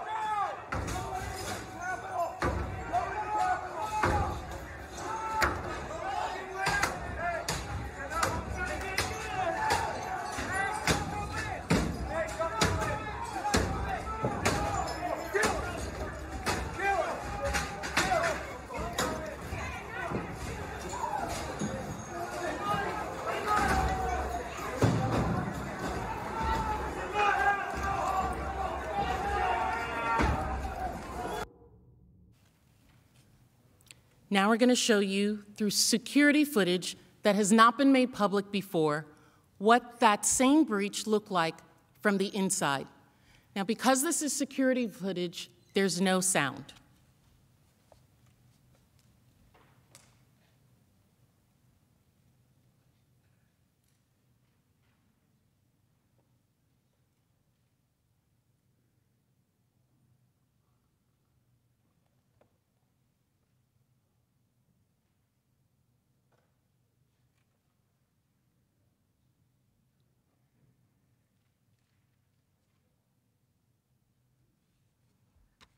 Note, as the video begins, we are seeing the inside view as the mob approaches from outside and beats the windows and doors. You can see that the rioter first break the window with the wooden beam that you saw previously, and a lone police officer inside responds and begins to spray the first man who enters, but is quickly overwhelmed. I want you to pay attention to the first group of assailants as they break into the building. The second man through the window is wearing full tactical body armor and is carrying a baseball bat. Others are carrying riot shields. Among this group are members of the Proud Boys, some of whom, like Dominic Pezzola, who was recently indicted on federal conspiracy charges, we will discuss later.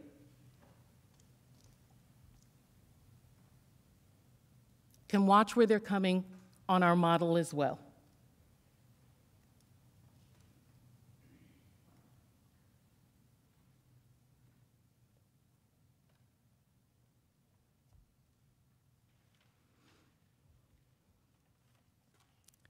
When I first saw this model that was created for this, I thought back to September 11th. I know a lot of you senators were here some of you might have been members on the House side. I was also here on September 11th. I was a staffer at that time. My office was on the west front of the Capitol. I worked in the Capitol, and I was on the House side.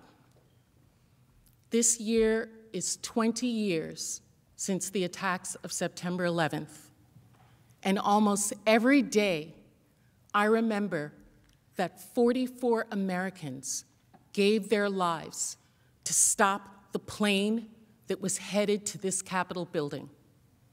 I thank them every day for saving my life and the life of so many others.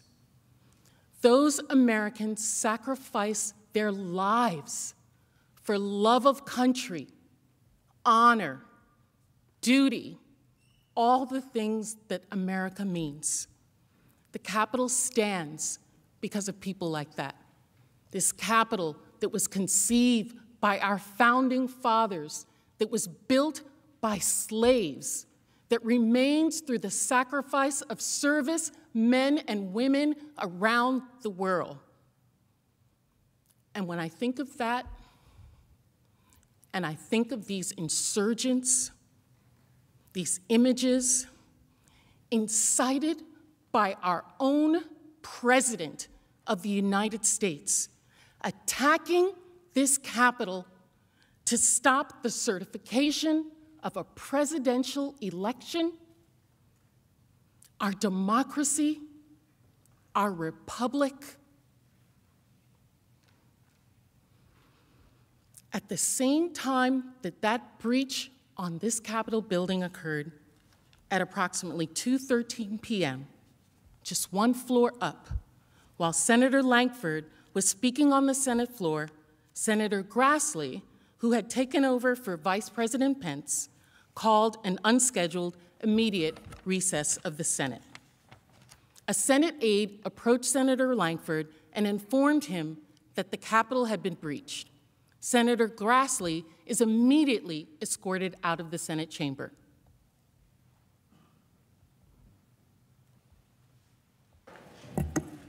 We'll pause. Protesters are in the building. Thank you.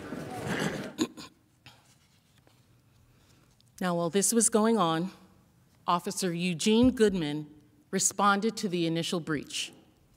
You all may have seen footage of Officer Goodman previously, but there's more to his heroic story.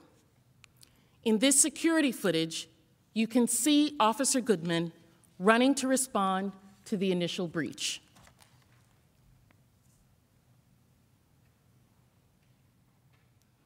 Officer Goodman passes Senator Mitt Romney and directs him to turn around in order to get to safety. On the first floor, just beneath them, the mob had already started to search for the Senate chamber. Officer Goodman made his way down to the first floor where he encountered the same insurrectionists we just saw watch breach the Capitol. In this video, we can see the rioters surge toward Officer Goodman. Recall that the rioters are in red and Officer Goodman in this model is in blue. Watch Officer Goodman who backs up the stairs.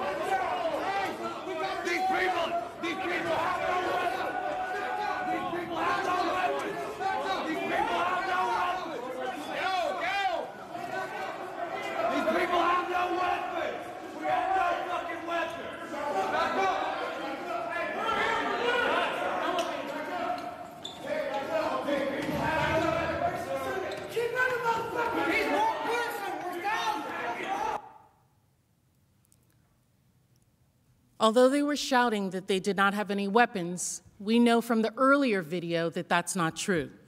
The second assailant through that breach was the one carrying a metal baseball bat. We know there were other weapons there that day. Did you hear the other shouts? We're here for you. He's one person, we're thousands. And where do they count the votes? They were coming at the urging of Donald Trump to keep Congress, a separate branch of government, from certifying the results of a presidential election. As the rioters reached the top of the stairs, they were within 100 feet of where the vice president was sheltering with his family. And they were just a feet away from one of the doors to this chamber, where many of you remained at that time. I also want to show you a different angle from the security footage of Officer Goodman's acts. This video is on the second floor of the Senate wing of the Capitol. The red dot, as you recall, represents the insurrectionists. The blue dot is Officer Goodman, who led the mob away from the chamber just minutes earlier.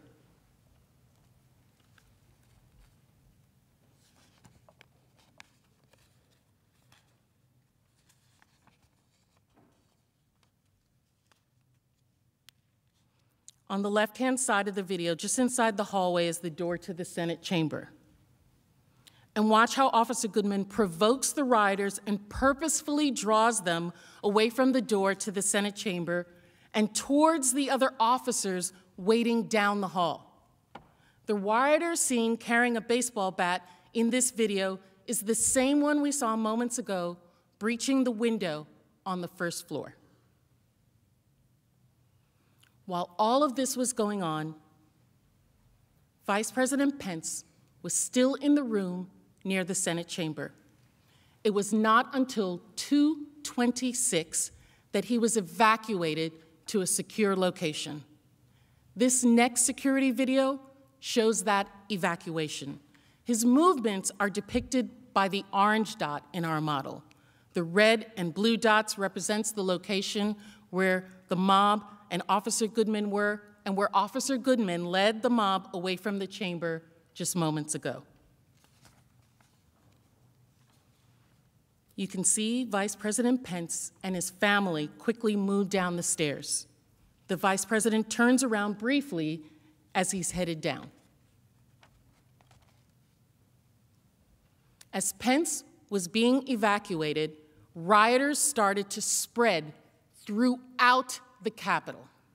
Those inside helped other rioters break in through doors in several locations around this entire building.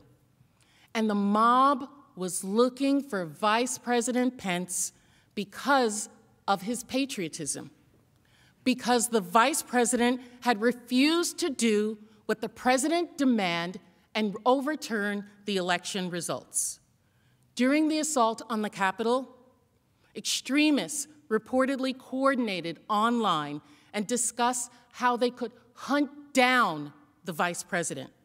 Journalists in the Capitol reported they heard rioters say they were looking for Pence in order to execute him. Trump's supporters had erected a gallows on the lawn in front of the Capitol building. Another group of rioters chanted, Hang Mike Pence, as they stood in the open door of the Capitol building.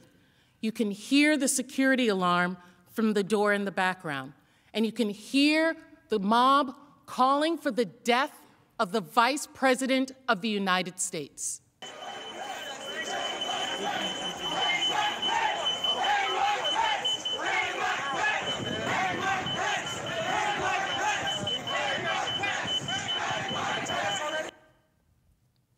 This wasn't an isolated area or incident where that was being told, where that was being said. It was going on everywhere. Here's another example of the crowd outside yelling, Bring out Pence! Bring him out! Bring out! Out! Bring out Pence! Bring out! Bring out Pence! Bring him out! Bring out Pence! Bring after President Trump had primed his followers for months and inflamed the rally goers that morning, it is no wonder that the Vice President of the United States was the target of their wrath after Pence refused to overturn the election results. Listen to this man explain. Well, Congress, uh, cowards uh, hid in their uh, inside and were emergency uh, escorted away because of fear of the people. Of course, they're cowards, can't face the people, can't do the right thing. Pence lied to us. He's a total treasonous pig, and his name will be mud forever. Now the real battle begins, and it looks like uh, the American people are very pissed. So, good luck with that. Peace out. Peace out. Several insur- insurrectionists described what they had planned to do if they encountered the vice president or other lawmakers. One of them, Dominic Pezzola, also known as Spaz, is a member of the Proud Boys, as we discussed. Pezzola came to the Capitol on January 6 with deadly intentions. He commandeered a Capitol police shield, used it to smash a glass window, entered the Capitol, and paved the way for dozens of insurrectionists. As you recall from an earlier video, Pezzola was one of the first wave of rioters to breach the building. On the left, you can see a screenshot from the video of the break in we showed earlier. And on the right, you can see Pezzola in the mob chase Capitol Police Officer Eugene Goodman through the building.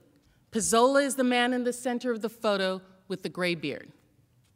Pezzola has since been charged with eight federal crimes for his conduct related to January 6.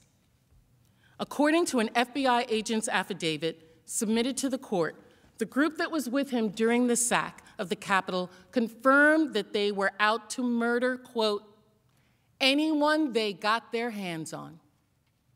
Here's what the FBI said, and I quote Other members of the group talked about things they had done that day, and they said that anyone they got their hands on, they would have killed, including Nancy Pelosi, and that, quote, they would have killed Vice President Mike Pence if given the chance.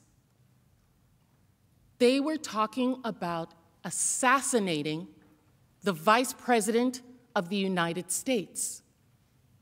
During the course of the attack, the Vice President never left the Capitol, remained locked down with his family, with his family inside the building. Remember that as you think about these images and the sounds of the attack. The Vice President, our second in command, was always at the center of it. Vice President Pence was threatened with death by the president's supporters because he rejected President Trump's demand that he overturned the election. The mob also went after Speaker of the House, who, alongside the vice president, was presiding over the joint session of the certification in the House chamber. The chilling evidence shows that on January 6, armed and organized insurrectionists trained their sights on Speaker Pelosi. They sought out the Speaker on the floor and in her office, publicly declared their intent to harm or kill her, ransacked her office, and terrorized her staff. And they did it because Donald Trump sent them on this mission. As the insurrectionists got closer, Capitol Police rushed the speaker from the House floor at 2:15 p.m., mere minutes after the Capitol was first breached. They recognized immediately that she was in danger. The speaker was not just rushed from the floor, the Capitol Police deemed the threat so dangerous that they evacuated her entirely from the Capitol complex, rushing her to a secure off-site location. The insurrectionist intent to murder the Speaker of the House is well documented in charging documents that are now available. We know from the rioters themselves that if they had found Speaker Pelosi, they would have killed her. I have already discussed Proud Boys member Dominic Pezzola, who has since been charged with eight federal crimes for his conduct on January 6. As you will recall, according to the FBI agent's affidavit submitted to the court, the group he attacked the Capitol with confirmed that, quote, anyone they got their hands on, they would have killed, including Nancy Pelosi. William Calhoun, a lawyer from Georgia, also participated in the insurrection that day, and he too has been charged for his actions. This insurrectionist detailed his criminal activity at the Capitol online. Calhoun wrote about his involvement on his own Facebook page. Here's the post.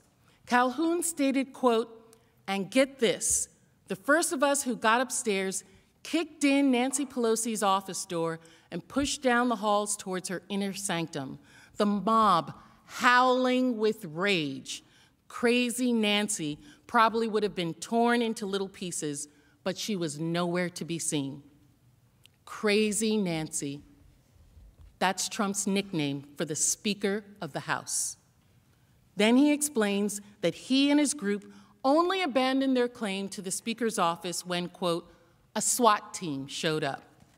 He writes, quote, then a SWAT team showed and we retreated back to the rotunda and continued our hostile takeover of the Capitol building. Retreated, hostile takeover.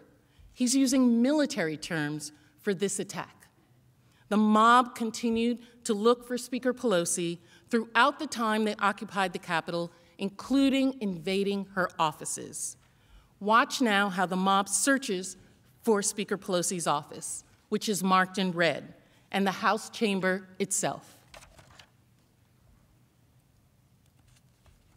Where are you, Nancy? We're looking for you. She's in jail. Nancy. Oh, Nancy. Nancy.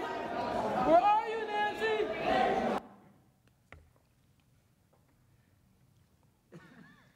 During the siege, the Speaker's staff took cover in her office, hiding in fear for their lives for hours as rioters broke in and ransacked her office. As the rioters were breaking into the Capitol, her staff retreated into an interior room. Eight of them gathered in a conference room. About the same time, Capitol Police announced that Capitol had been breached. Speaker Pelosi's staff heeded the call to shelter in place. On our model, you can see the riders in the rotunda in red and the Speaker's office again in orange. So this is a security video, so there is no sound.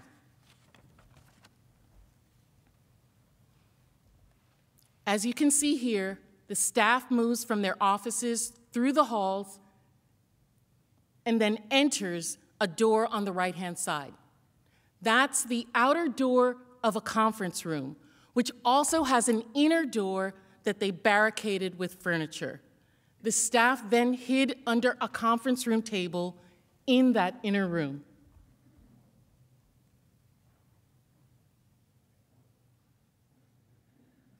This is the last staffer going in and then barricading themselves inside of the inner office.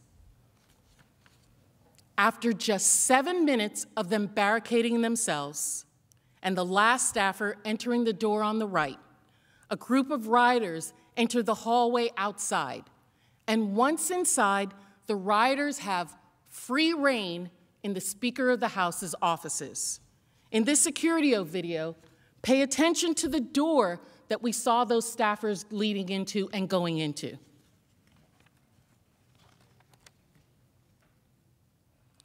One of the riders you can see is throwing his body against the door three times until he breaks open that outer door. Luckily, when faced with the inner door, he moves on. Another rider later tried, unsuccessfully, to break through that inner door. At this point, the mob had already broken into the speaker's formal conference room that is in the back of the hall at the top of the video. I want to play some audio we have of the speaker's staff with the riders at the door that day. You can hear the terror in their voice as they describe what's happening to them as they are barricaded in that conference room. Please listen carefully because the staffer is whispering into a phone as he hides from the riders that are outside the door.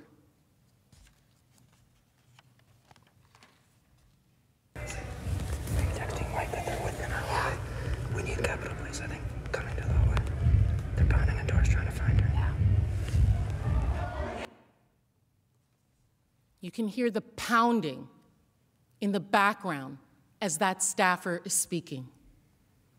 One of those staffers explained later that they could hear the mob going through her offices, breaking down the door and yelling, Where are you, Nancy?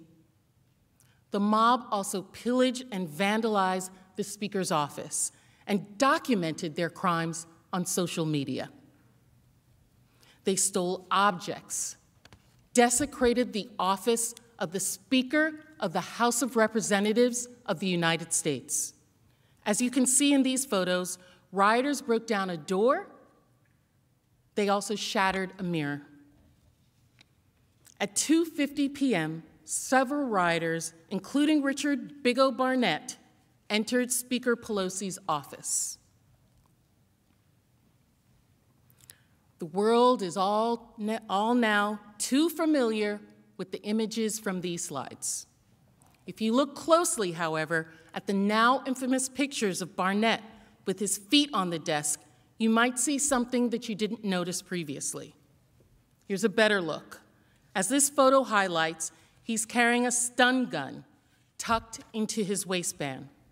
The FBI identified the device as a 950,000 volt stun gun walking stick.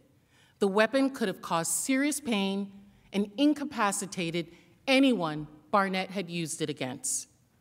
Richard Barnett bragged about his actions. He was proud of the way he desecrated the Speaker of the House's office. He left a note We will not back down. Here's Barnett in his own words.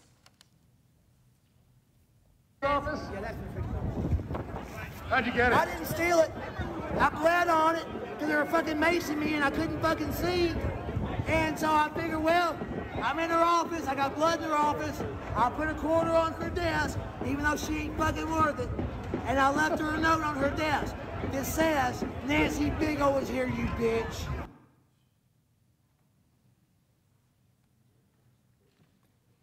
Trump's mob ransacked the Speaker of the House's office. They terrorized her staff.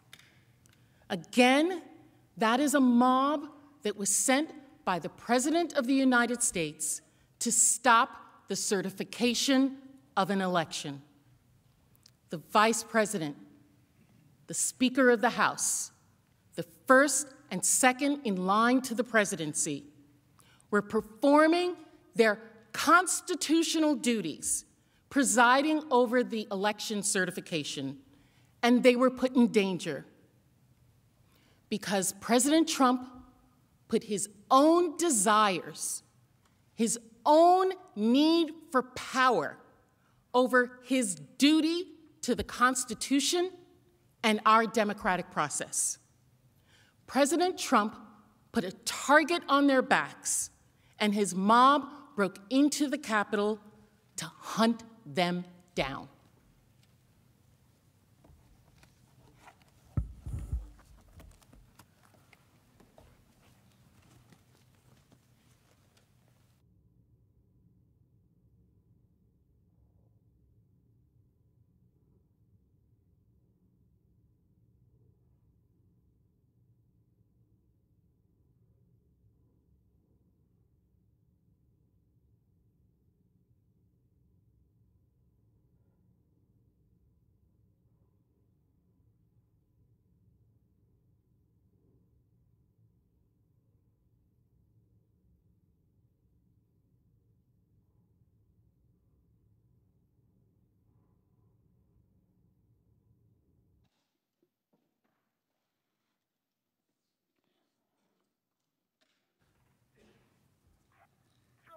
Africa.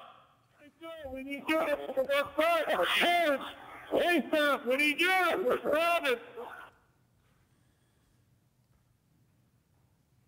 Susan Fifty, they breached the scaffold. Like nothing know, they have breached the scaffold. They're behind our lines. Shortly after 2 p.m., the Capitol Police and Metropolitan Police were overwhelmed by President Trump's mob. Perimeters were broken. The Capitol had been breached.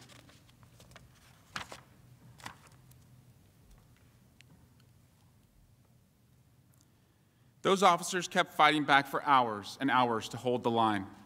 They fought to defend the Capitol building and all of us within it. But they weren't there just to protect us, and they did, and our staff, and the custodial staff, and all the people who worked so hard in this building. They were there to protect the votes of the American people that were being counted that day. I will show you more later about what that day was like for those brave officers. But first, let's go back to what was happening where Manager Plaskett left off in the House chamber. Rioters who had entered the building through the Senate quickly spread out through the Capitol. Many headed towards the House and Senate chambers. After Speaker Pelosi was ushered out, Chairman McGovern was presiding in the House, attempting to keep the counting process going. On our phones, members were receiving security updates and watching social media to see the horror that was going on outside. We never thought it would make its way in. By 2:25 p.m., rioters who were already in the building opened the east side doors of the Capitol Rotunda to let more of the mob in. They quickly flooded through the doors, overwhelming the officers. This is new security footage of those doors. And as before, the mob is identified with the red dot on the model of the Capitol. If you look closely, you'll see the first person through the door is holding a Trump flag.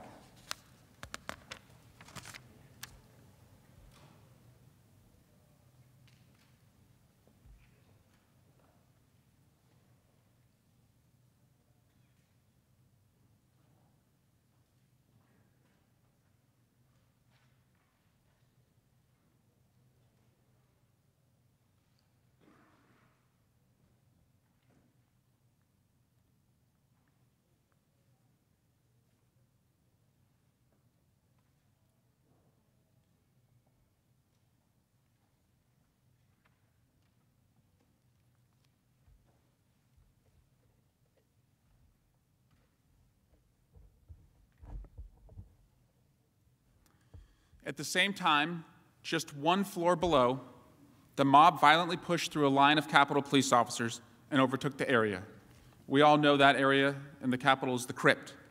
This is directly beneath the rotunda, at the very center of the Capitol.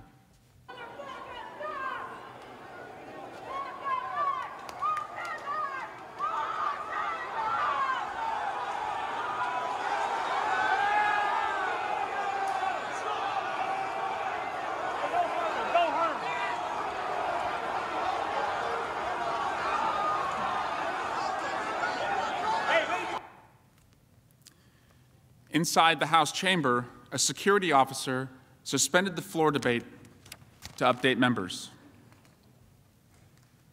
We had a disbursement of tear gas in the rotunda. Please be advised there are masks under your seats. Please grab a mask, place it in your lap, and be prepared to don your mask in the event that we get a breach. We were told there were tear gas masks underneath our seats and be prepared to grab them. Determined to keep the count going, Chairman McGovern called the House back into session. But only four minutes later, at 2.30 p.m., the House abruptly recessed. A new security announcement was made. Get down under your chairs if necessary, so we have folks entering the rotunda and coming down this way. So we'll update you as soon as we can, but just be prepared. Stay calm. As I heard that announcement on the floor, I saw the new House chaplain on just her fourth day on the job, walk to the front podium. Unannounced and amidst the chaos, she started to recite a prayer for peace. Uncertain what would happen next, I sent a text message to my wife. I love you and the babies. Please hug them for me. I imagine many of you sent a similar message. What we could not see from inside the chamber was that outside the mob was growing larger and larger and approaching our doors. But we could hear them. This security footage, which does not have sound, shows a close up of Trump's mob as they move toward the second floor of the House chamber to stop the counting of votes.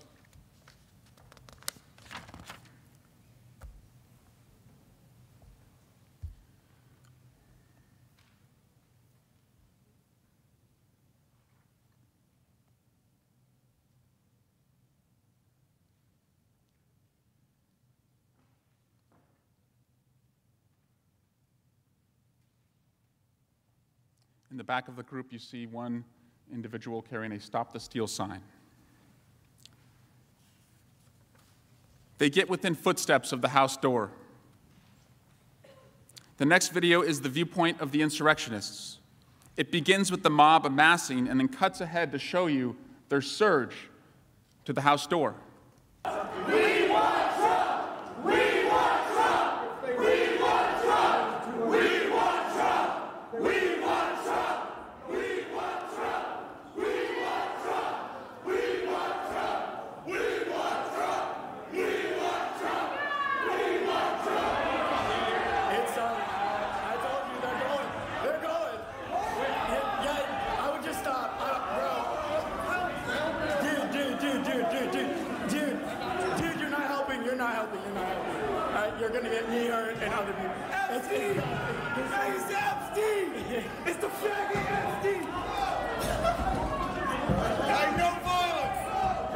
It's too late for that. They don't listen without that.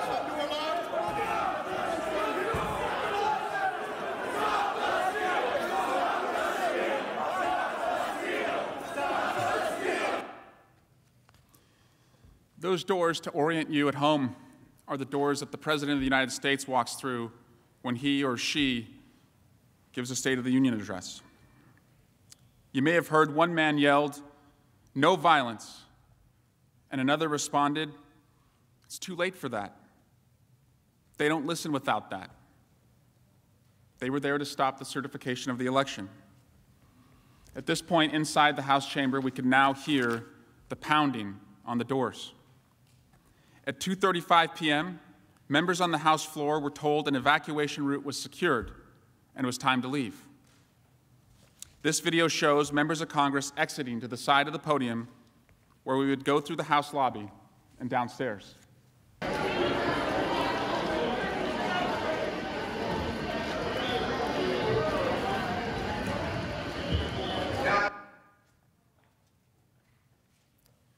Because of coronavirus restrictions, congressional members had been waiting in the gallery for their time to speak, just one level above the House floor.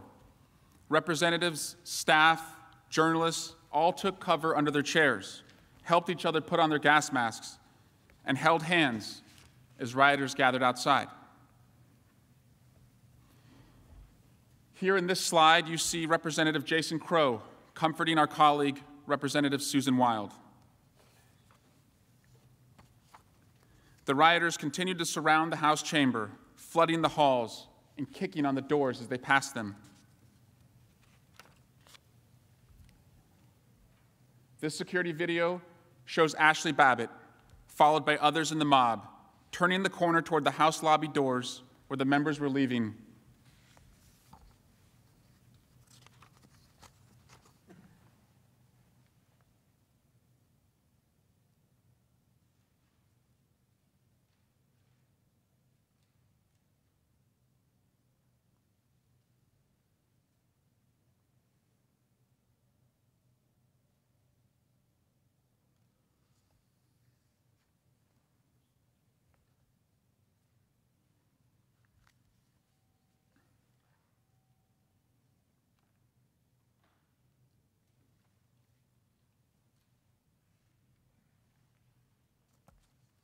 Chairman McGovern was one of the last members to leave the floor. As he left through the House lobby just after 2:40 p.m., he was spotted by the mob.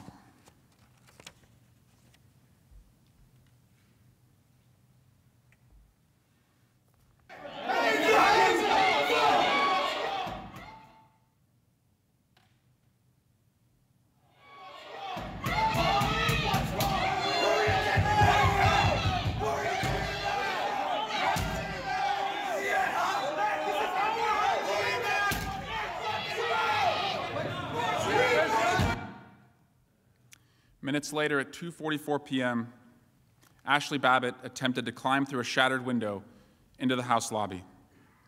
To protect the members in the lobby, an officer discharged his weapon, and she was killed. I want to warn everyone that the next video, which shows her death, is graphic.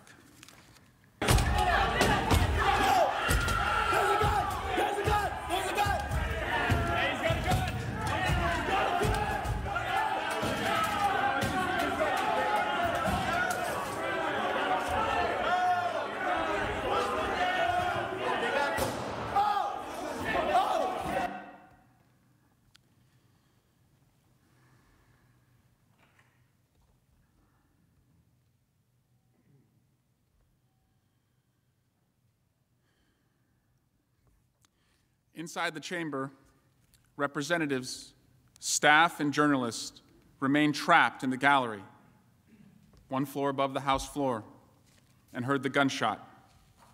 My colleague, Representative Dan Kildee, produced this recording. Yeah. The fuck? Take your pins off. Pins off. Out of fear that they'd be seen or taken by the mob, my colleagues were telling each other to take off their congressional pins. That buzzing sound that you hear in the background of these videos was the sound of the gas masks. It was not until approximately 2:50 p.m., about 6 minutes after the shooting, downstairs, remaining members, staff, and journalists in the gallery were finally able to flee. In this security footage video, you can see them exiting. Many members are still wearing their gas masks. They walk just feet away from where Capitol Police are holding an insurrectionist at gunpoint. Just minutes earlier, that insurrectionist had tried to open the gallery door and thankfully was stopped by a tactical team.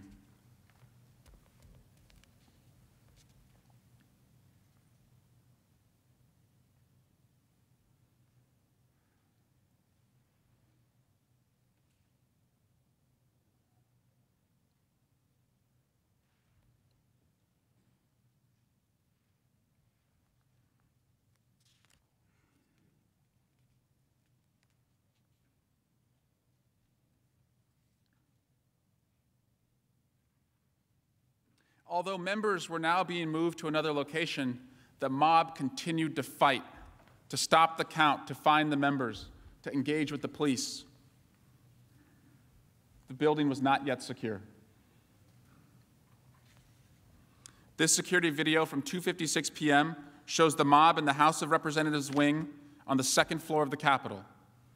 Insurrectionists who are still inside the building are fighting with the police, who are overwhelmed and trying to get them out.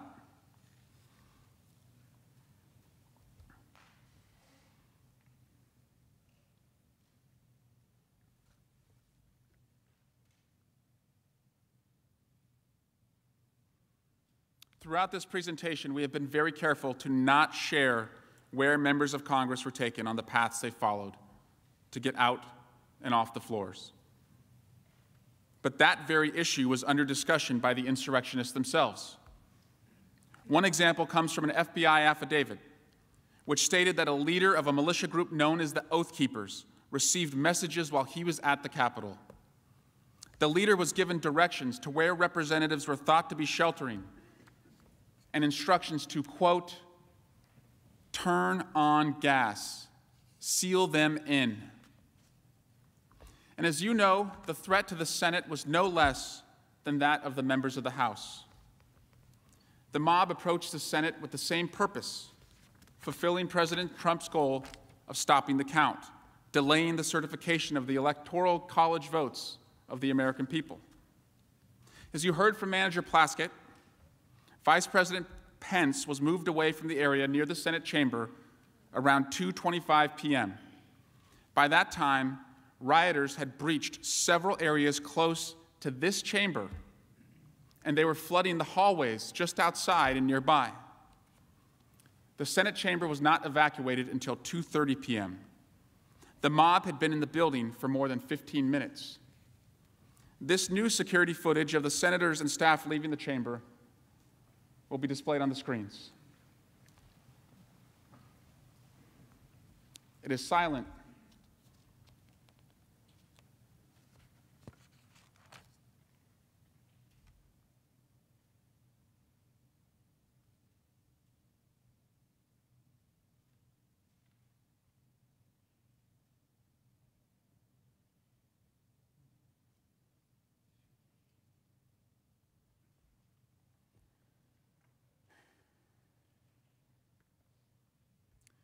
You cannot see it in this footage, but quick thinking Senate floor staff grabbed and protected the electoral ballots that the mob was after. Those of you who were here that day will recall that once you left the Senate floor, you moved through a hallway to get to safety. That hallway was near where Officer Goodman had encountered a mob and led them upstairs and away from the Senate chamber. You know how close you came to the mob. Some of you, I understand, could hear them, but most of the public does not know how close these rioters came to you.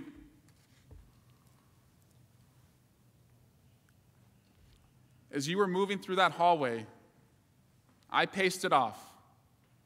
You were just 58 steps away from where the mob was amassing and where police were rushing to stop them. They were yelling. In this security video, you can see how the Capitol Police created a line and blocked the hallway with their bodies to prevent rioters at the end of the hall from reaching you and your staff.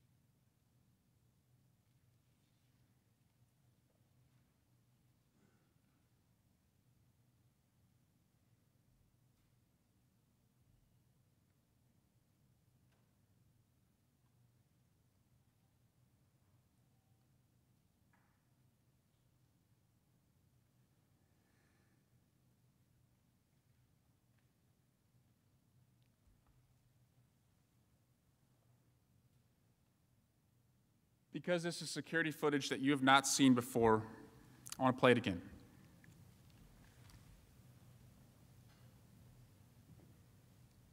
The top of the screen is the other end of that hallway where the mob has amassed and the officers are rushing to to protect you.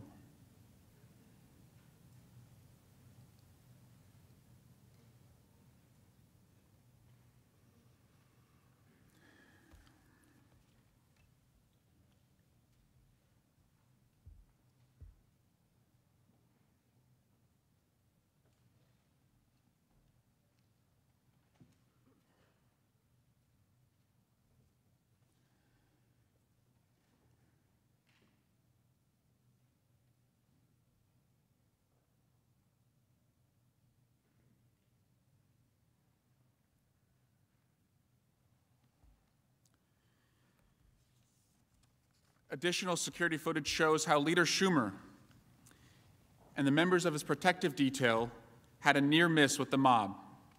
They came within just yards of rioters and had to turn around. Here in this new video, you see Leader Schumer walking up a ramp. Going up the ramp with his detail, he'll soon go out of view.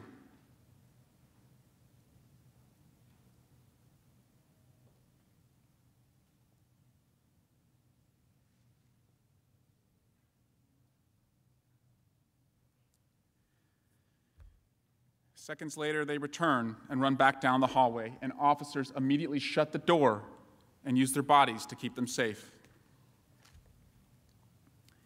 At 2:45 p.m., shortly after senators were ushered to safety from the Senate floor, insurrectionists reached this Senate gallery.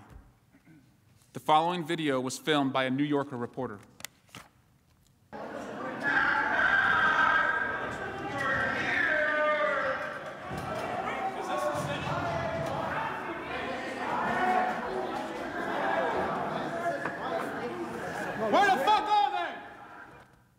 Minutes later, the insurrectionists invaded and desecrated the Senate floor. These vandals shouted and rifled through the desks in this room. They took pictures of documents and of themselves, celebrating that they had taken over the floor and stopped the counting of Electoral College votes.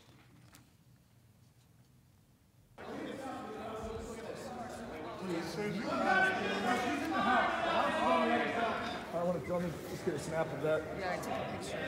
Hey, how did I get down there? We're down the stairs. This is, and look here, look. Ted Cruz's objection to the Arizona. This is objection. He was going to sell us out all along. Really? Look, objection to counting electoral votes of the state of Arizona. Can I get a photo of that? Wait, no, that's Oh, no, that's that's okay. a good thing. All right, all right. Okay, I'm pissed. I'm He's pissed. with us. He's with us. There's got to be something in here we can fucking use against these scumbags. Quit acting a fool, man! America's republic. Oh no, this is good stuff. Hey! Quit acting a fool! Larry Brock, who was arrested for his role in the insurrection, was photographed on the Senate floor wearing a helmet, tactical gear, and carrying flex cuffs. This man, also in the Senate gallery, is Eric Munchel. Like Brock, he was dressed in what appears to be tactical gear, also holding up flex cuffs. If the doors to this chamber had been breached just minutes earlier, imagine what they could have done with those cuffs. After insurrectionists occupied the Capitol and stopped the joint session from counting the votes, the Capitol was in lockdown for five hours.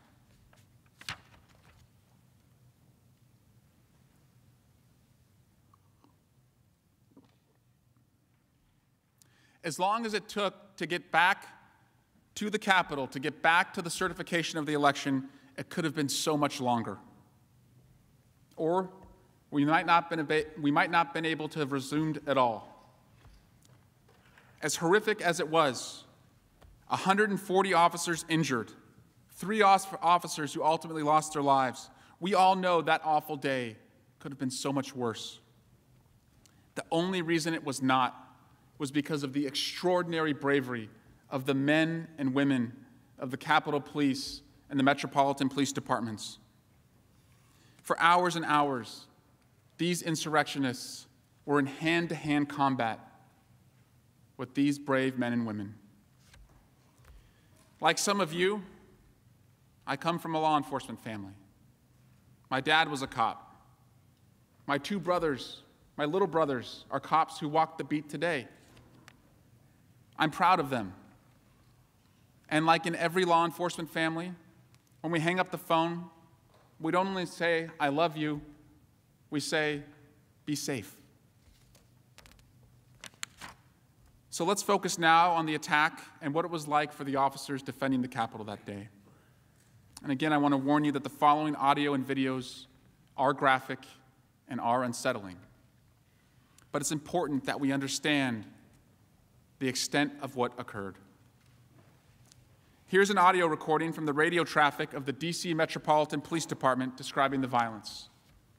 Cruiser 50 and copy, we're still taking rocks, bottles, and pieces of flag and metal poles. Cruiser 50, the crowd is using munitions against us. They have bear spray in the crowd. Bear spray in the crowd. One, multiple employees U.S. Capitol pepper spray. DSO, I need a re-up. I need a re-up up here. You hear the officer describe they're using munitions. They, the rioters, are using munitions against us. This video shows how the sprays that were described were used against the officers. Oh,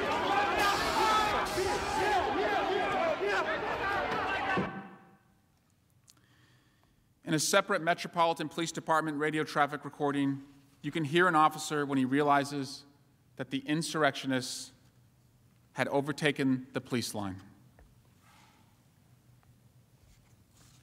A. We lost the line. We lost the line. All MPD, pull back. All MPD, pull back up to the upper deck. All MPD, pull back to the upper deck. ASAP. All MPD, come back to the upper deck.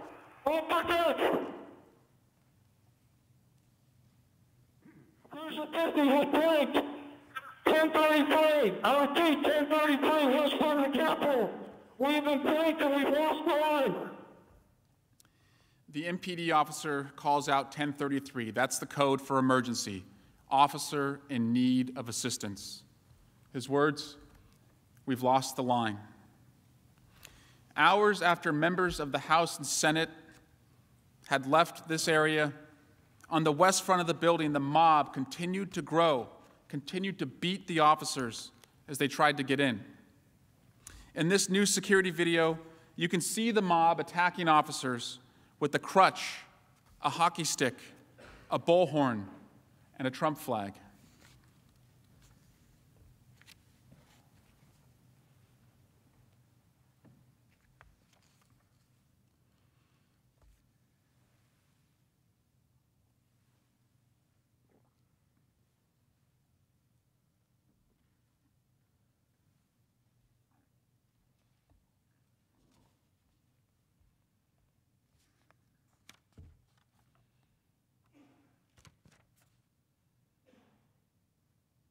Want to show you that same attack from the officer's perspective from his body camera footage.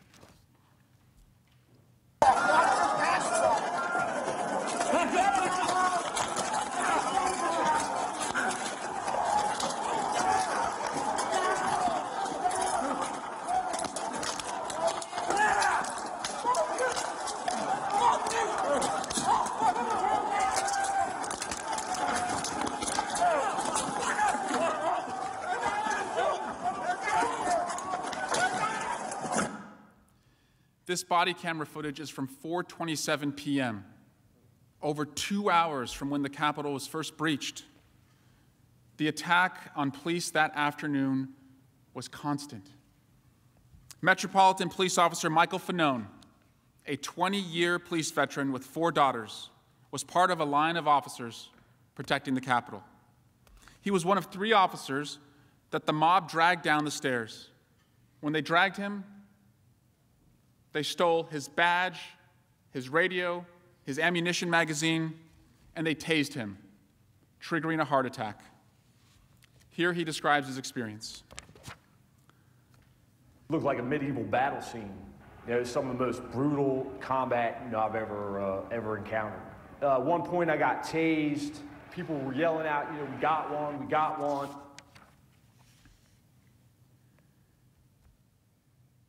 Officer Christina Laury, who regularly serves in MPD's Narcotics and Specialized Investigation Division, also protected the front Capitol entrance. Here's her experience. I mean, I, I, can't say enough about the officers that were there, the officers that were on the front line. Um, and when I say the front line, I mean literally officers that were in a line, stopping these people that were beating them with metal poles. They were spraying them with bear mace. I mean, they did everything in their power to not let those people in. And this was going on for hours. Around 4:30 p.m., hours into the Capitol riots, Officer Daniel Hodges was protecting a West Side Capitol entrance when rioters who were trying to stop the certification trapped him between two doors. When Officer Hodges was interviewed later, this is how he described what was happening. They threw down a huge metal object that hit me in the head. I was also knocked down. The medical mask I was wearing at the time got pulled up over my eyes, so I was on the ground and blinded, and they started just attacking me from all sides. Rioters crushed Officer Hodges. He was wedged in the doorway, blood dripping from his mouth. He was struggling to breathe, all while the insurrectionists hit him. Officer Hodges' experience reminds you of what he and many other officers experienced that day, what they went through. We're also reminded of the three officers who lost their lives Capitol Hill police officers Sicknick, Liebengood, and Metropolitan Police Officer Smith. And many law enforcement families, we pray for our loved ones, and we know the scripture of Matthew, chapter 5, verse 9. Blessed are the peacemakers, for they shall be called the children of God. I'm sorry I have to show you the next video. But in it, you will see how blessed we were that on that hellish day, we had a peacemaker like Officer Hodges, protecting our lives, our staff's lives. This Capitol and the certification process. May we do all we can in this chamber to make sure that never happens again.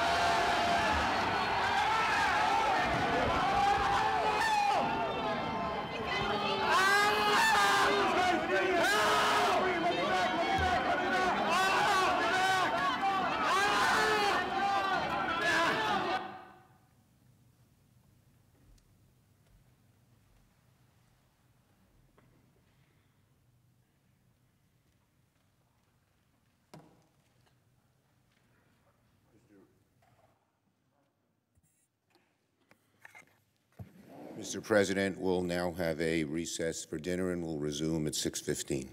The Senate will stand in recess.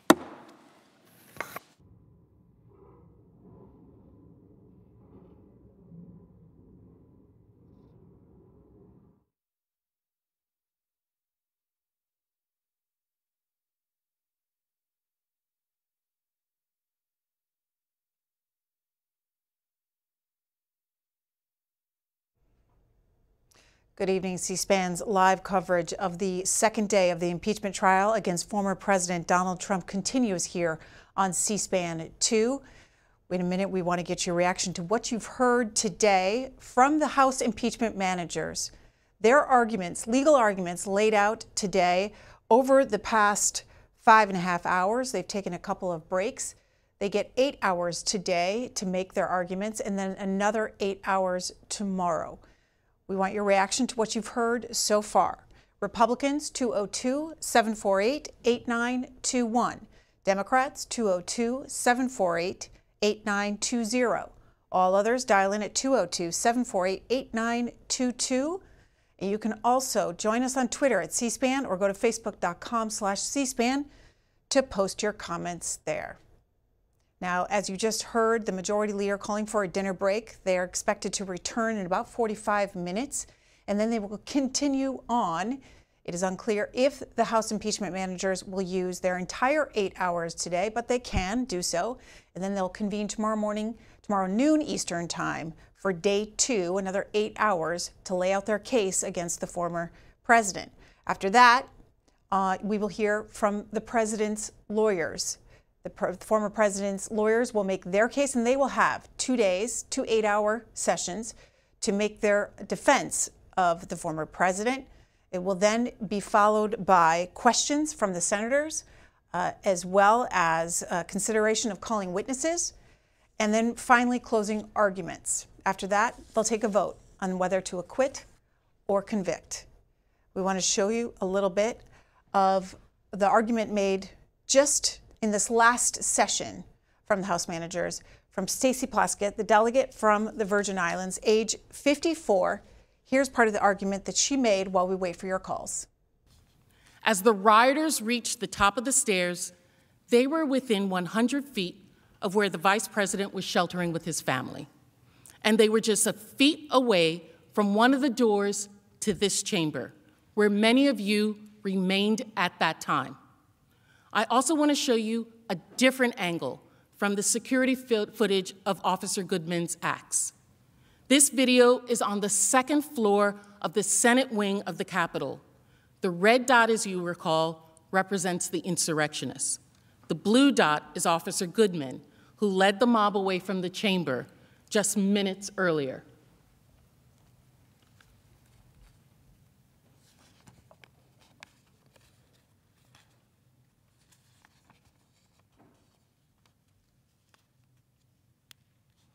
On the left hand side of the video, just inside the hallway, is the door to the Senate chamber.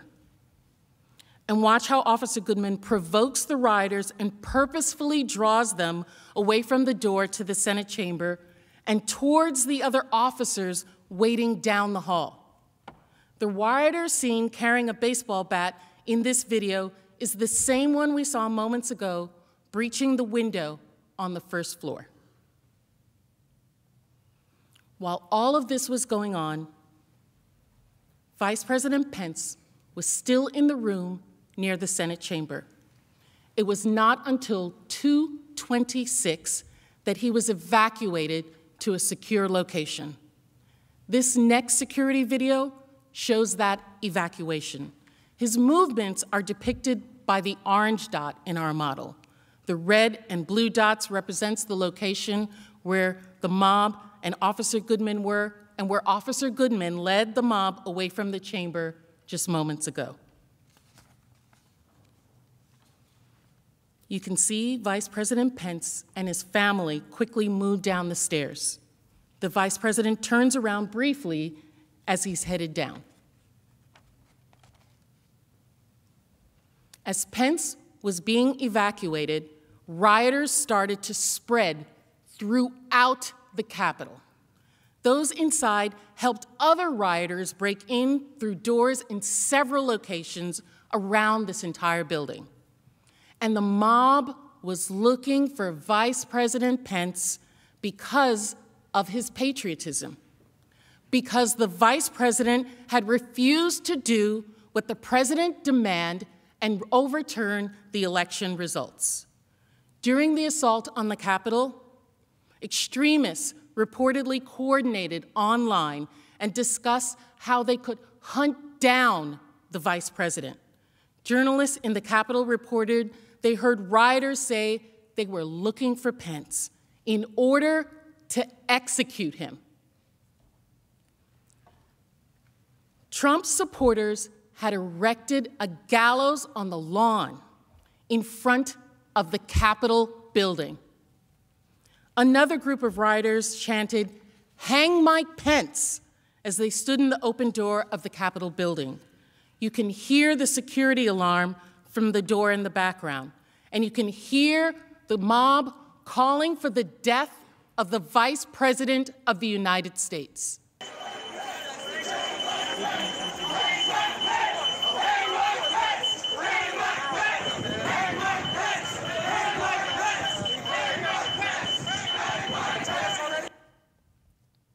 This wasn't an isolated area or incident where that was being told, where that was being said. It was going on everywhere. Here's another example of the crowd outside yelling, Bring out Pence! Bring him out! Bring out Pence! Bring out! Bring out Pence! Bring him out! Bring out Pence! Bring him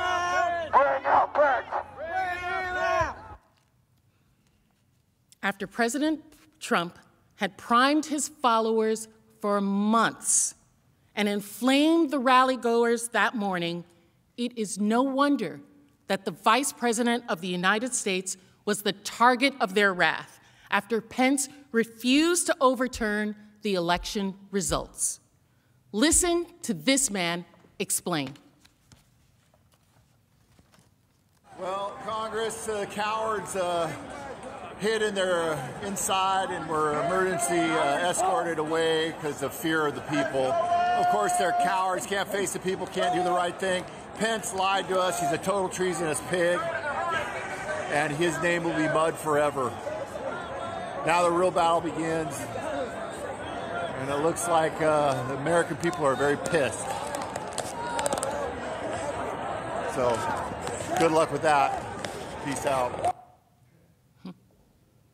Peace out.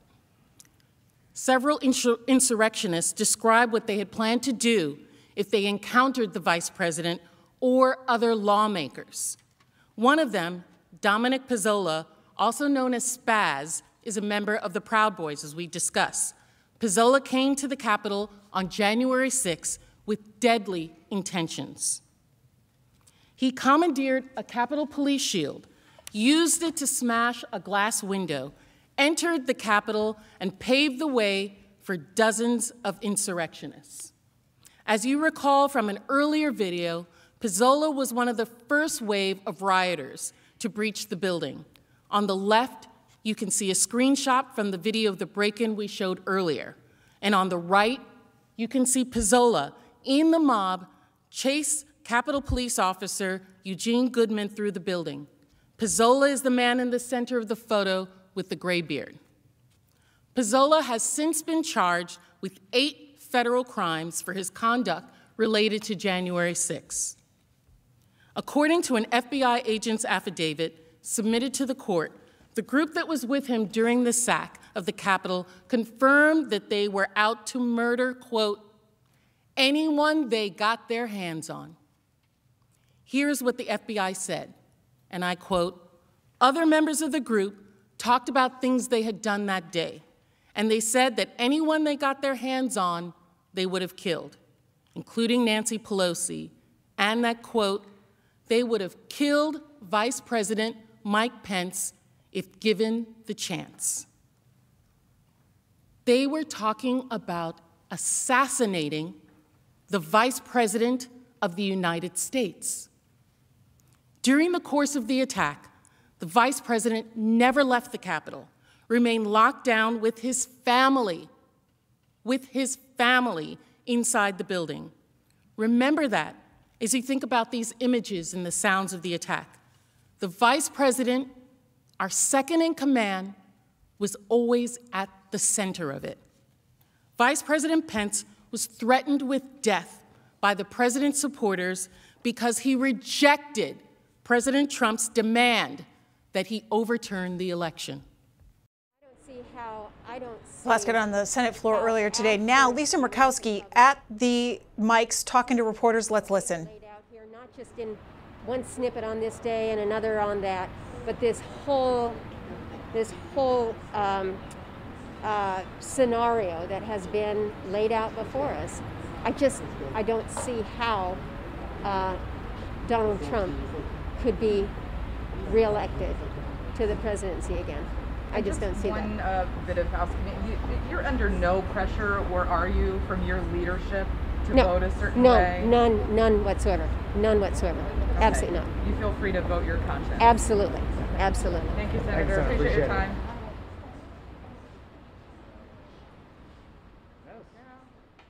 Alaska Republican Lisa Murkowski there talking to reporters during this dinner break of the second day of the impeachment trial against President Trump. Now, Lisa Murkowski voting yesterday along with five other Republicans to say on a vote 56 to 44 that this trial could move forward. She voted that it was constitutional to move forward. She joined Senator Bill Cassidy of Louisiana, uh, Susan Collins of Maine, Mitt Romney of Utah, Ben Sasse of Nebraska, and Pat Toomey of Pennsylvania. Six Republicans voting to move forward. And so you had today the House impeachment managers their first day laying out their legal arguments. We want to know what you heard from them today. Carol in Louisville, Kentucky, Democratic caller, you're up first, Carol. Go ahead. I just think if this man is not impeached, it would be a disgrace to this country. Why? This, because I'm an older woman, I have never seen anything like this in my life. Win or lose, you wish the other one well, you take it as it is, and you just keep going as a country. This man is dangerous. He's not well mentally, I don't feel. Uh, and he is just, he's a wannabe dictator to me. Carol, have you And- been watching the arguments today? Yes, I have. And what what has stuck out to you? What have, what has really made you um, have the thought that you are having that he needs to be convicted and not and barred from running for office again? Well, I I mean, I, not only just seeing the things, the trial today, uh, just I've seen so much that's led up to it. Um, all the things that he's done throughout his time, um, but for him to allow this to happen and other things, it just. I've just never seen it before. All right, Carol. And now the House managers today, uh, including just in this last portion, showed to all of you and those senators sitting in that room new surveillance video taken from inside the Capitol on that day, on January 6th. Video that had not been seen before. So we want to get your thoughts on that as well today. Car- Carl in Maricopa, disturbing. Arizona, Republican. Carl, go ahead. Uh, yes, thank you for taking my call. Uh, First of all, I do want to say I, I am a Republican. I mean, I voted Republican uh, pretty much all my life. So for Democrat was Jimmy Carter. So uh, I did vote for uh, uh, Trump in November. But I am I am so upset at Mr. Trump. The reason, well, what's really convincing and what we saw today, man, when you see those gallows that they really wanted to assassinate the Vice President of the United States, Mike Pence, and, and just uh, what he had to go through, he and his family for protection. Here is the Vice President of the United States who's been so loyal to Trump. He's never said one negative thing against President Trump. And here he's trying to do the right thing. He's trying to do what the Constitution says, validate the election. And here he is. He's he's he's, he's you know trying to do the right thing. And I feel like Mr. Trump, he basically uh, he's just doing his own thing. He's just thinking about himself.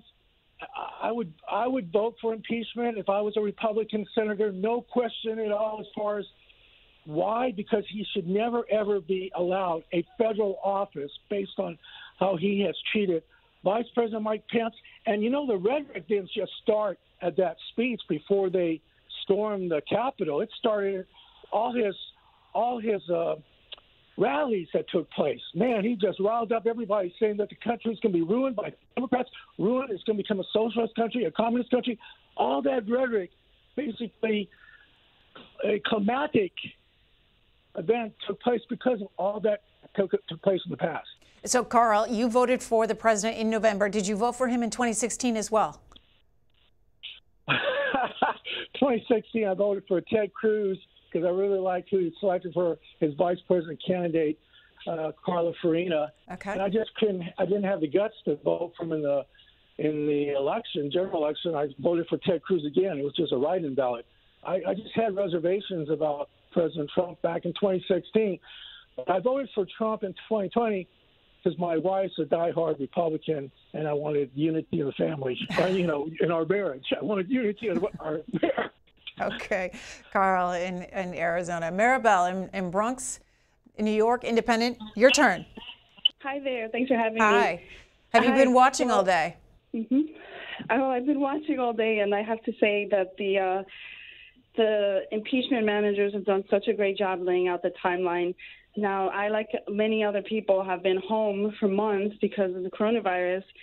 And um, I went from being like not too political, not really voting all the time, to having all of this time on my hands. And just watching the daily briefings from the president not matching up with my own um, research on, on COVID and seeing that they were lying to the public and, and, and like rewriting history in real time. And it was extremely disturbing. So I kind of, kind of became a historian on my own, documenting all of this tweets and, and interviews and everything because I, I thought, my God, if he wins the presidency, this, is, this will be wiped from history and no one will know what really happened. so here I am, like quietly having a freak out attack and, and, and documenting everything. And um, when January 6th happened, in a way, I was relieved because it was sort of validation that my fears of how bad this could get or where it was heading, you know, they were, you know, just validated. So um, the next thing I was afraid of was that, that the Democrats were going to kind of drop the ball and let him get away with it. And um, I'm just glad that they pr- uh, produced such a concise and clear, easy to follow timeline of what's going on. And, and I can't imagine seeing that and not voting to to convict. Maribel, you mentioned the House managers. We've heard from eight of the nine. Uh, what? Who do you think has made the most compelling case of them? Oh, it's terrible. I've been watching. I don't know her name. She's from the Virgin Islands. Stacey Stacey Plaskett, who we just heard from a couple of times today, yes. but just heard yes, from. Yes, I think she she's. I, I love the way she delivered, and she just has this regality to her. She's like a queen. I think I was most impressed with her um, her presentation. Okay, all right. Jamie Yeah. Dupree, who covers Washington D.C., tweets this out. Uh, four things we learned today. Speaker Pelosi was evacuated entirely from the Capitol complex. Officer Goodman may have saved Mitt Romney's life. Uh, the majority leader, Schumer, and his security detail had to run from rioters. And the Vice President Pence was held, held, holed up just off the Senate floor with attackers in the halls. Those are four things new today revealed by the House impeachment managers.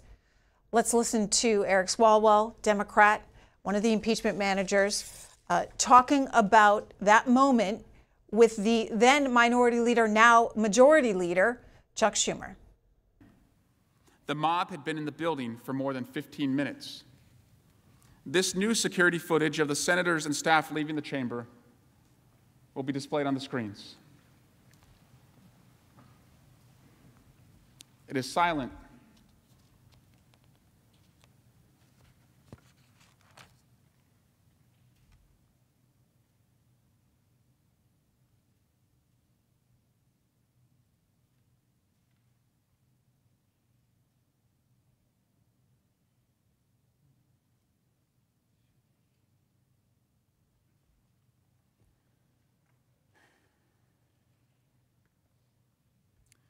Cannot see it in this footage, but quick thinking Senate floor staff grabbed and protected the electoral ballots that the mob was after.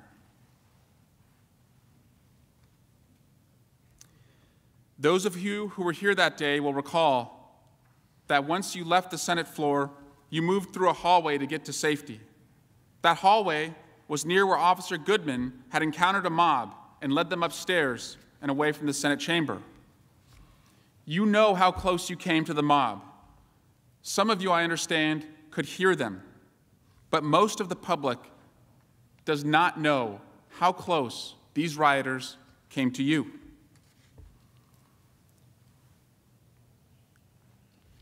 As you were moving through that hallway, I paced it off. You were just 58 steps away from where the mob was amassing and where police were rushing to stop them. They were yelling. In this security video, you can see how the Capitol Police created a line and blocked the hallway with their bodies to prevent rioters at the end of the hall from reaching you and your staff.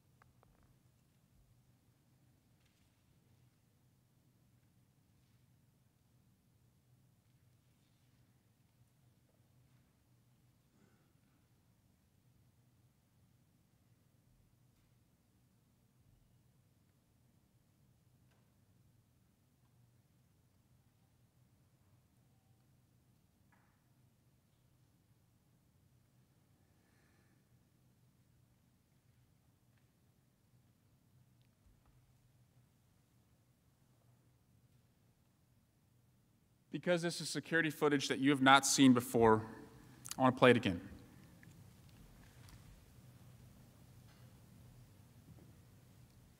The top of the screen is the other end of that hallway where the mob has amassed and the officers are rushing to to protect you.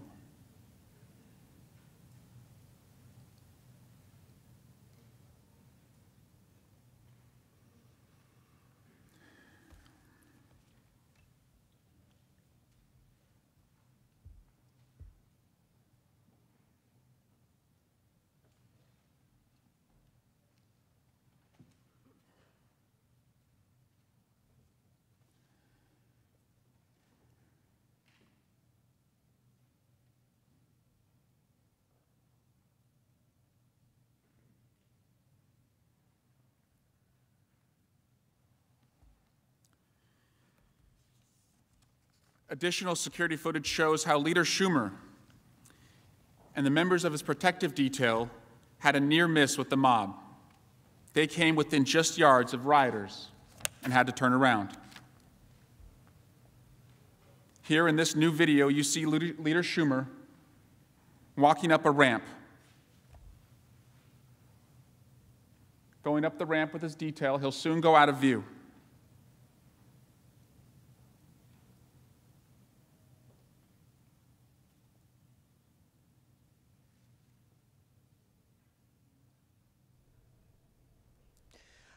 Let's listen to Majority Leader Chuck Schumer. He's at the microphones. And my situation, I just want to give tremendous credit to the Capitol Police officers who were in my detail. Like the rest of the Capitol Police officers, they are utterly amazing and great, and we love them. Senator, do you That's have any it. sense Nope. of how close this could have been to being so much worse? The Majority Leader there reacting to the video that you all were just watching, the replay of new surveillance footage made public today during the second day of the impeachment trial. You heard Eric Swalwell, one of the House managers, unveiling that uh, Capitol footage, Capitol surveillance footage. He's 40 years old, elected in 2012, and a Democrat from California.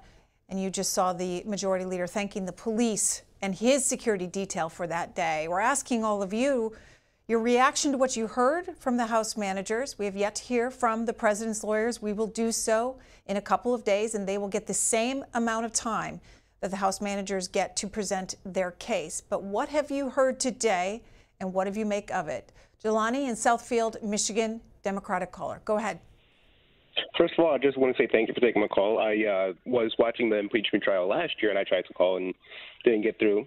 Unfortunately, we're at this position yet again. Kind of scary. Um, I just want to quote one of my uh, one of my good friends. He's a really good his- historian. I really like his, what he says, and he said, "If I'm starting to run out of quotes and relevances or relevancies in history, we have a problem." And it's very scary to think that in my very short 20 years that we've had a president who has tried to overthrow the government, who has tried to corrupt another federal another government in Ukraine to influence our 2020 election and then try and get away with it like it's that free.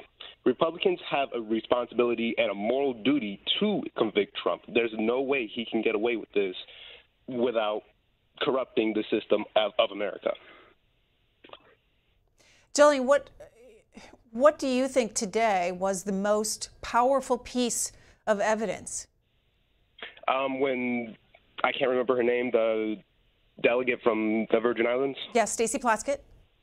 her. She has been streamlining all of all of the everything that we've seen throughout the January 6th riots. We've everything that's been leading up from all the House managers, really. And I believe one of the senators uh, said they she they were all building a case against Trump brick by brick, which I could not find a better metaphor. He led this riot. He they uh, are proving how this affected everybody, and it's I could not be better, more proud of Democrats at the moment. All right. Priscilla in McAllen, Texas. Priscilla, what do you think? Priscilla, good evening. What do you think? Good evening. Uh, it's been quite a day, hasn't it?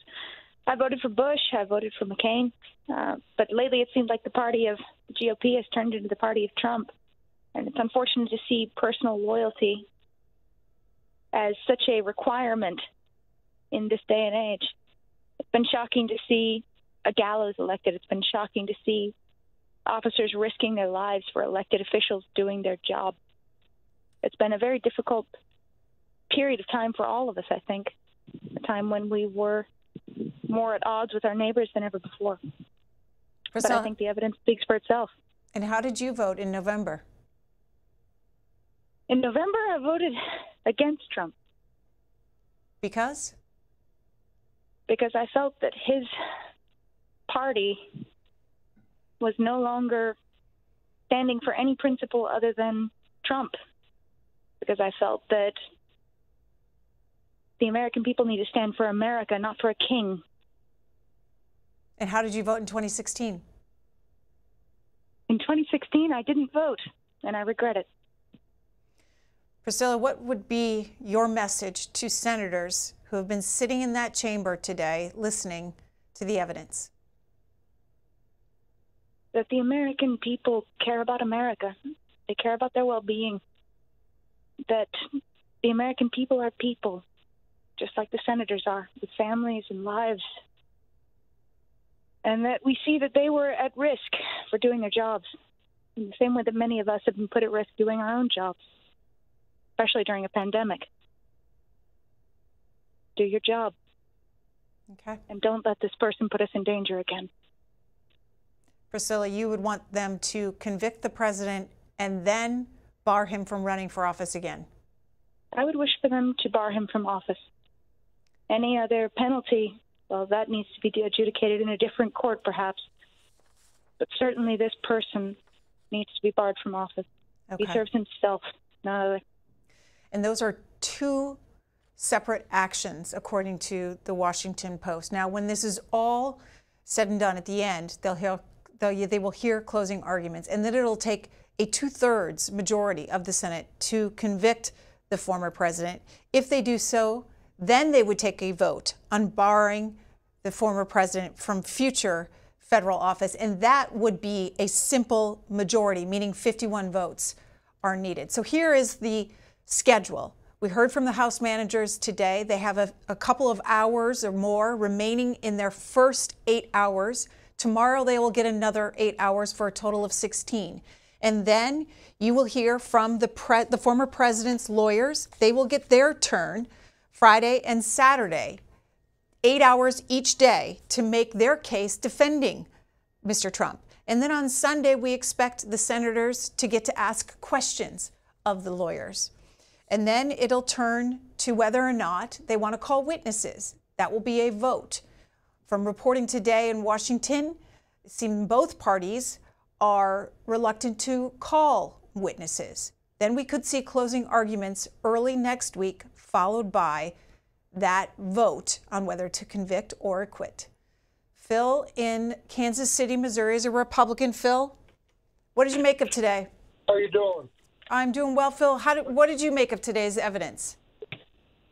Uh, well, I'm kind of old school, and I've, I've seen a lot of stuff going on this past year and two, and uh, I just uh, I just can't believe what's going on with uh, Mr. Mr. Trump. What do you mean? Well, what I mean is, all you know, like like you're talking to everyone else. I was, you know, this year I voted for Trump, and in the past election, I did not vote for Trump because because of the person he is and the person that filed uh, bankruptcy for three three times, if I remember right, in the past to represent the United States of America. Okay, Phil, let me ask you Do you think the president is guilty of inciting violence? Of course, I do. Why? And I want I would like to go another step beyond that, but I'm I'm going to keep my mouth shut upon that Okay. because anyone anyone that charges charges the government to me that's like treason and i could be off a little bit on that but that's how i feel Okay. after seeing everything and everybody doing what i've seen on tv and what uh, the senator of or the, the republican of uh, California, I'm just like, I was as appalled what I've seen in this country, in the separation of what this man has done to us. Now, all, all right, Phil, I'm going to go on to Stephen, who's in Kernersville, North Carolina, Democratic caller. Stephen. Hey, thank you uh, for taking my call first and foremost. But um, I was listening to the past couple calls, and Priscilla especially kind of moved me because um, we, I feel like she uh, espousing the same sentiments as I would like to say that we would we would have never been in this position in a country where we have been this divided, and the reason for that is because the racism, misogyny, homophobia, xenophobia has always been on the back burner, and there were certain things you couldn't say until a president such as Donald Trump came into office, and he has he was elected and now it's as though the Proud Boys and the neo-fascists feel the need, the, they feel the gratification of or the um, grandeur of being backed by the highest person in the land of this country, and so they ran with it, but they lost, and they lost not once but twice. This is not their first loss. This is their second or third, and they're not willing to deal with that. Okay, and Stephen, let me. Just as Trump is not willing to deal with that. Stephen, let me get your reaction to Scott Wong, a reporter on Capitol Hill for the Hill newspaper, tweeting out this. Some Republican senators say they were moved by the video presentation. Here is Senator John Thune, a Republican of South Dakota, who's in the leadership for the Republicans. The impeachment matters, quote, were very effective. They had a strong, strong presentation put together in a way that I think makes it very compelling. I think they've done a good job connecting the dots. Stephen, what do you think? I think that's a that's a good sentiment, but that is from one senator, if I'm not mistaken, and we need more than one senator. I think we need a two thirds majority to actually impeach and make a difference. Needs 17. Um, so that's a yeah, exactly. So that's a good first step, but for the other um, 49 um, Republican senators who are willing to turn a blind eye to the horrible crimes of inciting violence of a president, the, the POTUS, the president of the United States, the highest position in the office of the the world, basically, for them to to act as it as though this is norm, this is the new normal. This is not normal. I've been alive for 40 plus years now, and I've seen Republicans that I've disagreed with and Democrats that I've dis- disagreed with politically, but this has never been normal um, to actually incite violence because you're you have a, a deficiency in your mental capacity to be able to, to deal with losing. All right. And that's what this boils down to. And, and Stephen, my... noting you need two thirds, you need 67 senators. That would mean 17 Republicans have to vote with all 50 Democrats to convict the former president. You've seen in test votes, one of them yesterday, on the question of constitutionality.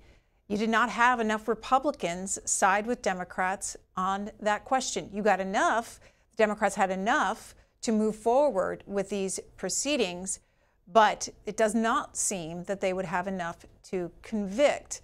Now, one of the senators who is open to voting uh, to convict the former president is Utah Republican Mitt Romney. I want to show you from Stacey Plaskett's presentation today the moment where she talks about how Capitol Police and the law enforcement on Capitol Hill saved his life and others.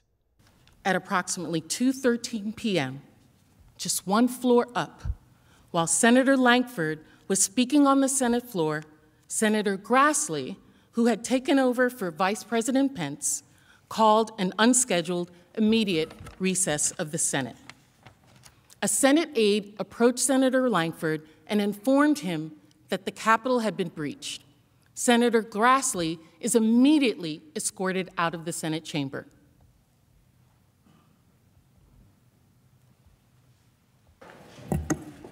We'll pause. Protesters are in the building. Thank you.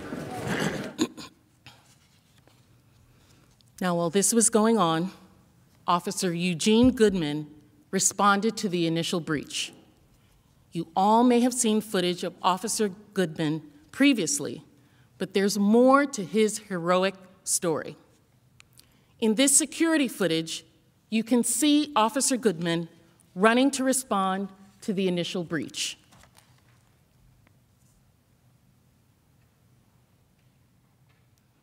Officer Goodman passes Senator Mitt Romney and directs him to turn around in order to get to safety. On the first floor, just beneath them, the mob had already started to search for the Senate chamber. Officer Goodman made his way down to the first floor where he encountered the same insurrectionists we just saw watch breach the Capitol. After seeing that video, Mitt Romney told reporters that uh, he had not seen it before, and he said about Officer Goodman, quote, no, I did not know that was Officer Goodman, but I look forward to thanking him when I next see him. I was very fortunate indeed that Officer Goodman was there to get me in the right direction.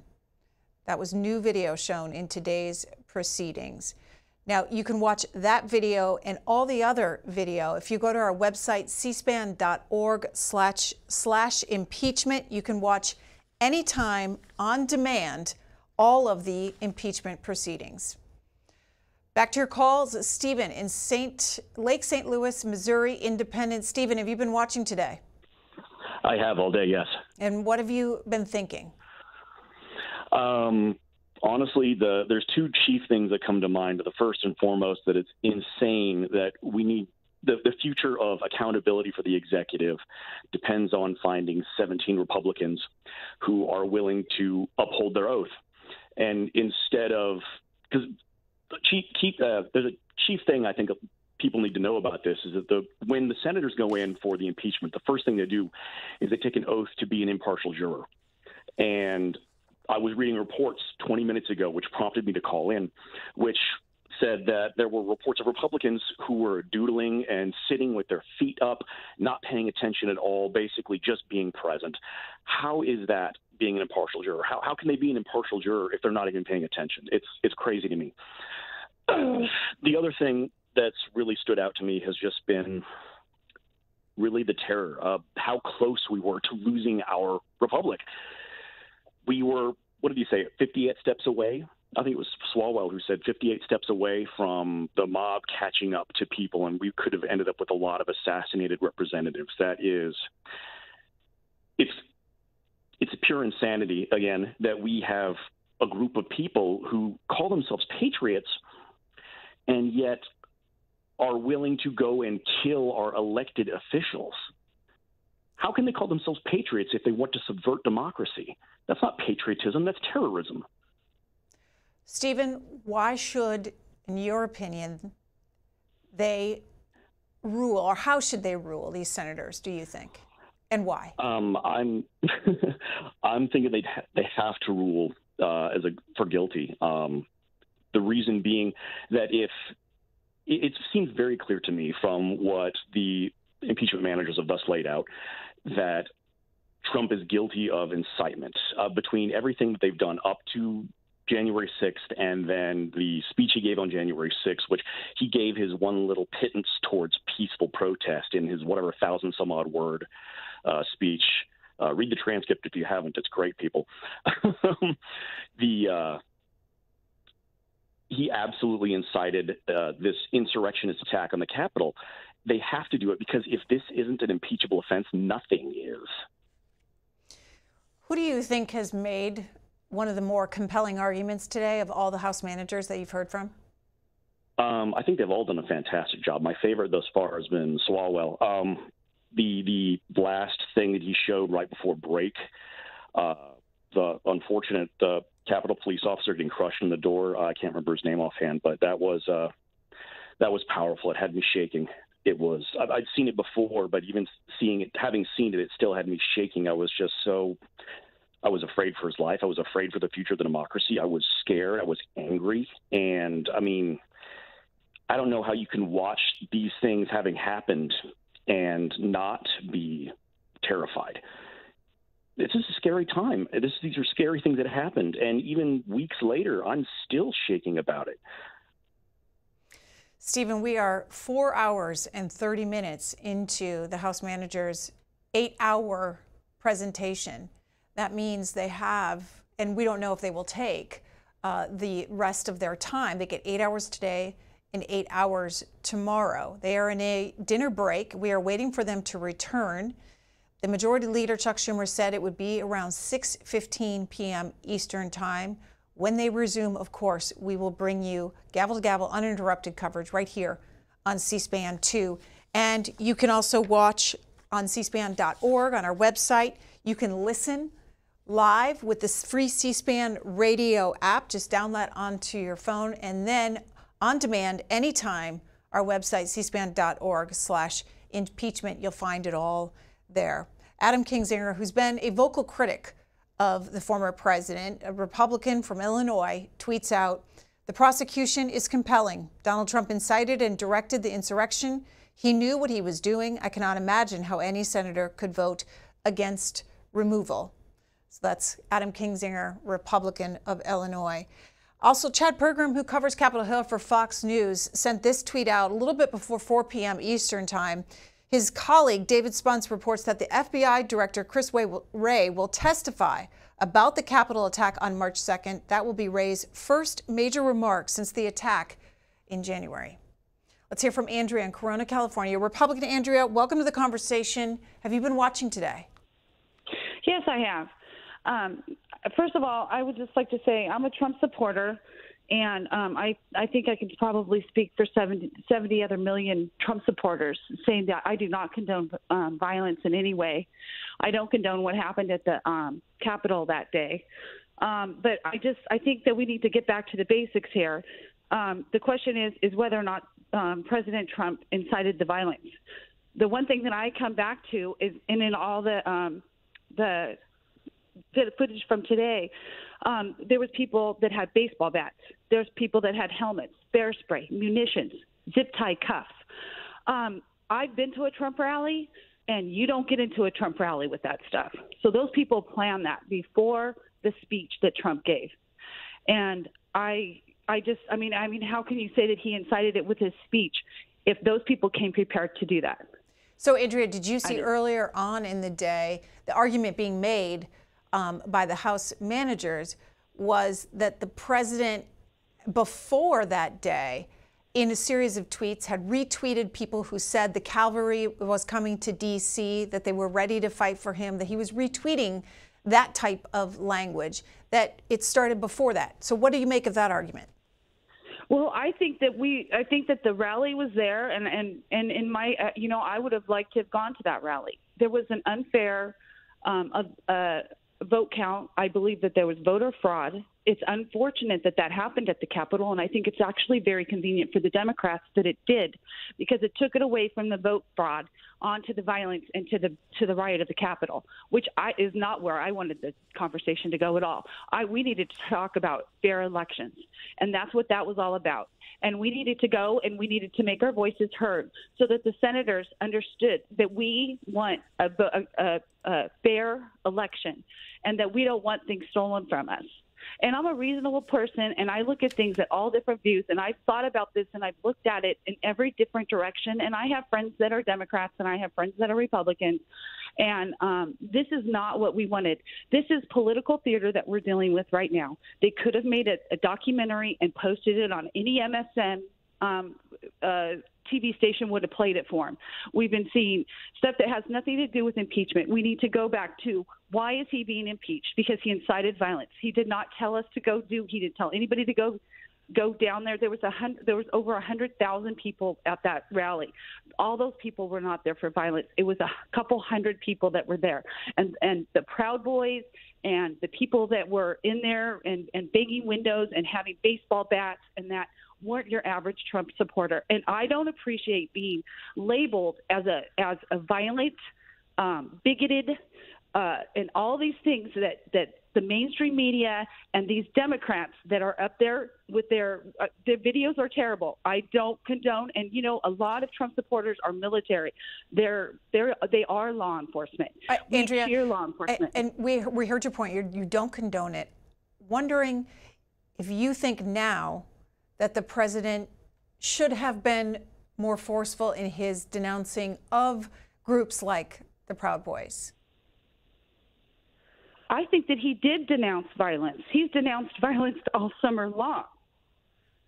All summer long, he's denounced violence. How many times did he have to say that he was um, not, you know, that he wasn't a racist and that he wasn't a white supremacist? He denounced white supremacy.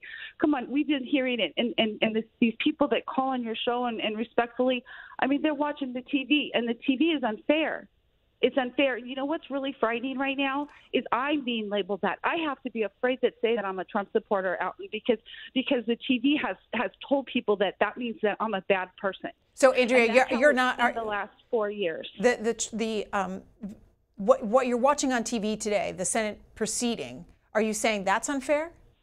No, no, I don't. What you guys are doing is great, and I think your phone calls are great. I, I appreciate it. I wouldn't waste my time if I didn't. I just yeah. am trying to get my voice out there. It seems like there's been a lot of, you know, um, uh, uh, calls that are saying are saying that.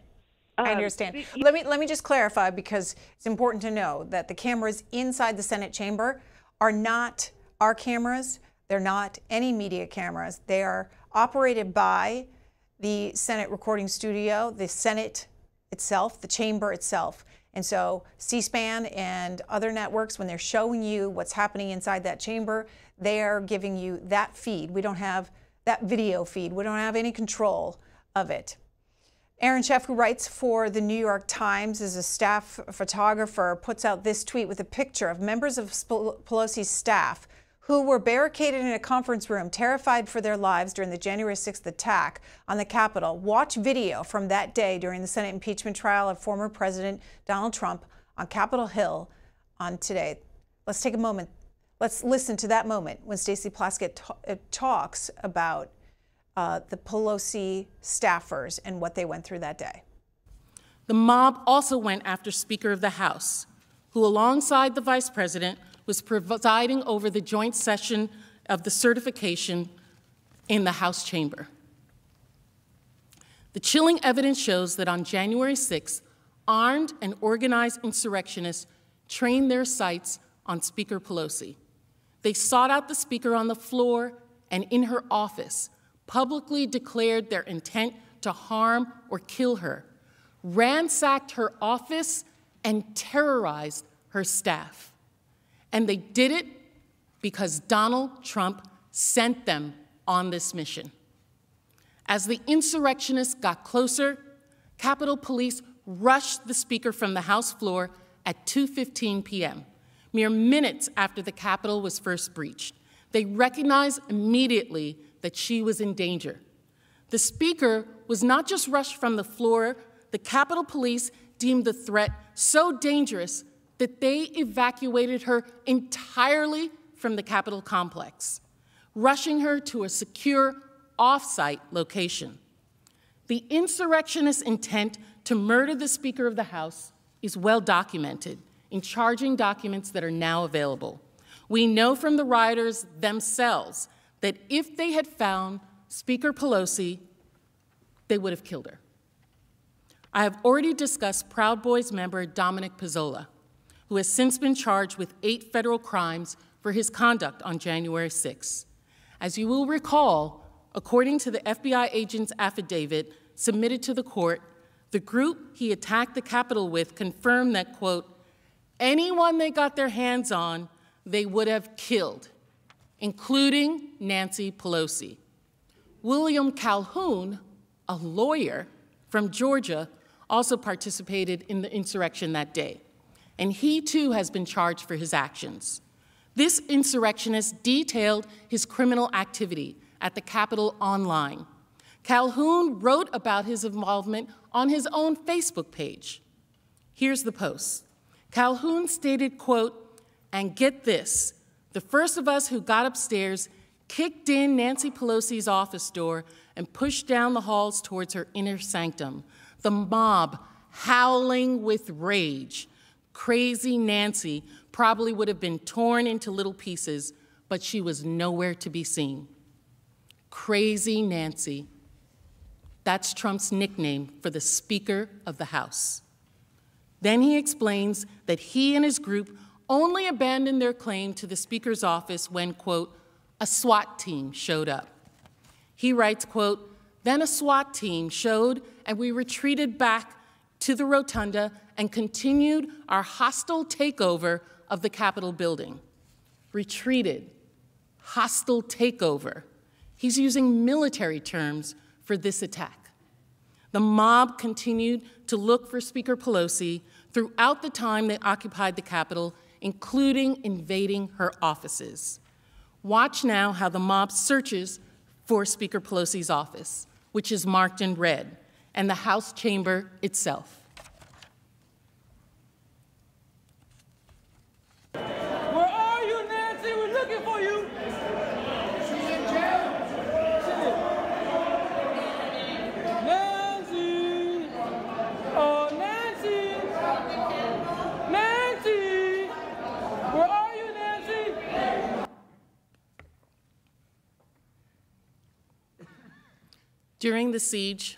the Speaker's staff took cover in her office, hiding in fear for their lives for hours as rioters broke in and ransacked her office.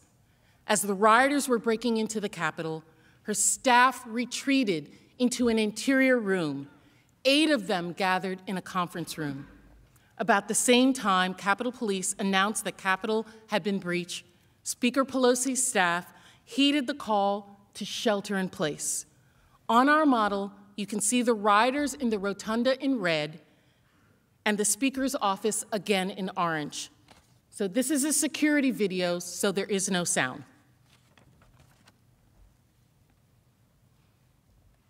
As you can see here, the staff moves from their offices through the halls and then enters a door on the right-hand side. That's the outer door of a conference room, which also has an inner door that they barricaded with furniture.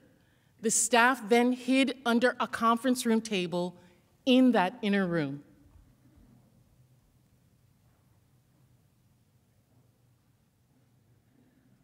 This is the last staffer going in and then barricading themselves inside of the inner office.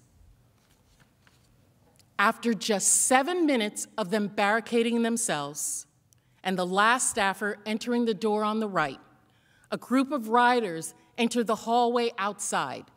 And once inside, the rioters have free reign in the Speaker of the House's offices. In this security video, pay attention to the door that we saw those staffers leading into and going into.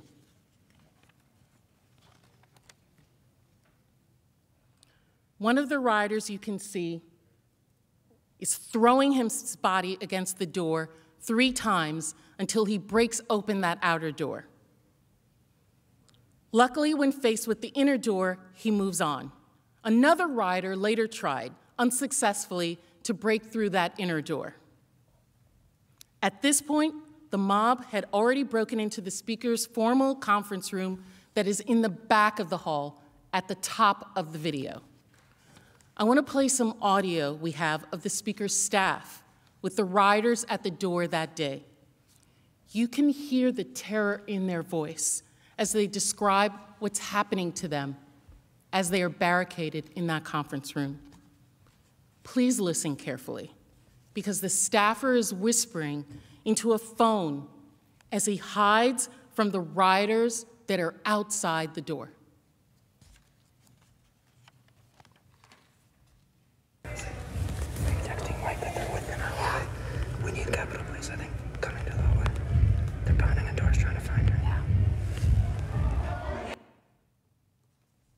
You can hear the pounding in the background as that staffer is speaking.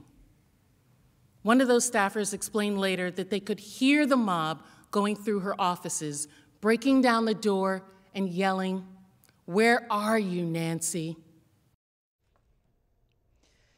House Manager Stacey Plaskett from earlier today in the House uh, Democrats' presentation of their case against President Trump. Now, senators have been in a dinner break, and that some of them are making their way back into the chamber. What you are looking at is the hallway outside of the Senate chamber.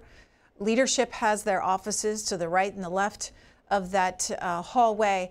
And we know that the, the minority leader, Mitch McConnell, has already made his way to his seat for the resumption of today's impeachment proceedings. The House management House uh, impeachment managers have been making their case for 4 hours and 30 minutes according to pool reports on Capitol Hill.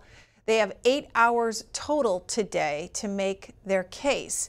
When they reconvene the Senate, uh, when they when they gavel back in, we will of course bring you to the floor live coverage here on C-SPAN 2. CNN is reporting that the House managers will show even more new evidence when they resume their case against the former president this evening.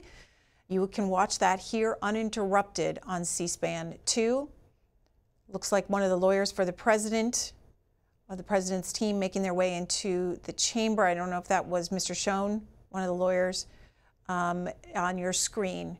So people are getting in place and we will bring you our coverage then. You can also watch on our website, cspan.org. You can download our free C-SPAN radio app and listen to the proceedings there. And if you've missed anything, you can find and watch it on demand. Uh, there's the president's lawyer, Mr. Castor, making his way into the chamber. But anyway, you can watch everything you've seen today, everything that you will see in the coming days on our website on demand at cspan.org slash impeachment. Here's Senator Cassidy. Obviously, it's part of the trial. Of course, it's powerful. Uh, how that influences final decisions remains to be seen. Do you think that this could be a vote of conscience for both parties? Say that one more time. A vote of conscience? Do you think that there is a flexibility to a vote of conscience? I think it should be. Yeah, absolutely. Is there anything that you've seen so far that was, you know, especially jarring? There's so much. There's no one thing. There are many things. Is there something that you think that needs to be taken away today? One more time. Is there something you think that needs to be taken away from today's proceedings? Um, again, there's so much to say that should be taken away. Um, how does one narrow it? But you realize that there were people, insurrectionists, who attempted to affect a peaceful transfer of power. And that should give anyone who loves our republic great pause.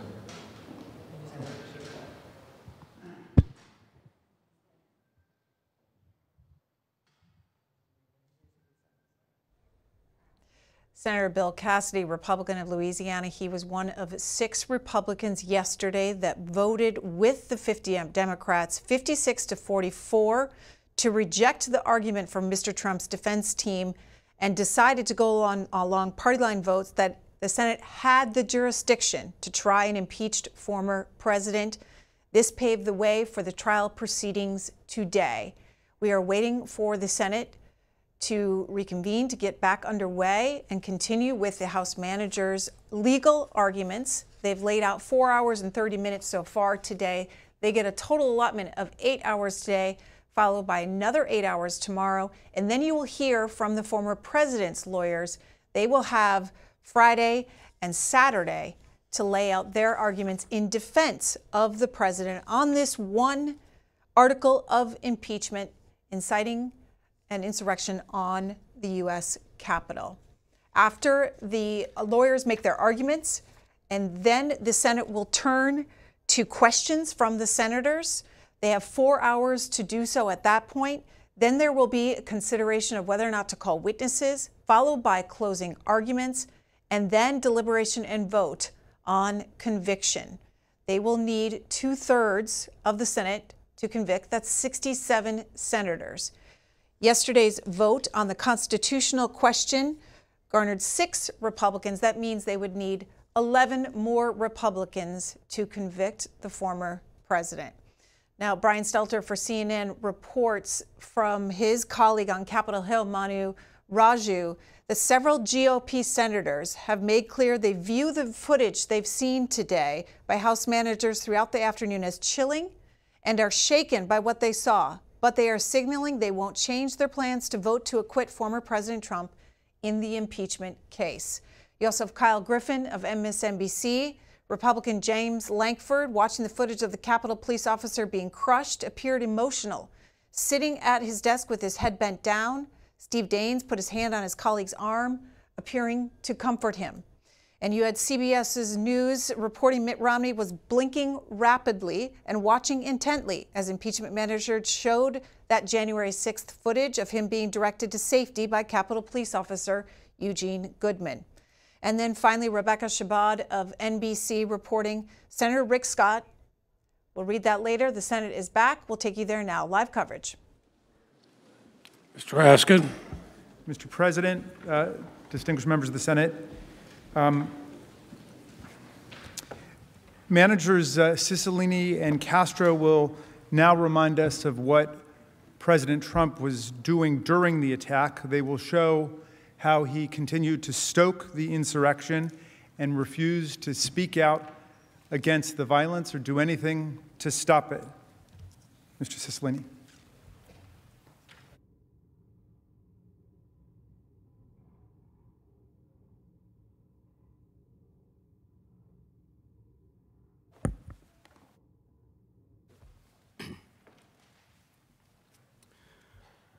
Mr. President, distinguished senators, you just heard from my colleagues about the harrowing events that happened here at the Capitol on January 6th and saw that very disturbing video. I'd now like to turn your attention to what was happening on the other end of Pennsylvania Avenue at the White House. And the truth is, the facts are that on January 6th, Donald Trump did not once condemn this attack. He did not once condemn the attackers. In fact, on January 6th, the only person he condemned was his own vice president, Mike Pence, who was hiding in this building with his family in fear for his life. In the first crucial hours of this violent attack, he did nothing to stop it, nothing to help us. By all accounts, from the people that were around him, he was delighted. And here's the last thing Donald Trump said that day. And you might remember this from my motions presentation earlier in the week. At 6 p.m. on January 6th, after all the destruction that you just saw, the Capitol Police and the National Guard fighting to secure this building, here's what Donald Trump tweeted These are the things and events that happen when a sacred landslide election victory is so unceremoniously and viciously stripped away from great patriots who have been badly and unfairly treated for so long. Go home with love and in peace. Remember this day forever. He got what he incited, and according to Donald Trump, we got what we deserved. Donald Trump's incitement of this insurrection, including his dereliction of his duty as commander in chief to defend the Capitol and the people in it, his complete refusal to condemn the attack while it was going on, and his continued incitement of the violence during the attack require impeachment. Now let's turn to then President Trump's conduct that day.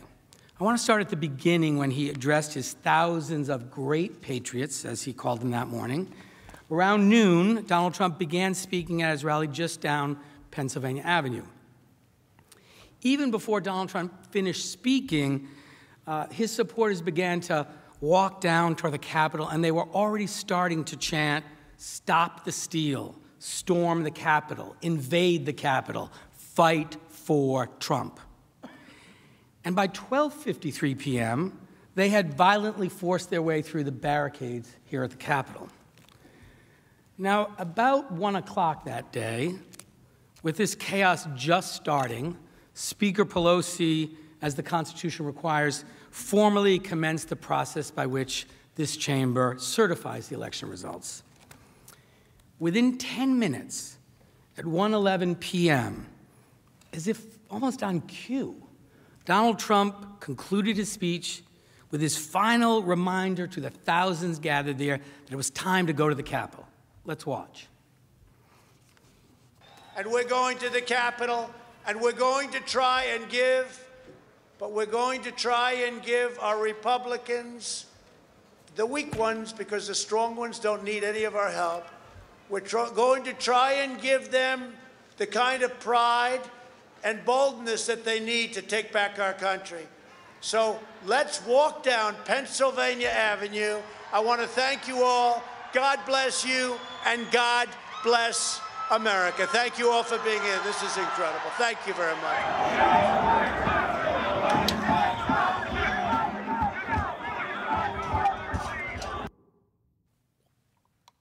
Now, you've seen what happened when these supporters, following his orders, arrived here at the, at the Capitol. But I want to look at what happened next. Now, you'll recall during the speech, President Trump said, We're going to the Capitol, sort of suggesting that he was going to go with this crowd. Of course, that was not true. Um, but let's hear what he said. Now it is up to Congress to confront this egregious assault on our democracy. And after this, we're going to walk down, and I'll be there with you. We're going to walk down. We're going to walk down anyone you want, but I think right here, we're going to walk down to the Capitol. This, of course, was not true. He did not go with him to the Capitol. He left and went back to the White House. And while he was en route to the White House, violence really began to grow here at the Capitol.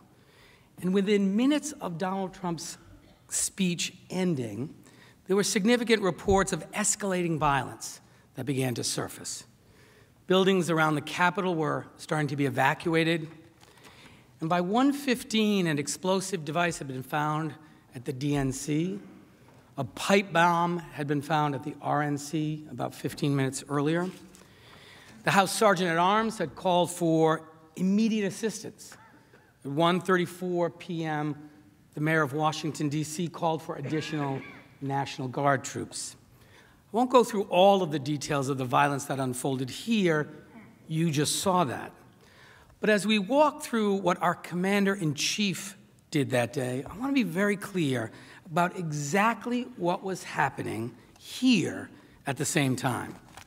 For 40 minutes, while buildings were being cleared, pipe bombs were being found, his supporters were literally breaching the perimeter of the Capitol and overwhelming law enforcement, and you saw the violence that was occurring. We heard nothing from the President of the United States. We didn't hear anything from Donald Trump until 1:49 p.m. when while all of this is unfolding, President Trump sent out a tweet. This was the first thing he did when he learned the United States Capitol, with all the members of Congress, his own vice president was under violent attack. And what was that tweet?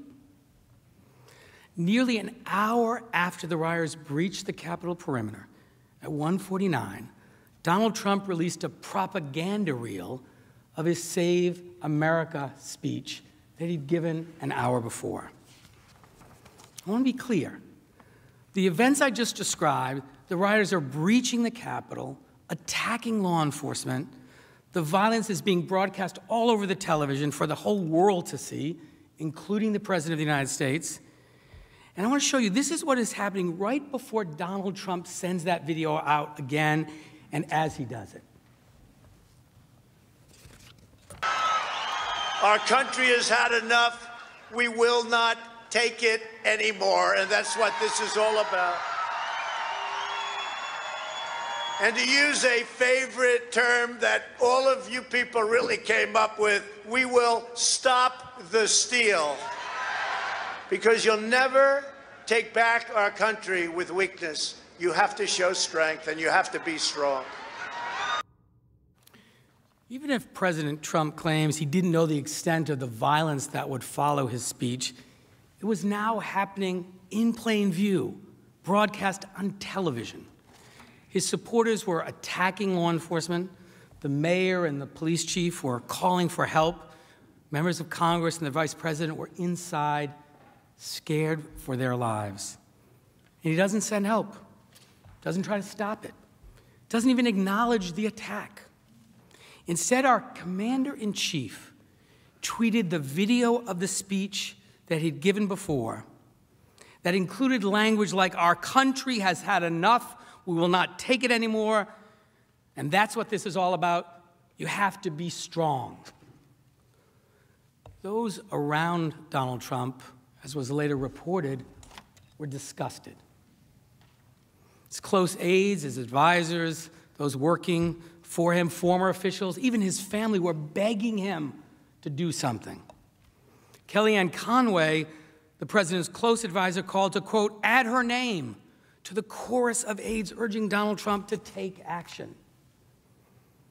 Ivanka Trump, the president's own daughter, went to the Oval Office as soon as the rioting escalated and was, as confirmed by Senator Graham, quote, trying to get Trump to speak out, to tell everyone to leave, end quote. Minority Leader Kevin McCarthy called Jared Kushner, pleading with him to persuade Trump to issue a statement or to do something. And Kushner, too, went down to the White House after that call. And it wasn't just the people at the White House. Members of Congress from both parties who were trapped here were calling the White House to ask for help. Some members even appealed directly to Donald Trump. These members who had, quote, been loyal Trump supporters and were even willing to vote against the Electoral College results were now scared for their lives. Minority Leader Kevin McCarthy repeatedly even got into a screaming match as the attack was underway, demanding that Trump do something, issue a statement denouncing the mob. I imagine many of you sitting here today picked up your phone and tried to reach somebody at the White House to ask for help. This wasn't partisan politics. These were Americans from all sides trying to force our commander in chief to protect and defend our country. He was required to do that. Now, the extent of how many people tried to reach the president to get him to act is not known. But what is clear, what we know without any doubt, is that from the very beginning, the people around Donald Trump lobbied him to take command. What's also clear is what Donald Trump, our commander in chief, did in those initial hours to protect us. Nothing. Not a thing. He knew what was happening. The attack was on TV. We know, all know that President Trump had the power to stop these attacks. He was our commander in chief. He had the power to assess the security situation, send backup, send help. He also had incited this violent attack. They were listening to him. He could have commanded them to leave. But he didn't. The first critical hour and a half of this bloody attack, Donald Trump tweeted his rally speech and did nothing else. And we know why. We know his state of mind that prompted his utter, complete refusal to defend us. It was reported by those around him. The president, as reported by sources, at the time was delighted. As he watched the violence unfold on television, President Trump was reportedly, and I quote, borderline enthusiastic because it meant the certification was being derailed, end quote. Senator Ben Sasse relayed a conversation with senior White House officials that President Trump was, quote, walking around the White House, confused about why other people on his team weren't as excited as he was, end quote. Trump's reaction to this attack reportedly genuinely freaked people out. I understand why. We just suffered a very serious attack attack on our country.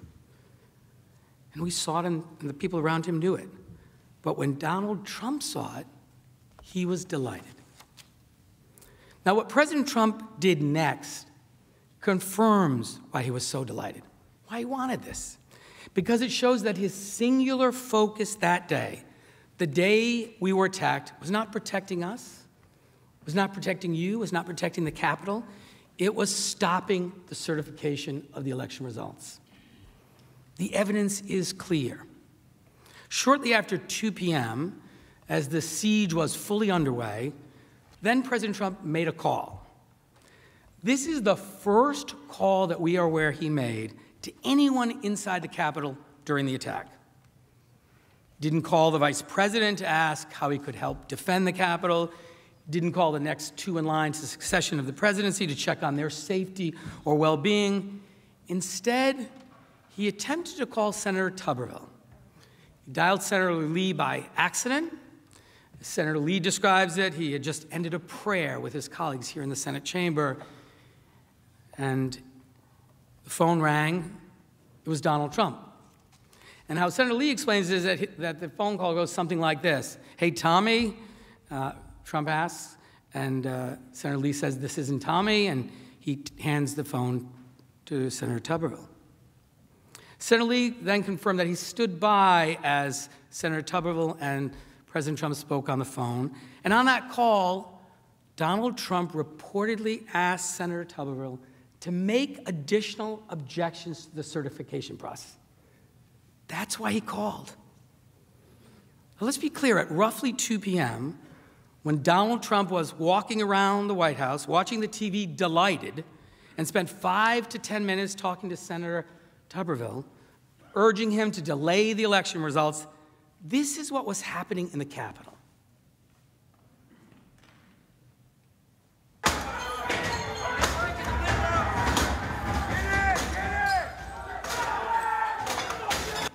We'll pause. Protesters are in the building. Thank you.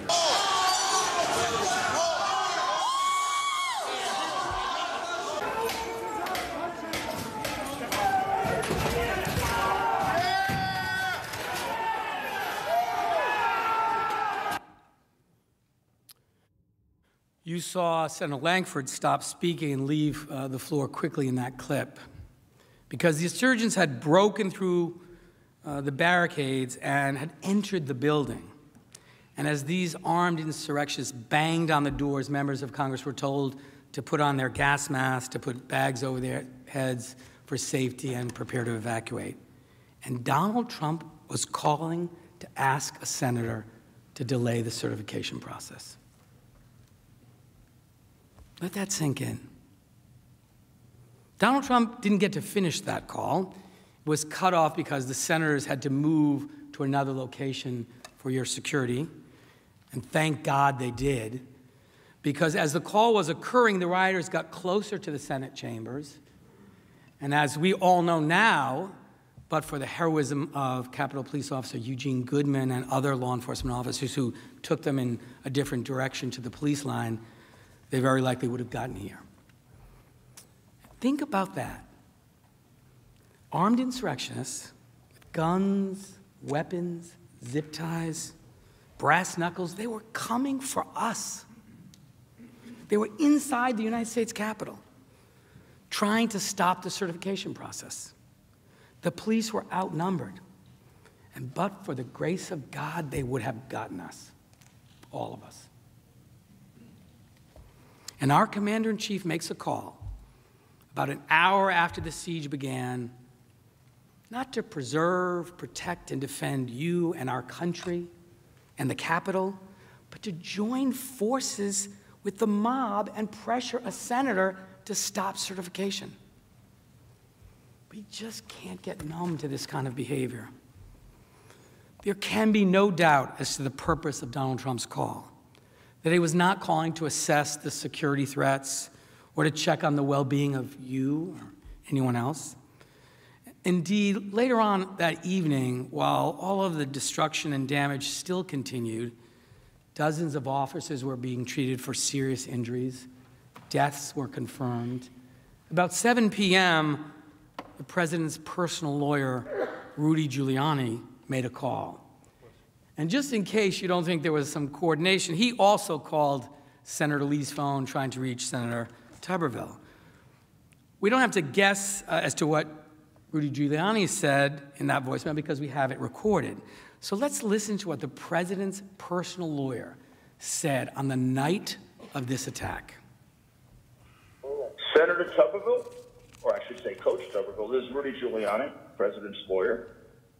I'm calling you because I want to discuss with you how they're trying to rush this hearing and how we need you, our Republican friends, to try to just slow it down.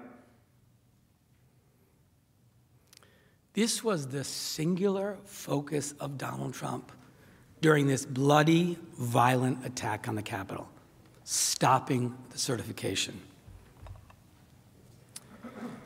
Look, as I mentioned, I was a trial lawyer for 16 years. Sometimes you have to ask a jury to use reasonable inferences to piece together a defendant's state of mind. We don't have to do this here. While our country was violently attacked by an armed mob, President Trump not only refused to stop the attack or even address the attack at all, he made clear his focus was the same goal of the attackers he had incited to stop the certification process and prevent the peaceful transition of power. The only action we know that he took an hour into this attack was to call Senator Tuberville to ask him to delay the certification.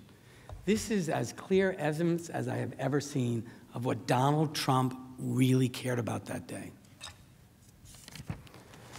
Now, look, the certification process, as we all know, includes debate and objections. Some of us disagreed, but we came here on January 6th to formally administer the certification process pursuant to our constitutional duties. And at the end of it, Congress certified the results to ensure that we continue to be a country with leaders who are elected by the people for the people. Donald Trump's objection to the certification are not on trial. But what is on trial is while we were under armed attack and being evacuated, while our law enforcement officers were fighting for their lives, our commander in chief was calling not to determine how to best secure the building and the people in it, but to continue to pressure senators to stop the certification process and the peaceful transfer of power just as he incited the mob to do earlier in the day. This was a breathtaking dereliction of his duty and of his violation of his oath as our commander in chief. Senators, before I hand this over to Manager Castro to walk through the rest of the day, please let me make one final point. These attackers stood right where you are they went on that rostrum. They rifled through your desks and they desecrated this place. And literally, the president sat delighted, doing nothing to help us, calling one of you to pressure you to stop the certification. It can't be that the commander in chief can incite a lawless, bloody insurrection and then utterly fail in his duty as commander in chief to defend us from the attack, to defend our law enforcement officers from that attack, and just get away with it. Donald Trump abdicated his duty to us all. We have to make this right, and you can make it right.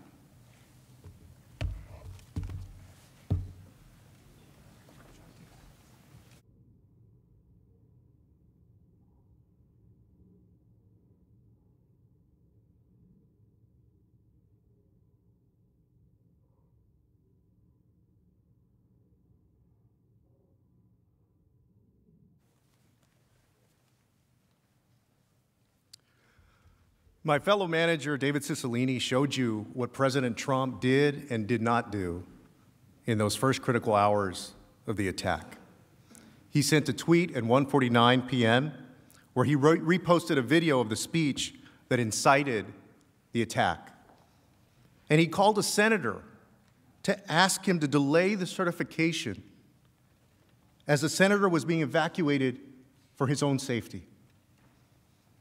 We left off around 2:15 p.m. At this point, insurgents were inside the Senate and the House, and the Senate had been evacuated for everyone's safety. And as you saw, Vice President Mike Pence and his family even had to be evacuated for their safety. Now, you'll recall Donald Trump had made Vice President Pence a target. He attacked the vice president at the rallies, in speeches, and on Twitter. And during, Trump, during President Trump's speech that morning of the attack, he ramped it up again after privately pressuring Mike Pence in front of thousands in the crowd. He called Mike Pence out 11 times, including saying, quote, Mike Pence, I hope you're going to stand up for the good of our Constitution and for the good of your country. And if you're not, I'm going to be disappointed in you. I will tell you right now. And this was the crowd's response to Donald Trump's days of relentless attacks on his own vice president.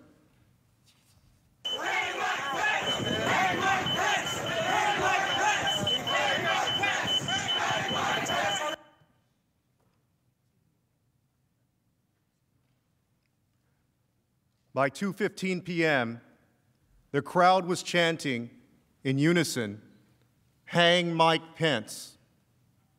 outside the very building he'd been evacuated from with his family. Now, even if President Trump didn't know that his inflammatory remarks about his vice president would result in chance of hang Mike Pence, by 2:15 p.m., he surely knew. The attack was all over television. They were doing this out in the open. This was a vice president whose life, whose family's life, was being threatened by people whom the president had summoned to the Capitol. And what did President Trump do in response? Did he stop? Did he tell his base, no, don't attack my vice president? even when President Trump knew what his words were causing. He didn't do any of those things to stop the crowd. In fact, he did the opposite. He fueled the fire. At 2:24 p.m., he tweeted, quote, "Mike Pence didn't have the courage to do what should have been done to protect our country and our Constitution. USA demands the truth over an hour and a half into the attack, and this is what he tweeted. And he still, even at this point, did not acknowledge the attack on the Capitol, let alone condemn it. Instead, he further incites the mob against his own vice president, whose life was being threatened.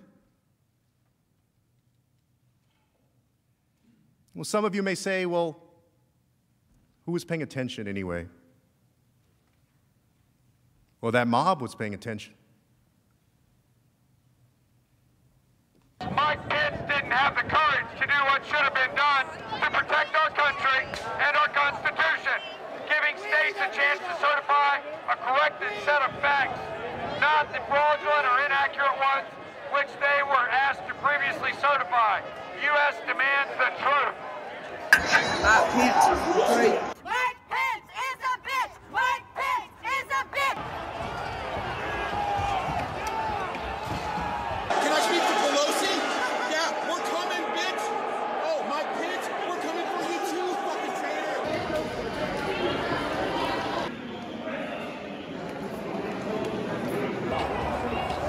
Donald J. Trump sent a tweet out saying that Mike Pence let us down.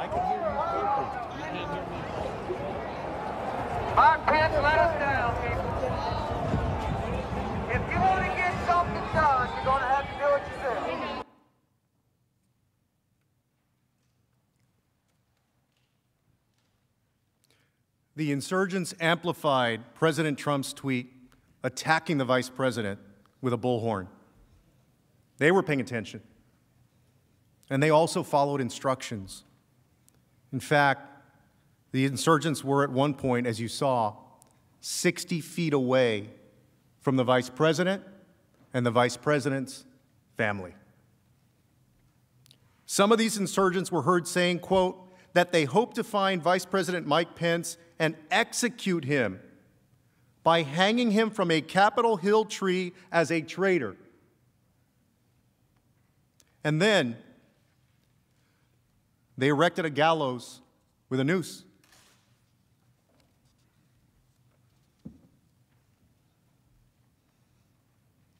This is what Donald Trump incited. Please take a close look at that picture. It harkens back to our nation's worst history of lynching. A president's words have the power to move people to action. These were the results. And why did the president incite such rage against the vice president? He was fulfilling his constitutional duty, as we all were that day. Vice presidents in this country have been carrying out this constitutional duty, overseeing the certification of the election results without incident, without contest, without a word for the entirety of our nation. It's part of our peaceful transition of power in the United States. And the vice president said he reviewed the Constitution and he could not block certification as President Trump wanted him and was pressuring him to do. He told the president in a letter that morning, a few hours before President Trump's tweet, quote, I will approach this moment with a sense of duty and an open mind, setting politics and personal interests aside, and do my part to faithfully discharge my duties, our duties, under the Constitution. I also pray that we will do so with humility and faith. And the president's response to that statement was to attack Mike Pence while he was with his family under the threat of a violent mob.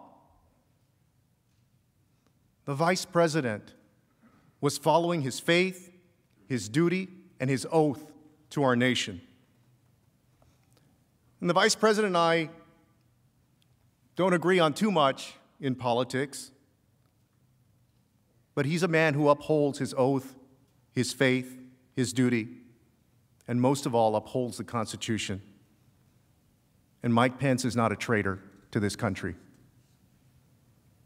he's a patriot. And he and his family, who was with him that day,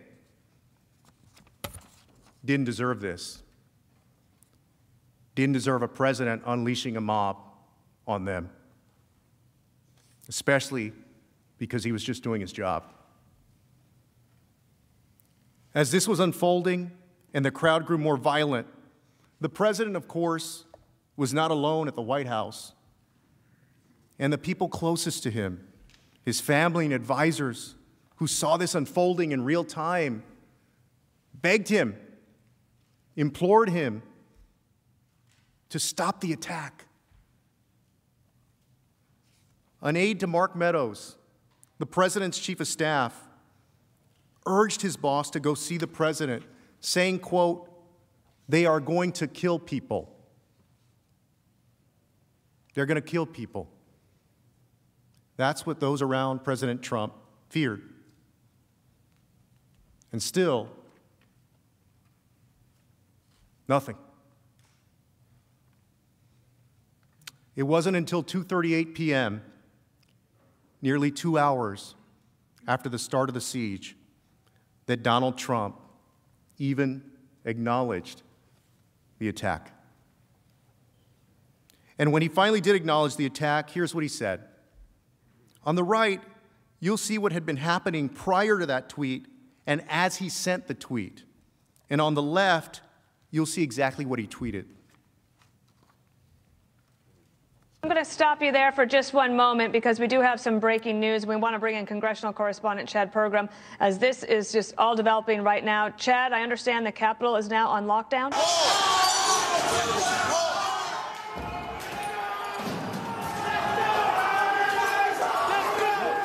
definitely fired up. The chant, by the way, I heard the most today was fight for Trump. And that's clearly what many of them feel they're doing here.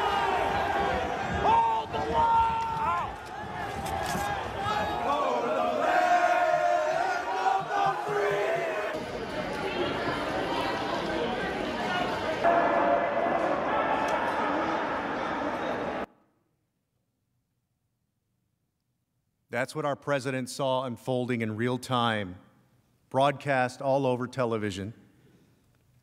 And this is what he tweeted at 2:38 p.m. Quote, "Please support our Capitol Police and law enforcement. They're truly on the side of our country. Stay peaceful."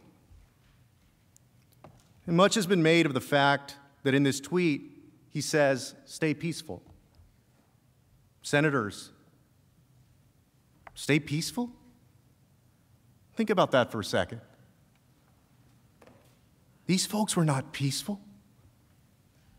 They were breaking windows, pushing through law enforcement officers, waving the flag as they invaded this Capitol building. This was a violent, armed attack. Stay peaceful? How about stop the attack? Stop the violence.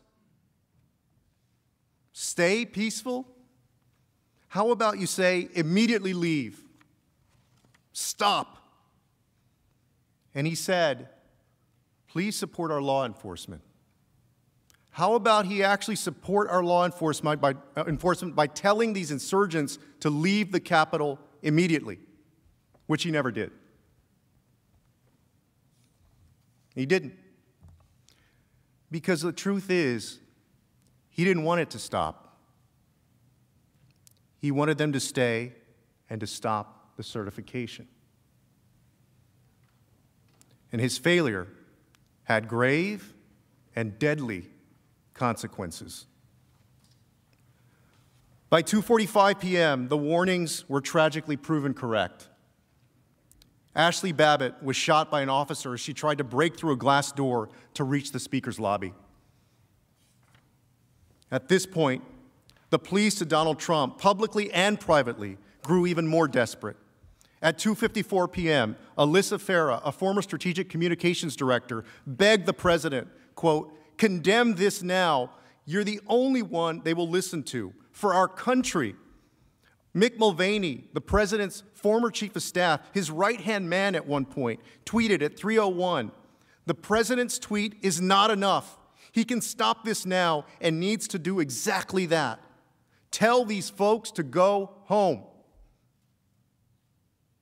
He can stop this now. Tell these folks to go home. At 3:06 p.m., Rep McCarthy appeared on Fox News. Here's what he said.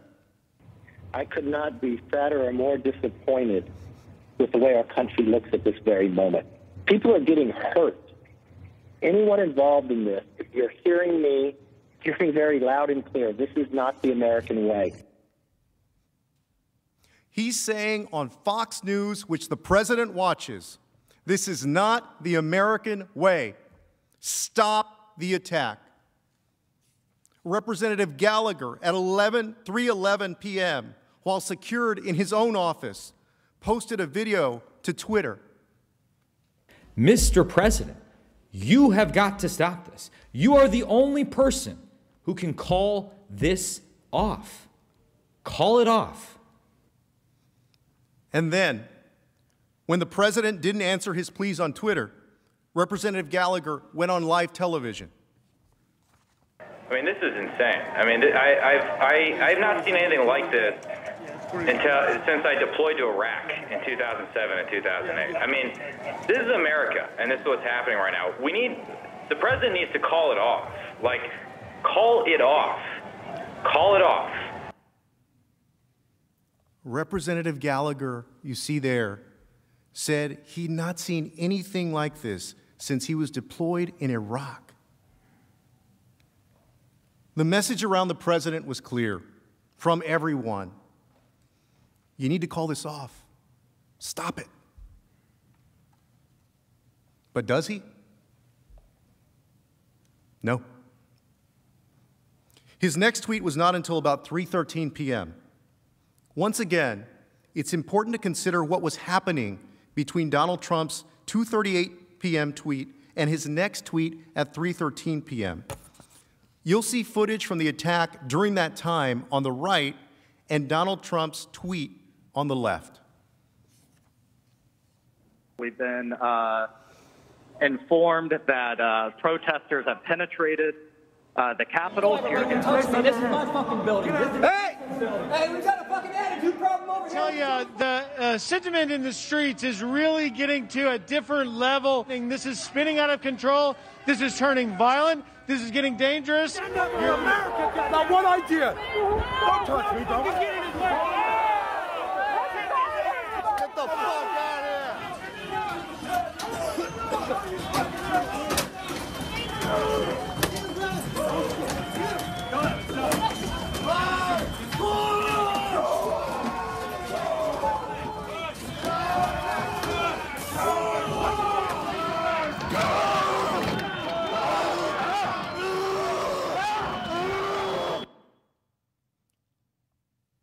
This isn't 10 minutes into the insurrection. This isn't just after his speech earlier that day. That's what our commander in chief saw happening. And that was his response. You'll notice one of the things he says to his mob, to these insurrectionists, rather than to stop or to leave, was to say thank you. Thank you. Thank you for what? Thank you for shattering the windows and destroying property. Thank you for injuring more than 140 police officers. Thank you for putting in danger all of our lives and the lives of our families. How about instead of thank you, Donald Trump on that day acted like our commander in chief and stopped this as only he could and told those people to leave. And here's what former Governor Chris Christie, his very good friend, said after that tweet. Pretty simple. Um, the president um, caused this protest to occur.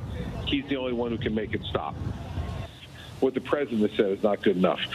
The president has to come out and, and tell his supporters to leave the Capitol grounds and to allow the Congress to do their business peacefully. And anything short of that is an abrogation of his responsibility. Uh, he's right. Chris Christie is right. We know how Donald Trump acts on Twitter and otherwise when he has a message to convey. In fact, I asked you to remember those tweets earlier this morning when he yelled on Twitter, Stop the count.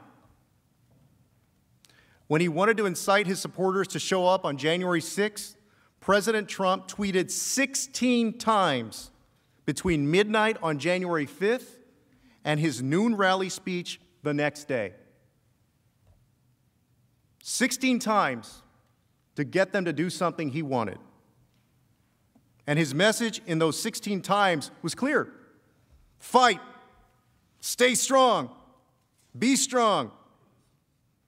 But when the violence started, he never once said the one thing everyone around him was begging him to say stop the attack. He refused to stop it. And as Governor Christie and Representative Kinzinger and others made clear, only Donald Trump could have stopped that attack. You know, a guy that knows how to how to tweet very aggressively on Twitter, you know, puts out one of the weakest statements in one of the saddest days in American history uh, because his ego won't let him, you know, admit defeat. He was not just our commander in chief, he had incited the attack. The insurgents were following his commands. And we saw when they read aloud this tweet, as we saw when they read aloud this tweet attacking the vice president, And they confirmed this during the attack, too. Stand there, you're outnumbered. There's a fucking million of us out there, and we are listening to Trump's, your boss. Senators, ask yourself this How easy would it have been for the president to give a simple command, a simple instruction, just telling them, stop, leave? This was a dereliction of duty, plain and simple. And it would have been for any president who had done that. And that brings me to my next point. You heard from my colleagues that when planning this attack, the insurgents predicted that Donald Trump would command the National Guard to help them. And there's a lot that we don't know yet about what happened that day. But here's what we do know Donald Trump did not send help to these officers who were badly outnumbered, overwhelmed, and being beaten down. Two hours into the insurrection, by 3 p.m., President Trump had not deployed the National Guard or any other law enforcement to help, despite multiple pleas to do so. President Donald Trump was at the time our commander in chief of the United States of America. He took a solemn oath to preserve, protect, and defend this country, and he failed to uphold that oath. In fact, there's no indication that President Trump ever made a call to have the Guard deployed or had anything to do with the Guard being deployed when it ultimately was. And shortly after 3:04 p.m., the acting defense secretary announced that the Guard had been activated and listed the people he spoke with prior to this activation, including Vice President Mike Pence, Speaker Pelosi, Leader McConnell, Senator Schumer, and Representative Hoyer. But that list did not include the president. This omission of his name was reportedly not accidental. According to reports, quote, Trump initially rebuffed requests to mobilize the National Guard and required interference by other officials, including his own White House counsel. And later, quote, as a mob of Trump supporters breached police barricades and seized the Capitol, Trump reportedly was, quote, disengaged in discussions with Pentagon leaders about deploying the National Guard to aid the overwhelmed U.S. Capitol Police. President Trump was reportedly, and I quote, completely, totally out of it. He made no attempt to reach the National Guard. And it was Vice President Pence, still under the threat for his life, who reportedly spoke to the Guard. President Trump's conduct confirms this too. At no point on January 6 did Donald Trump even reference the National Guard. The only thing that we heard connecting the president to the Guard was from his press secretary, who tweeted about the Guard being deployed at the president's direction over half an hour later at 3:36 p.m. And we have seen what Donald Trump does when he tries to take credit for something. And yet, even when the National Guard was finally deployed, he didn't even acknowledge it. In fact, he didn't say a word about the National Guard the entire day. Think about that.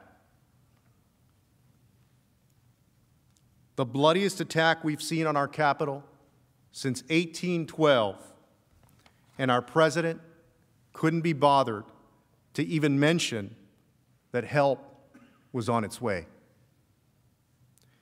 These insurgents had been attacking our government for over four hours by that. And we may have been the target, but it was the brave men and women who protect our capital who were out there combating thousands of armed insurgents in a fight for their lives. And that's who Donald Trump left entirely unprotected. Hold the line! Let's get there!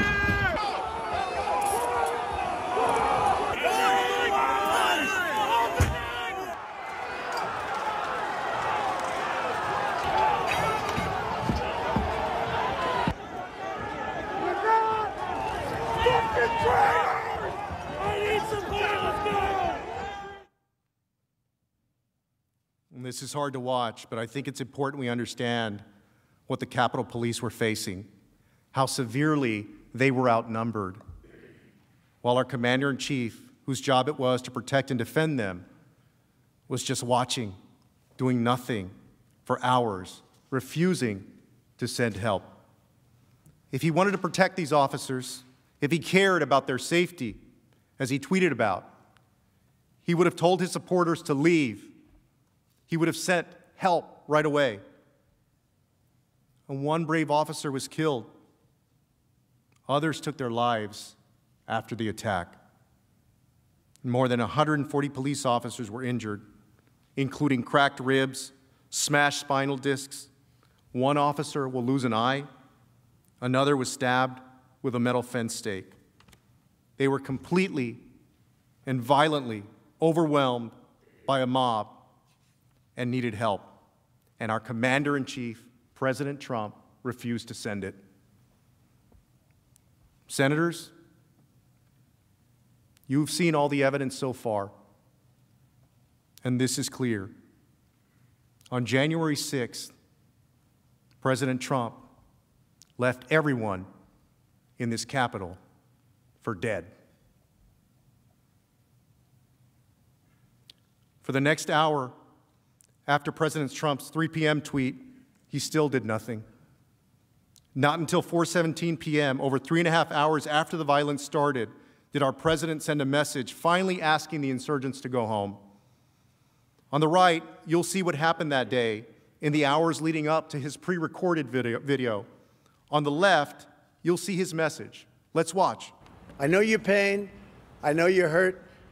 We had an election that was stolen from us. It was a landslide election, and everyone knows it, especially the other side. But you have to go home now. We have to have peace. We have to have law and order. We have to respect our great people in law and order. We don't want anybody hurt. It's a very tough period of time. There's never been a time like this where such a thing happened, where they could take it away from all of us, from me, from you, from our country. This was a fraudulent election, but we can't play into the hands of these people. We have to have peace. So go home. We love you. You're very special. You've seen what happens. You see the way others are treated that are so bad and so evil. I know how you feel. But go home and go home in peace.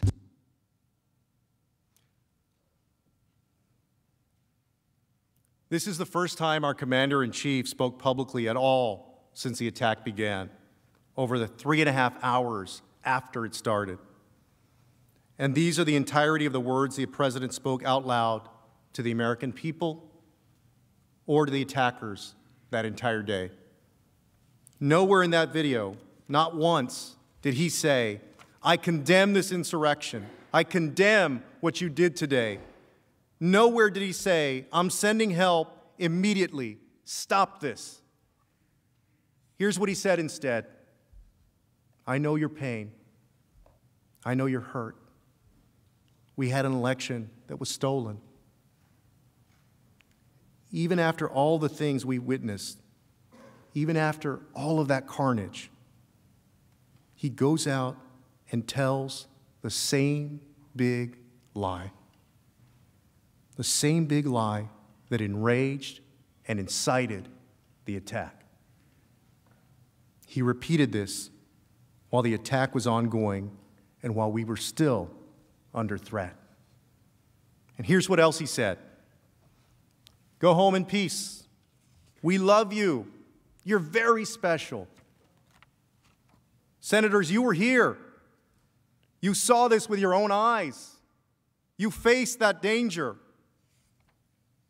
And when President Trump had an opportunity to confront them as the leader of us all, as our commander in chief, what did he tell them?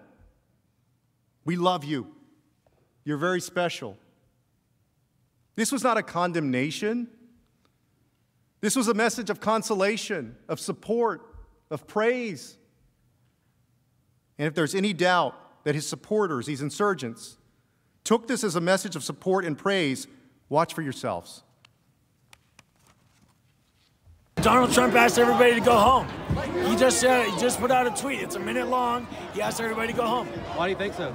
Because, dude, we won the fucking day. We fucking won. How did we win? Well, we won by sending thing. a message to the senators and the congressmen. I think we so, won too. by sending a message to Pence. Okay, that if they don't do as they are, as their, it is their, uh, their oath to do, if they don't uphold the Constitution, then we will remove them from office, one way or another. I suspect you recognize that man. You'll hear him say that we won the day. Who won the day? We know that at least five people lost their lives that day. The House and the Senate were in life threatening danger, and so was the Vice President. And think of everyone else here as well. Who won on January 6th? That's not a win for America, but it is a win for Donald Trump unless we hold him accountable. Now, a little over an hour after that video, the brave members of law enforcement secured the Capitol, and we as a Congress got ready to continue certifying the results of our free and fair election. A half hour after that, President Trump issued another tweet in case there was any doubt as to whether he was happy with the people who did this, as to whether he had incited this. He commemorated what happened on January 6th. At 6:01 p.m. on January 6th, he tweeted, quote, these are the things and events that happen when a sacred landslide election victory is so unceremoniously and viciously stripped away from great patriots who've been badly and unfairly treated for so long. Ending with, remember this day forever. My colleague, Manager Cicilline, started with this tweet because this tweet shows exactly how Donald Trump felt about what happened on January 6th. These are the things that happened. He's saying this was, for, this was foreseeable. He's saying, I told you this was going to happen if you certified the election for anyone else, and you got what you deserved for trying to take my power away. Great patriots, go home with love and in peace. Remember this day forever. He's saying to them, You did good. He's not regretful. He's not grieving. He's not sad. He's not angry about the attack. He's celebrating it. He's commemorating it. This is the entirety of what President Trump said to the public once the attack began. Five tweets and a pre recorded video. On the day of the most bloody insurrection we've faced in generations, our commander in chief, who's known for sending 108 tweets in a normal day, sent five tweets and a pre recorded video. That is the entirety of President Trump's public statements from when the attack began until he went to bed on January 6th. That's all he did, despite all the people we know who begged him to preserve, protect, and defend. That was our commander in chief's response. He began the day with, quote, Our country has had enough. We will not take it anymore. And that's what this is all about. And he ended the attack letting us know that we got what he forewarned that morning. We will, of course, each of us, remember that day forever, but not in the way that President Trump intended. Not because of the actions of these violent, unpatriotic insurrectionists. I'll remember this day, that day forever, because despite President Trump's vicious attempts throughout the day to encourage the siege and block the certification, he failed. At 8:06 p.m., the Senate gavelled into session, and the counting of the electoral votes continued. About an hour later, the House followed suit. And close to 4 a.m., after spending a significant part of the day evacuated or on the floor or hiding, this great body fulfilled the will of the people and certified the Electoral College vote. And I'm proud to be part of Congress. I'm proud that we ensured that the will of the American people finally prevailed on that day. And I'm proud that I and everyone in this room abided by our oath of office, even if the president didn't abide by his. And President Trump, too, took an oath as president. He swore on a Bible to preserve, protect, and defend. And who among us can honestly say they believe that he upheld that oath? And who among us will let his utter dereliction of duty stand?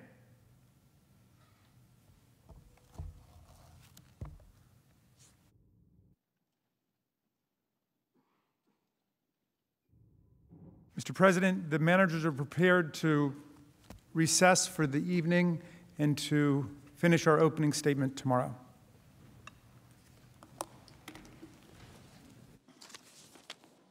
Mr. President. Mr. President. Mr. President. Majority leaders. Pursuant to Impeachment Rule 16, I make a motion. Statements were attributed to me moments ago by the House impeachment managers. Statements relating to the content of conversations between uh, a phone call involving President Trump and Senator Tuberville mm-hmm. were not made by me. They're not accurate, and they're contrary to fact. I move, pursuant to Rule 16, that they be stricken from the record.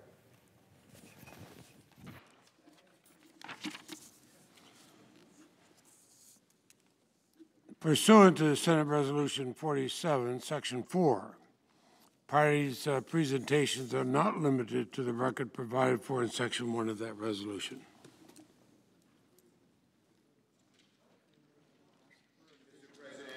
Senator, I appeal the ruling of the chair. I couldn't hear what he said. Hmm? I appeal the ruling of the chair, Mr. President.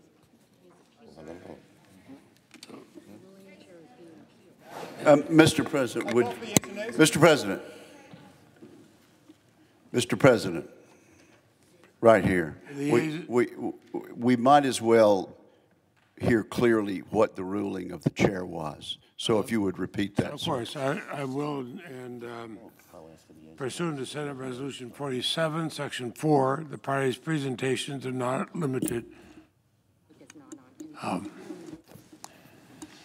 yeah. There you go.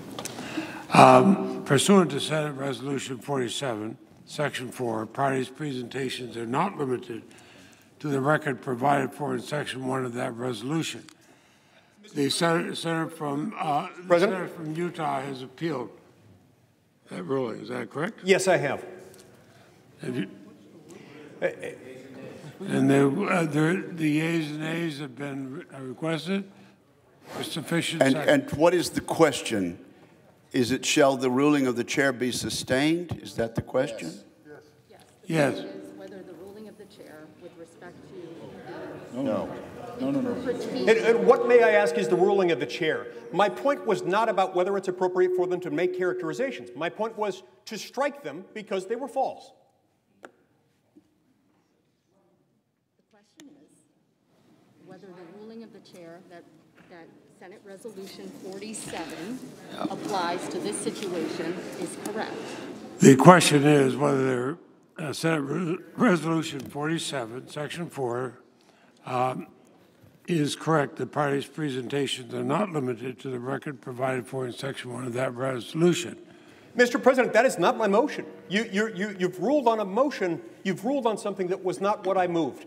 What I asked was uh, statements were attributed, uh, attributed to me repeatedly, as to which I have personal knowledge because I am the source. They are not true. I never made those statements. I asked that they be stricken. This has nothing to do with whether or not they're based on depositions, which they're not. It's simply based on the fact that I'm the witness. I'm the only witness. Those statements are not true, and I ask that you strike them. President. Let him rule. Mr. President. No, who's talking? Joe. What is he doing?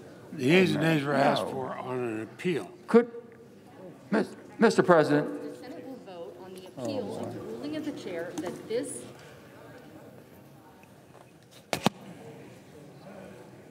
Is, Can you hit the mic button? Come on. I'm in trouble with the mic, I'm sorry. The, uh, the yeas and nays have been asked, The yeas and nays have been asked for. the yeas and nays have been requested. Let him explain. Please let him explain, Mr. President. Why is it false? What was not false? What was false about it? Mr. President, I ask unanimous Debate- consent to answer the debate- senator's debate question. is not in order under Senate Resolution 47, Section 4. Uh, Party's presentation not limited to the uh, record provided for in Section 1 of that resolution. And that has been appealed. The yeas and nays have been requested. The clerk will call the roll.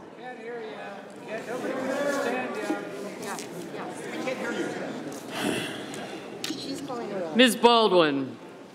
Mr. Barrasso. Mr. Bennet. Wait, point of clarification. Point. What, what is the question?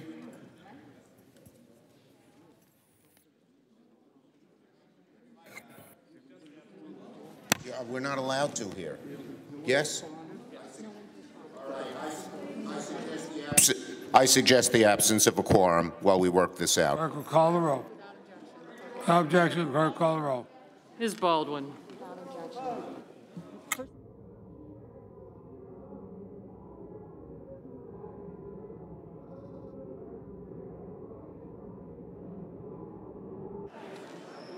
Mr. Barrasso.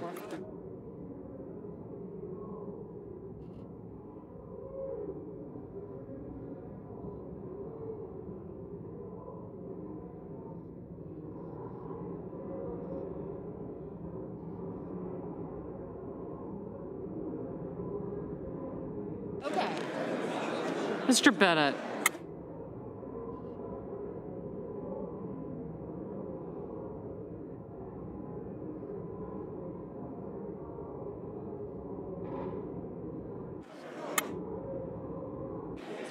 Mrs. Blackburn.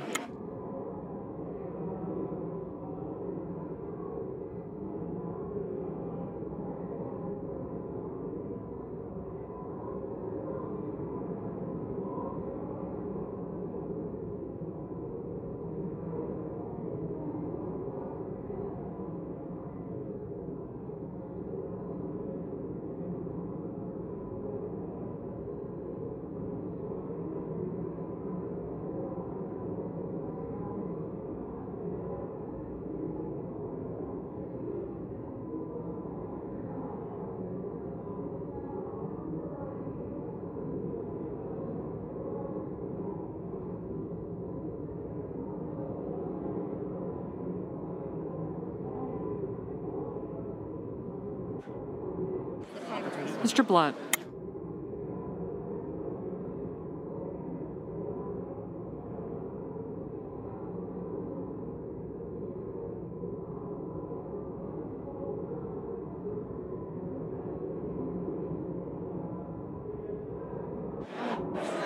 Mr. Booker.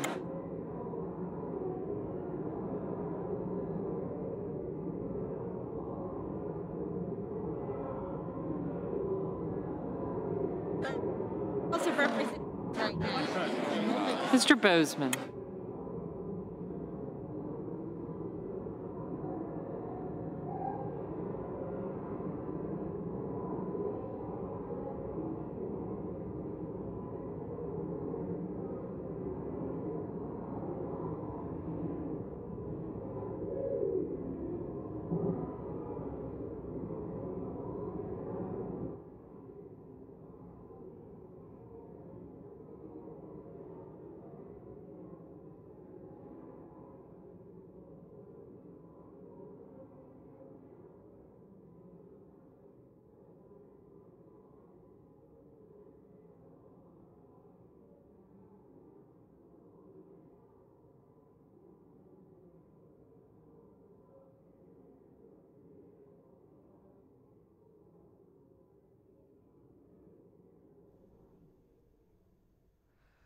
The Senate impeachment trial of the former President Trump in a holding pattern right now. As you can see, what we understand to happen is that the House impeachment managers were ready to adjourn for the evening. They were done making their legal cases for the day. You saw Senator Mike Lee, Republican of Utah, ask that the, the comments attributed to him in a phone call uh, made by President Trump be struck from the record.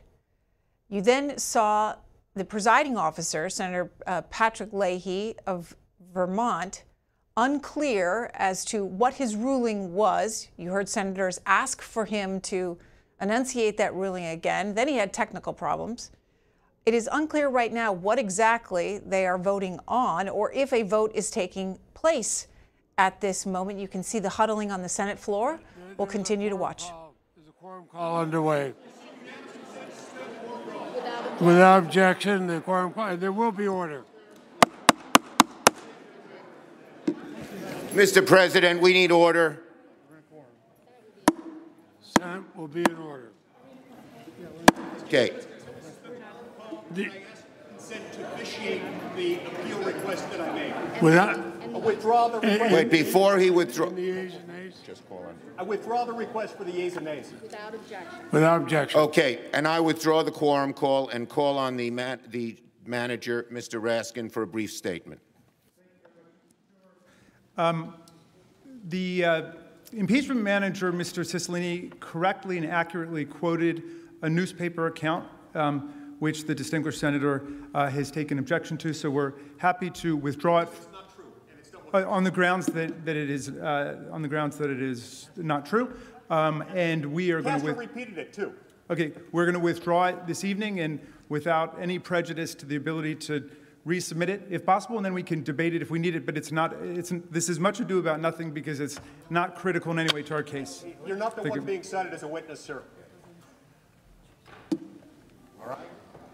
It's with, so the manager's issue stands. Mr. Lee has withdrawn his request, and we may relitigate it tomorrow if we have to. I now ask unanimous consent. The trial adjourn until 12 noon tomorrow, Thursday, February 11th, and this also constitute the adjournment of the Senate.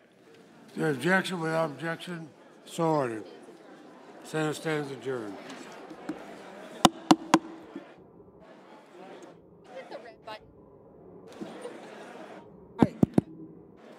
This is not working. Mike. I mean, the mic is working, but the light isn't.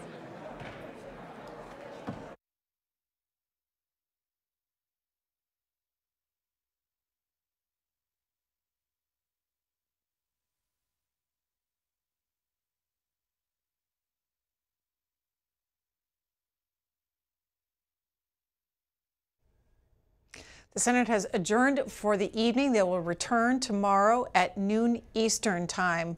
What unfolded just moments ago uh, was the senator from Utah, Mike Lee, a Republican, asking that the record be uh, struck when it when it referred to a phone call that uh, the president made. Now, you heard the House Management um, impeachment managers withdraw that for now. They may relitigate it tomorrow when they reconvene at noon Eastern Time for the second day of the House impeachment manager's case against the former president for inciting an insurrection at the Capitol. There are the phone numbers on your screen.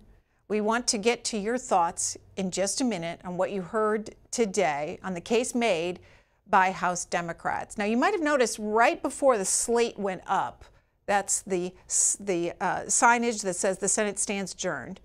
You might have noticed that the presiding officer, Patrick Leahy, Democrat of Vermont, who's presiding over this, call out Mike to Mike Lee.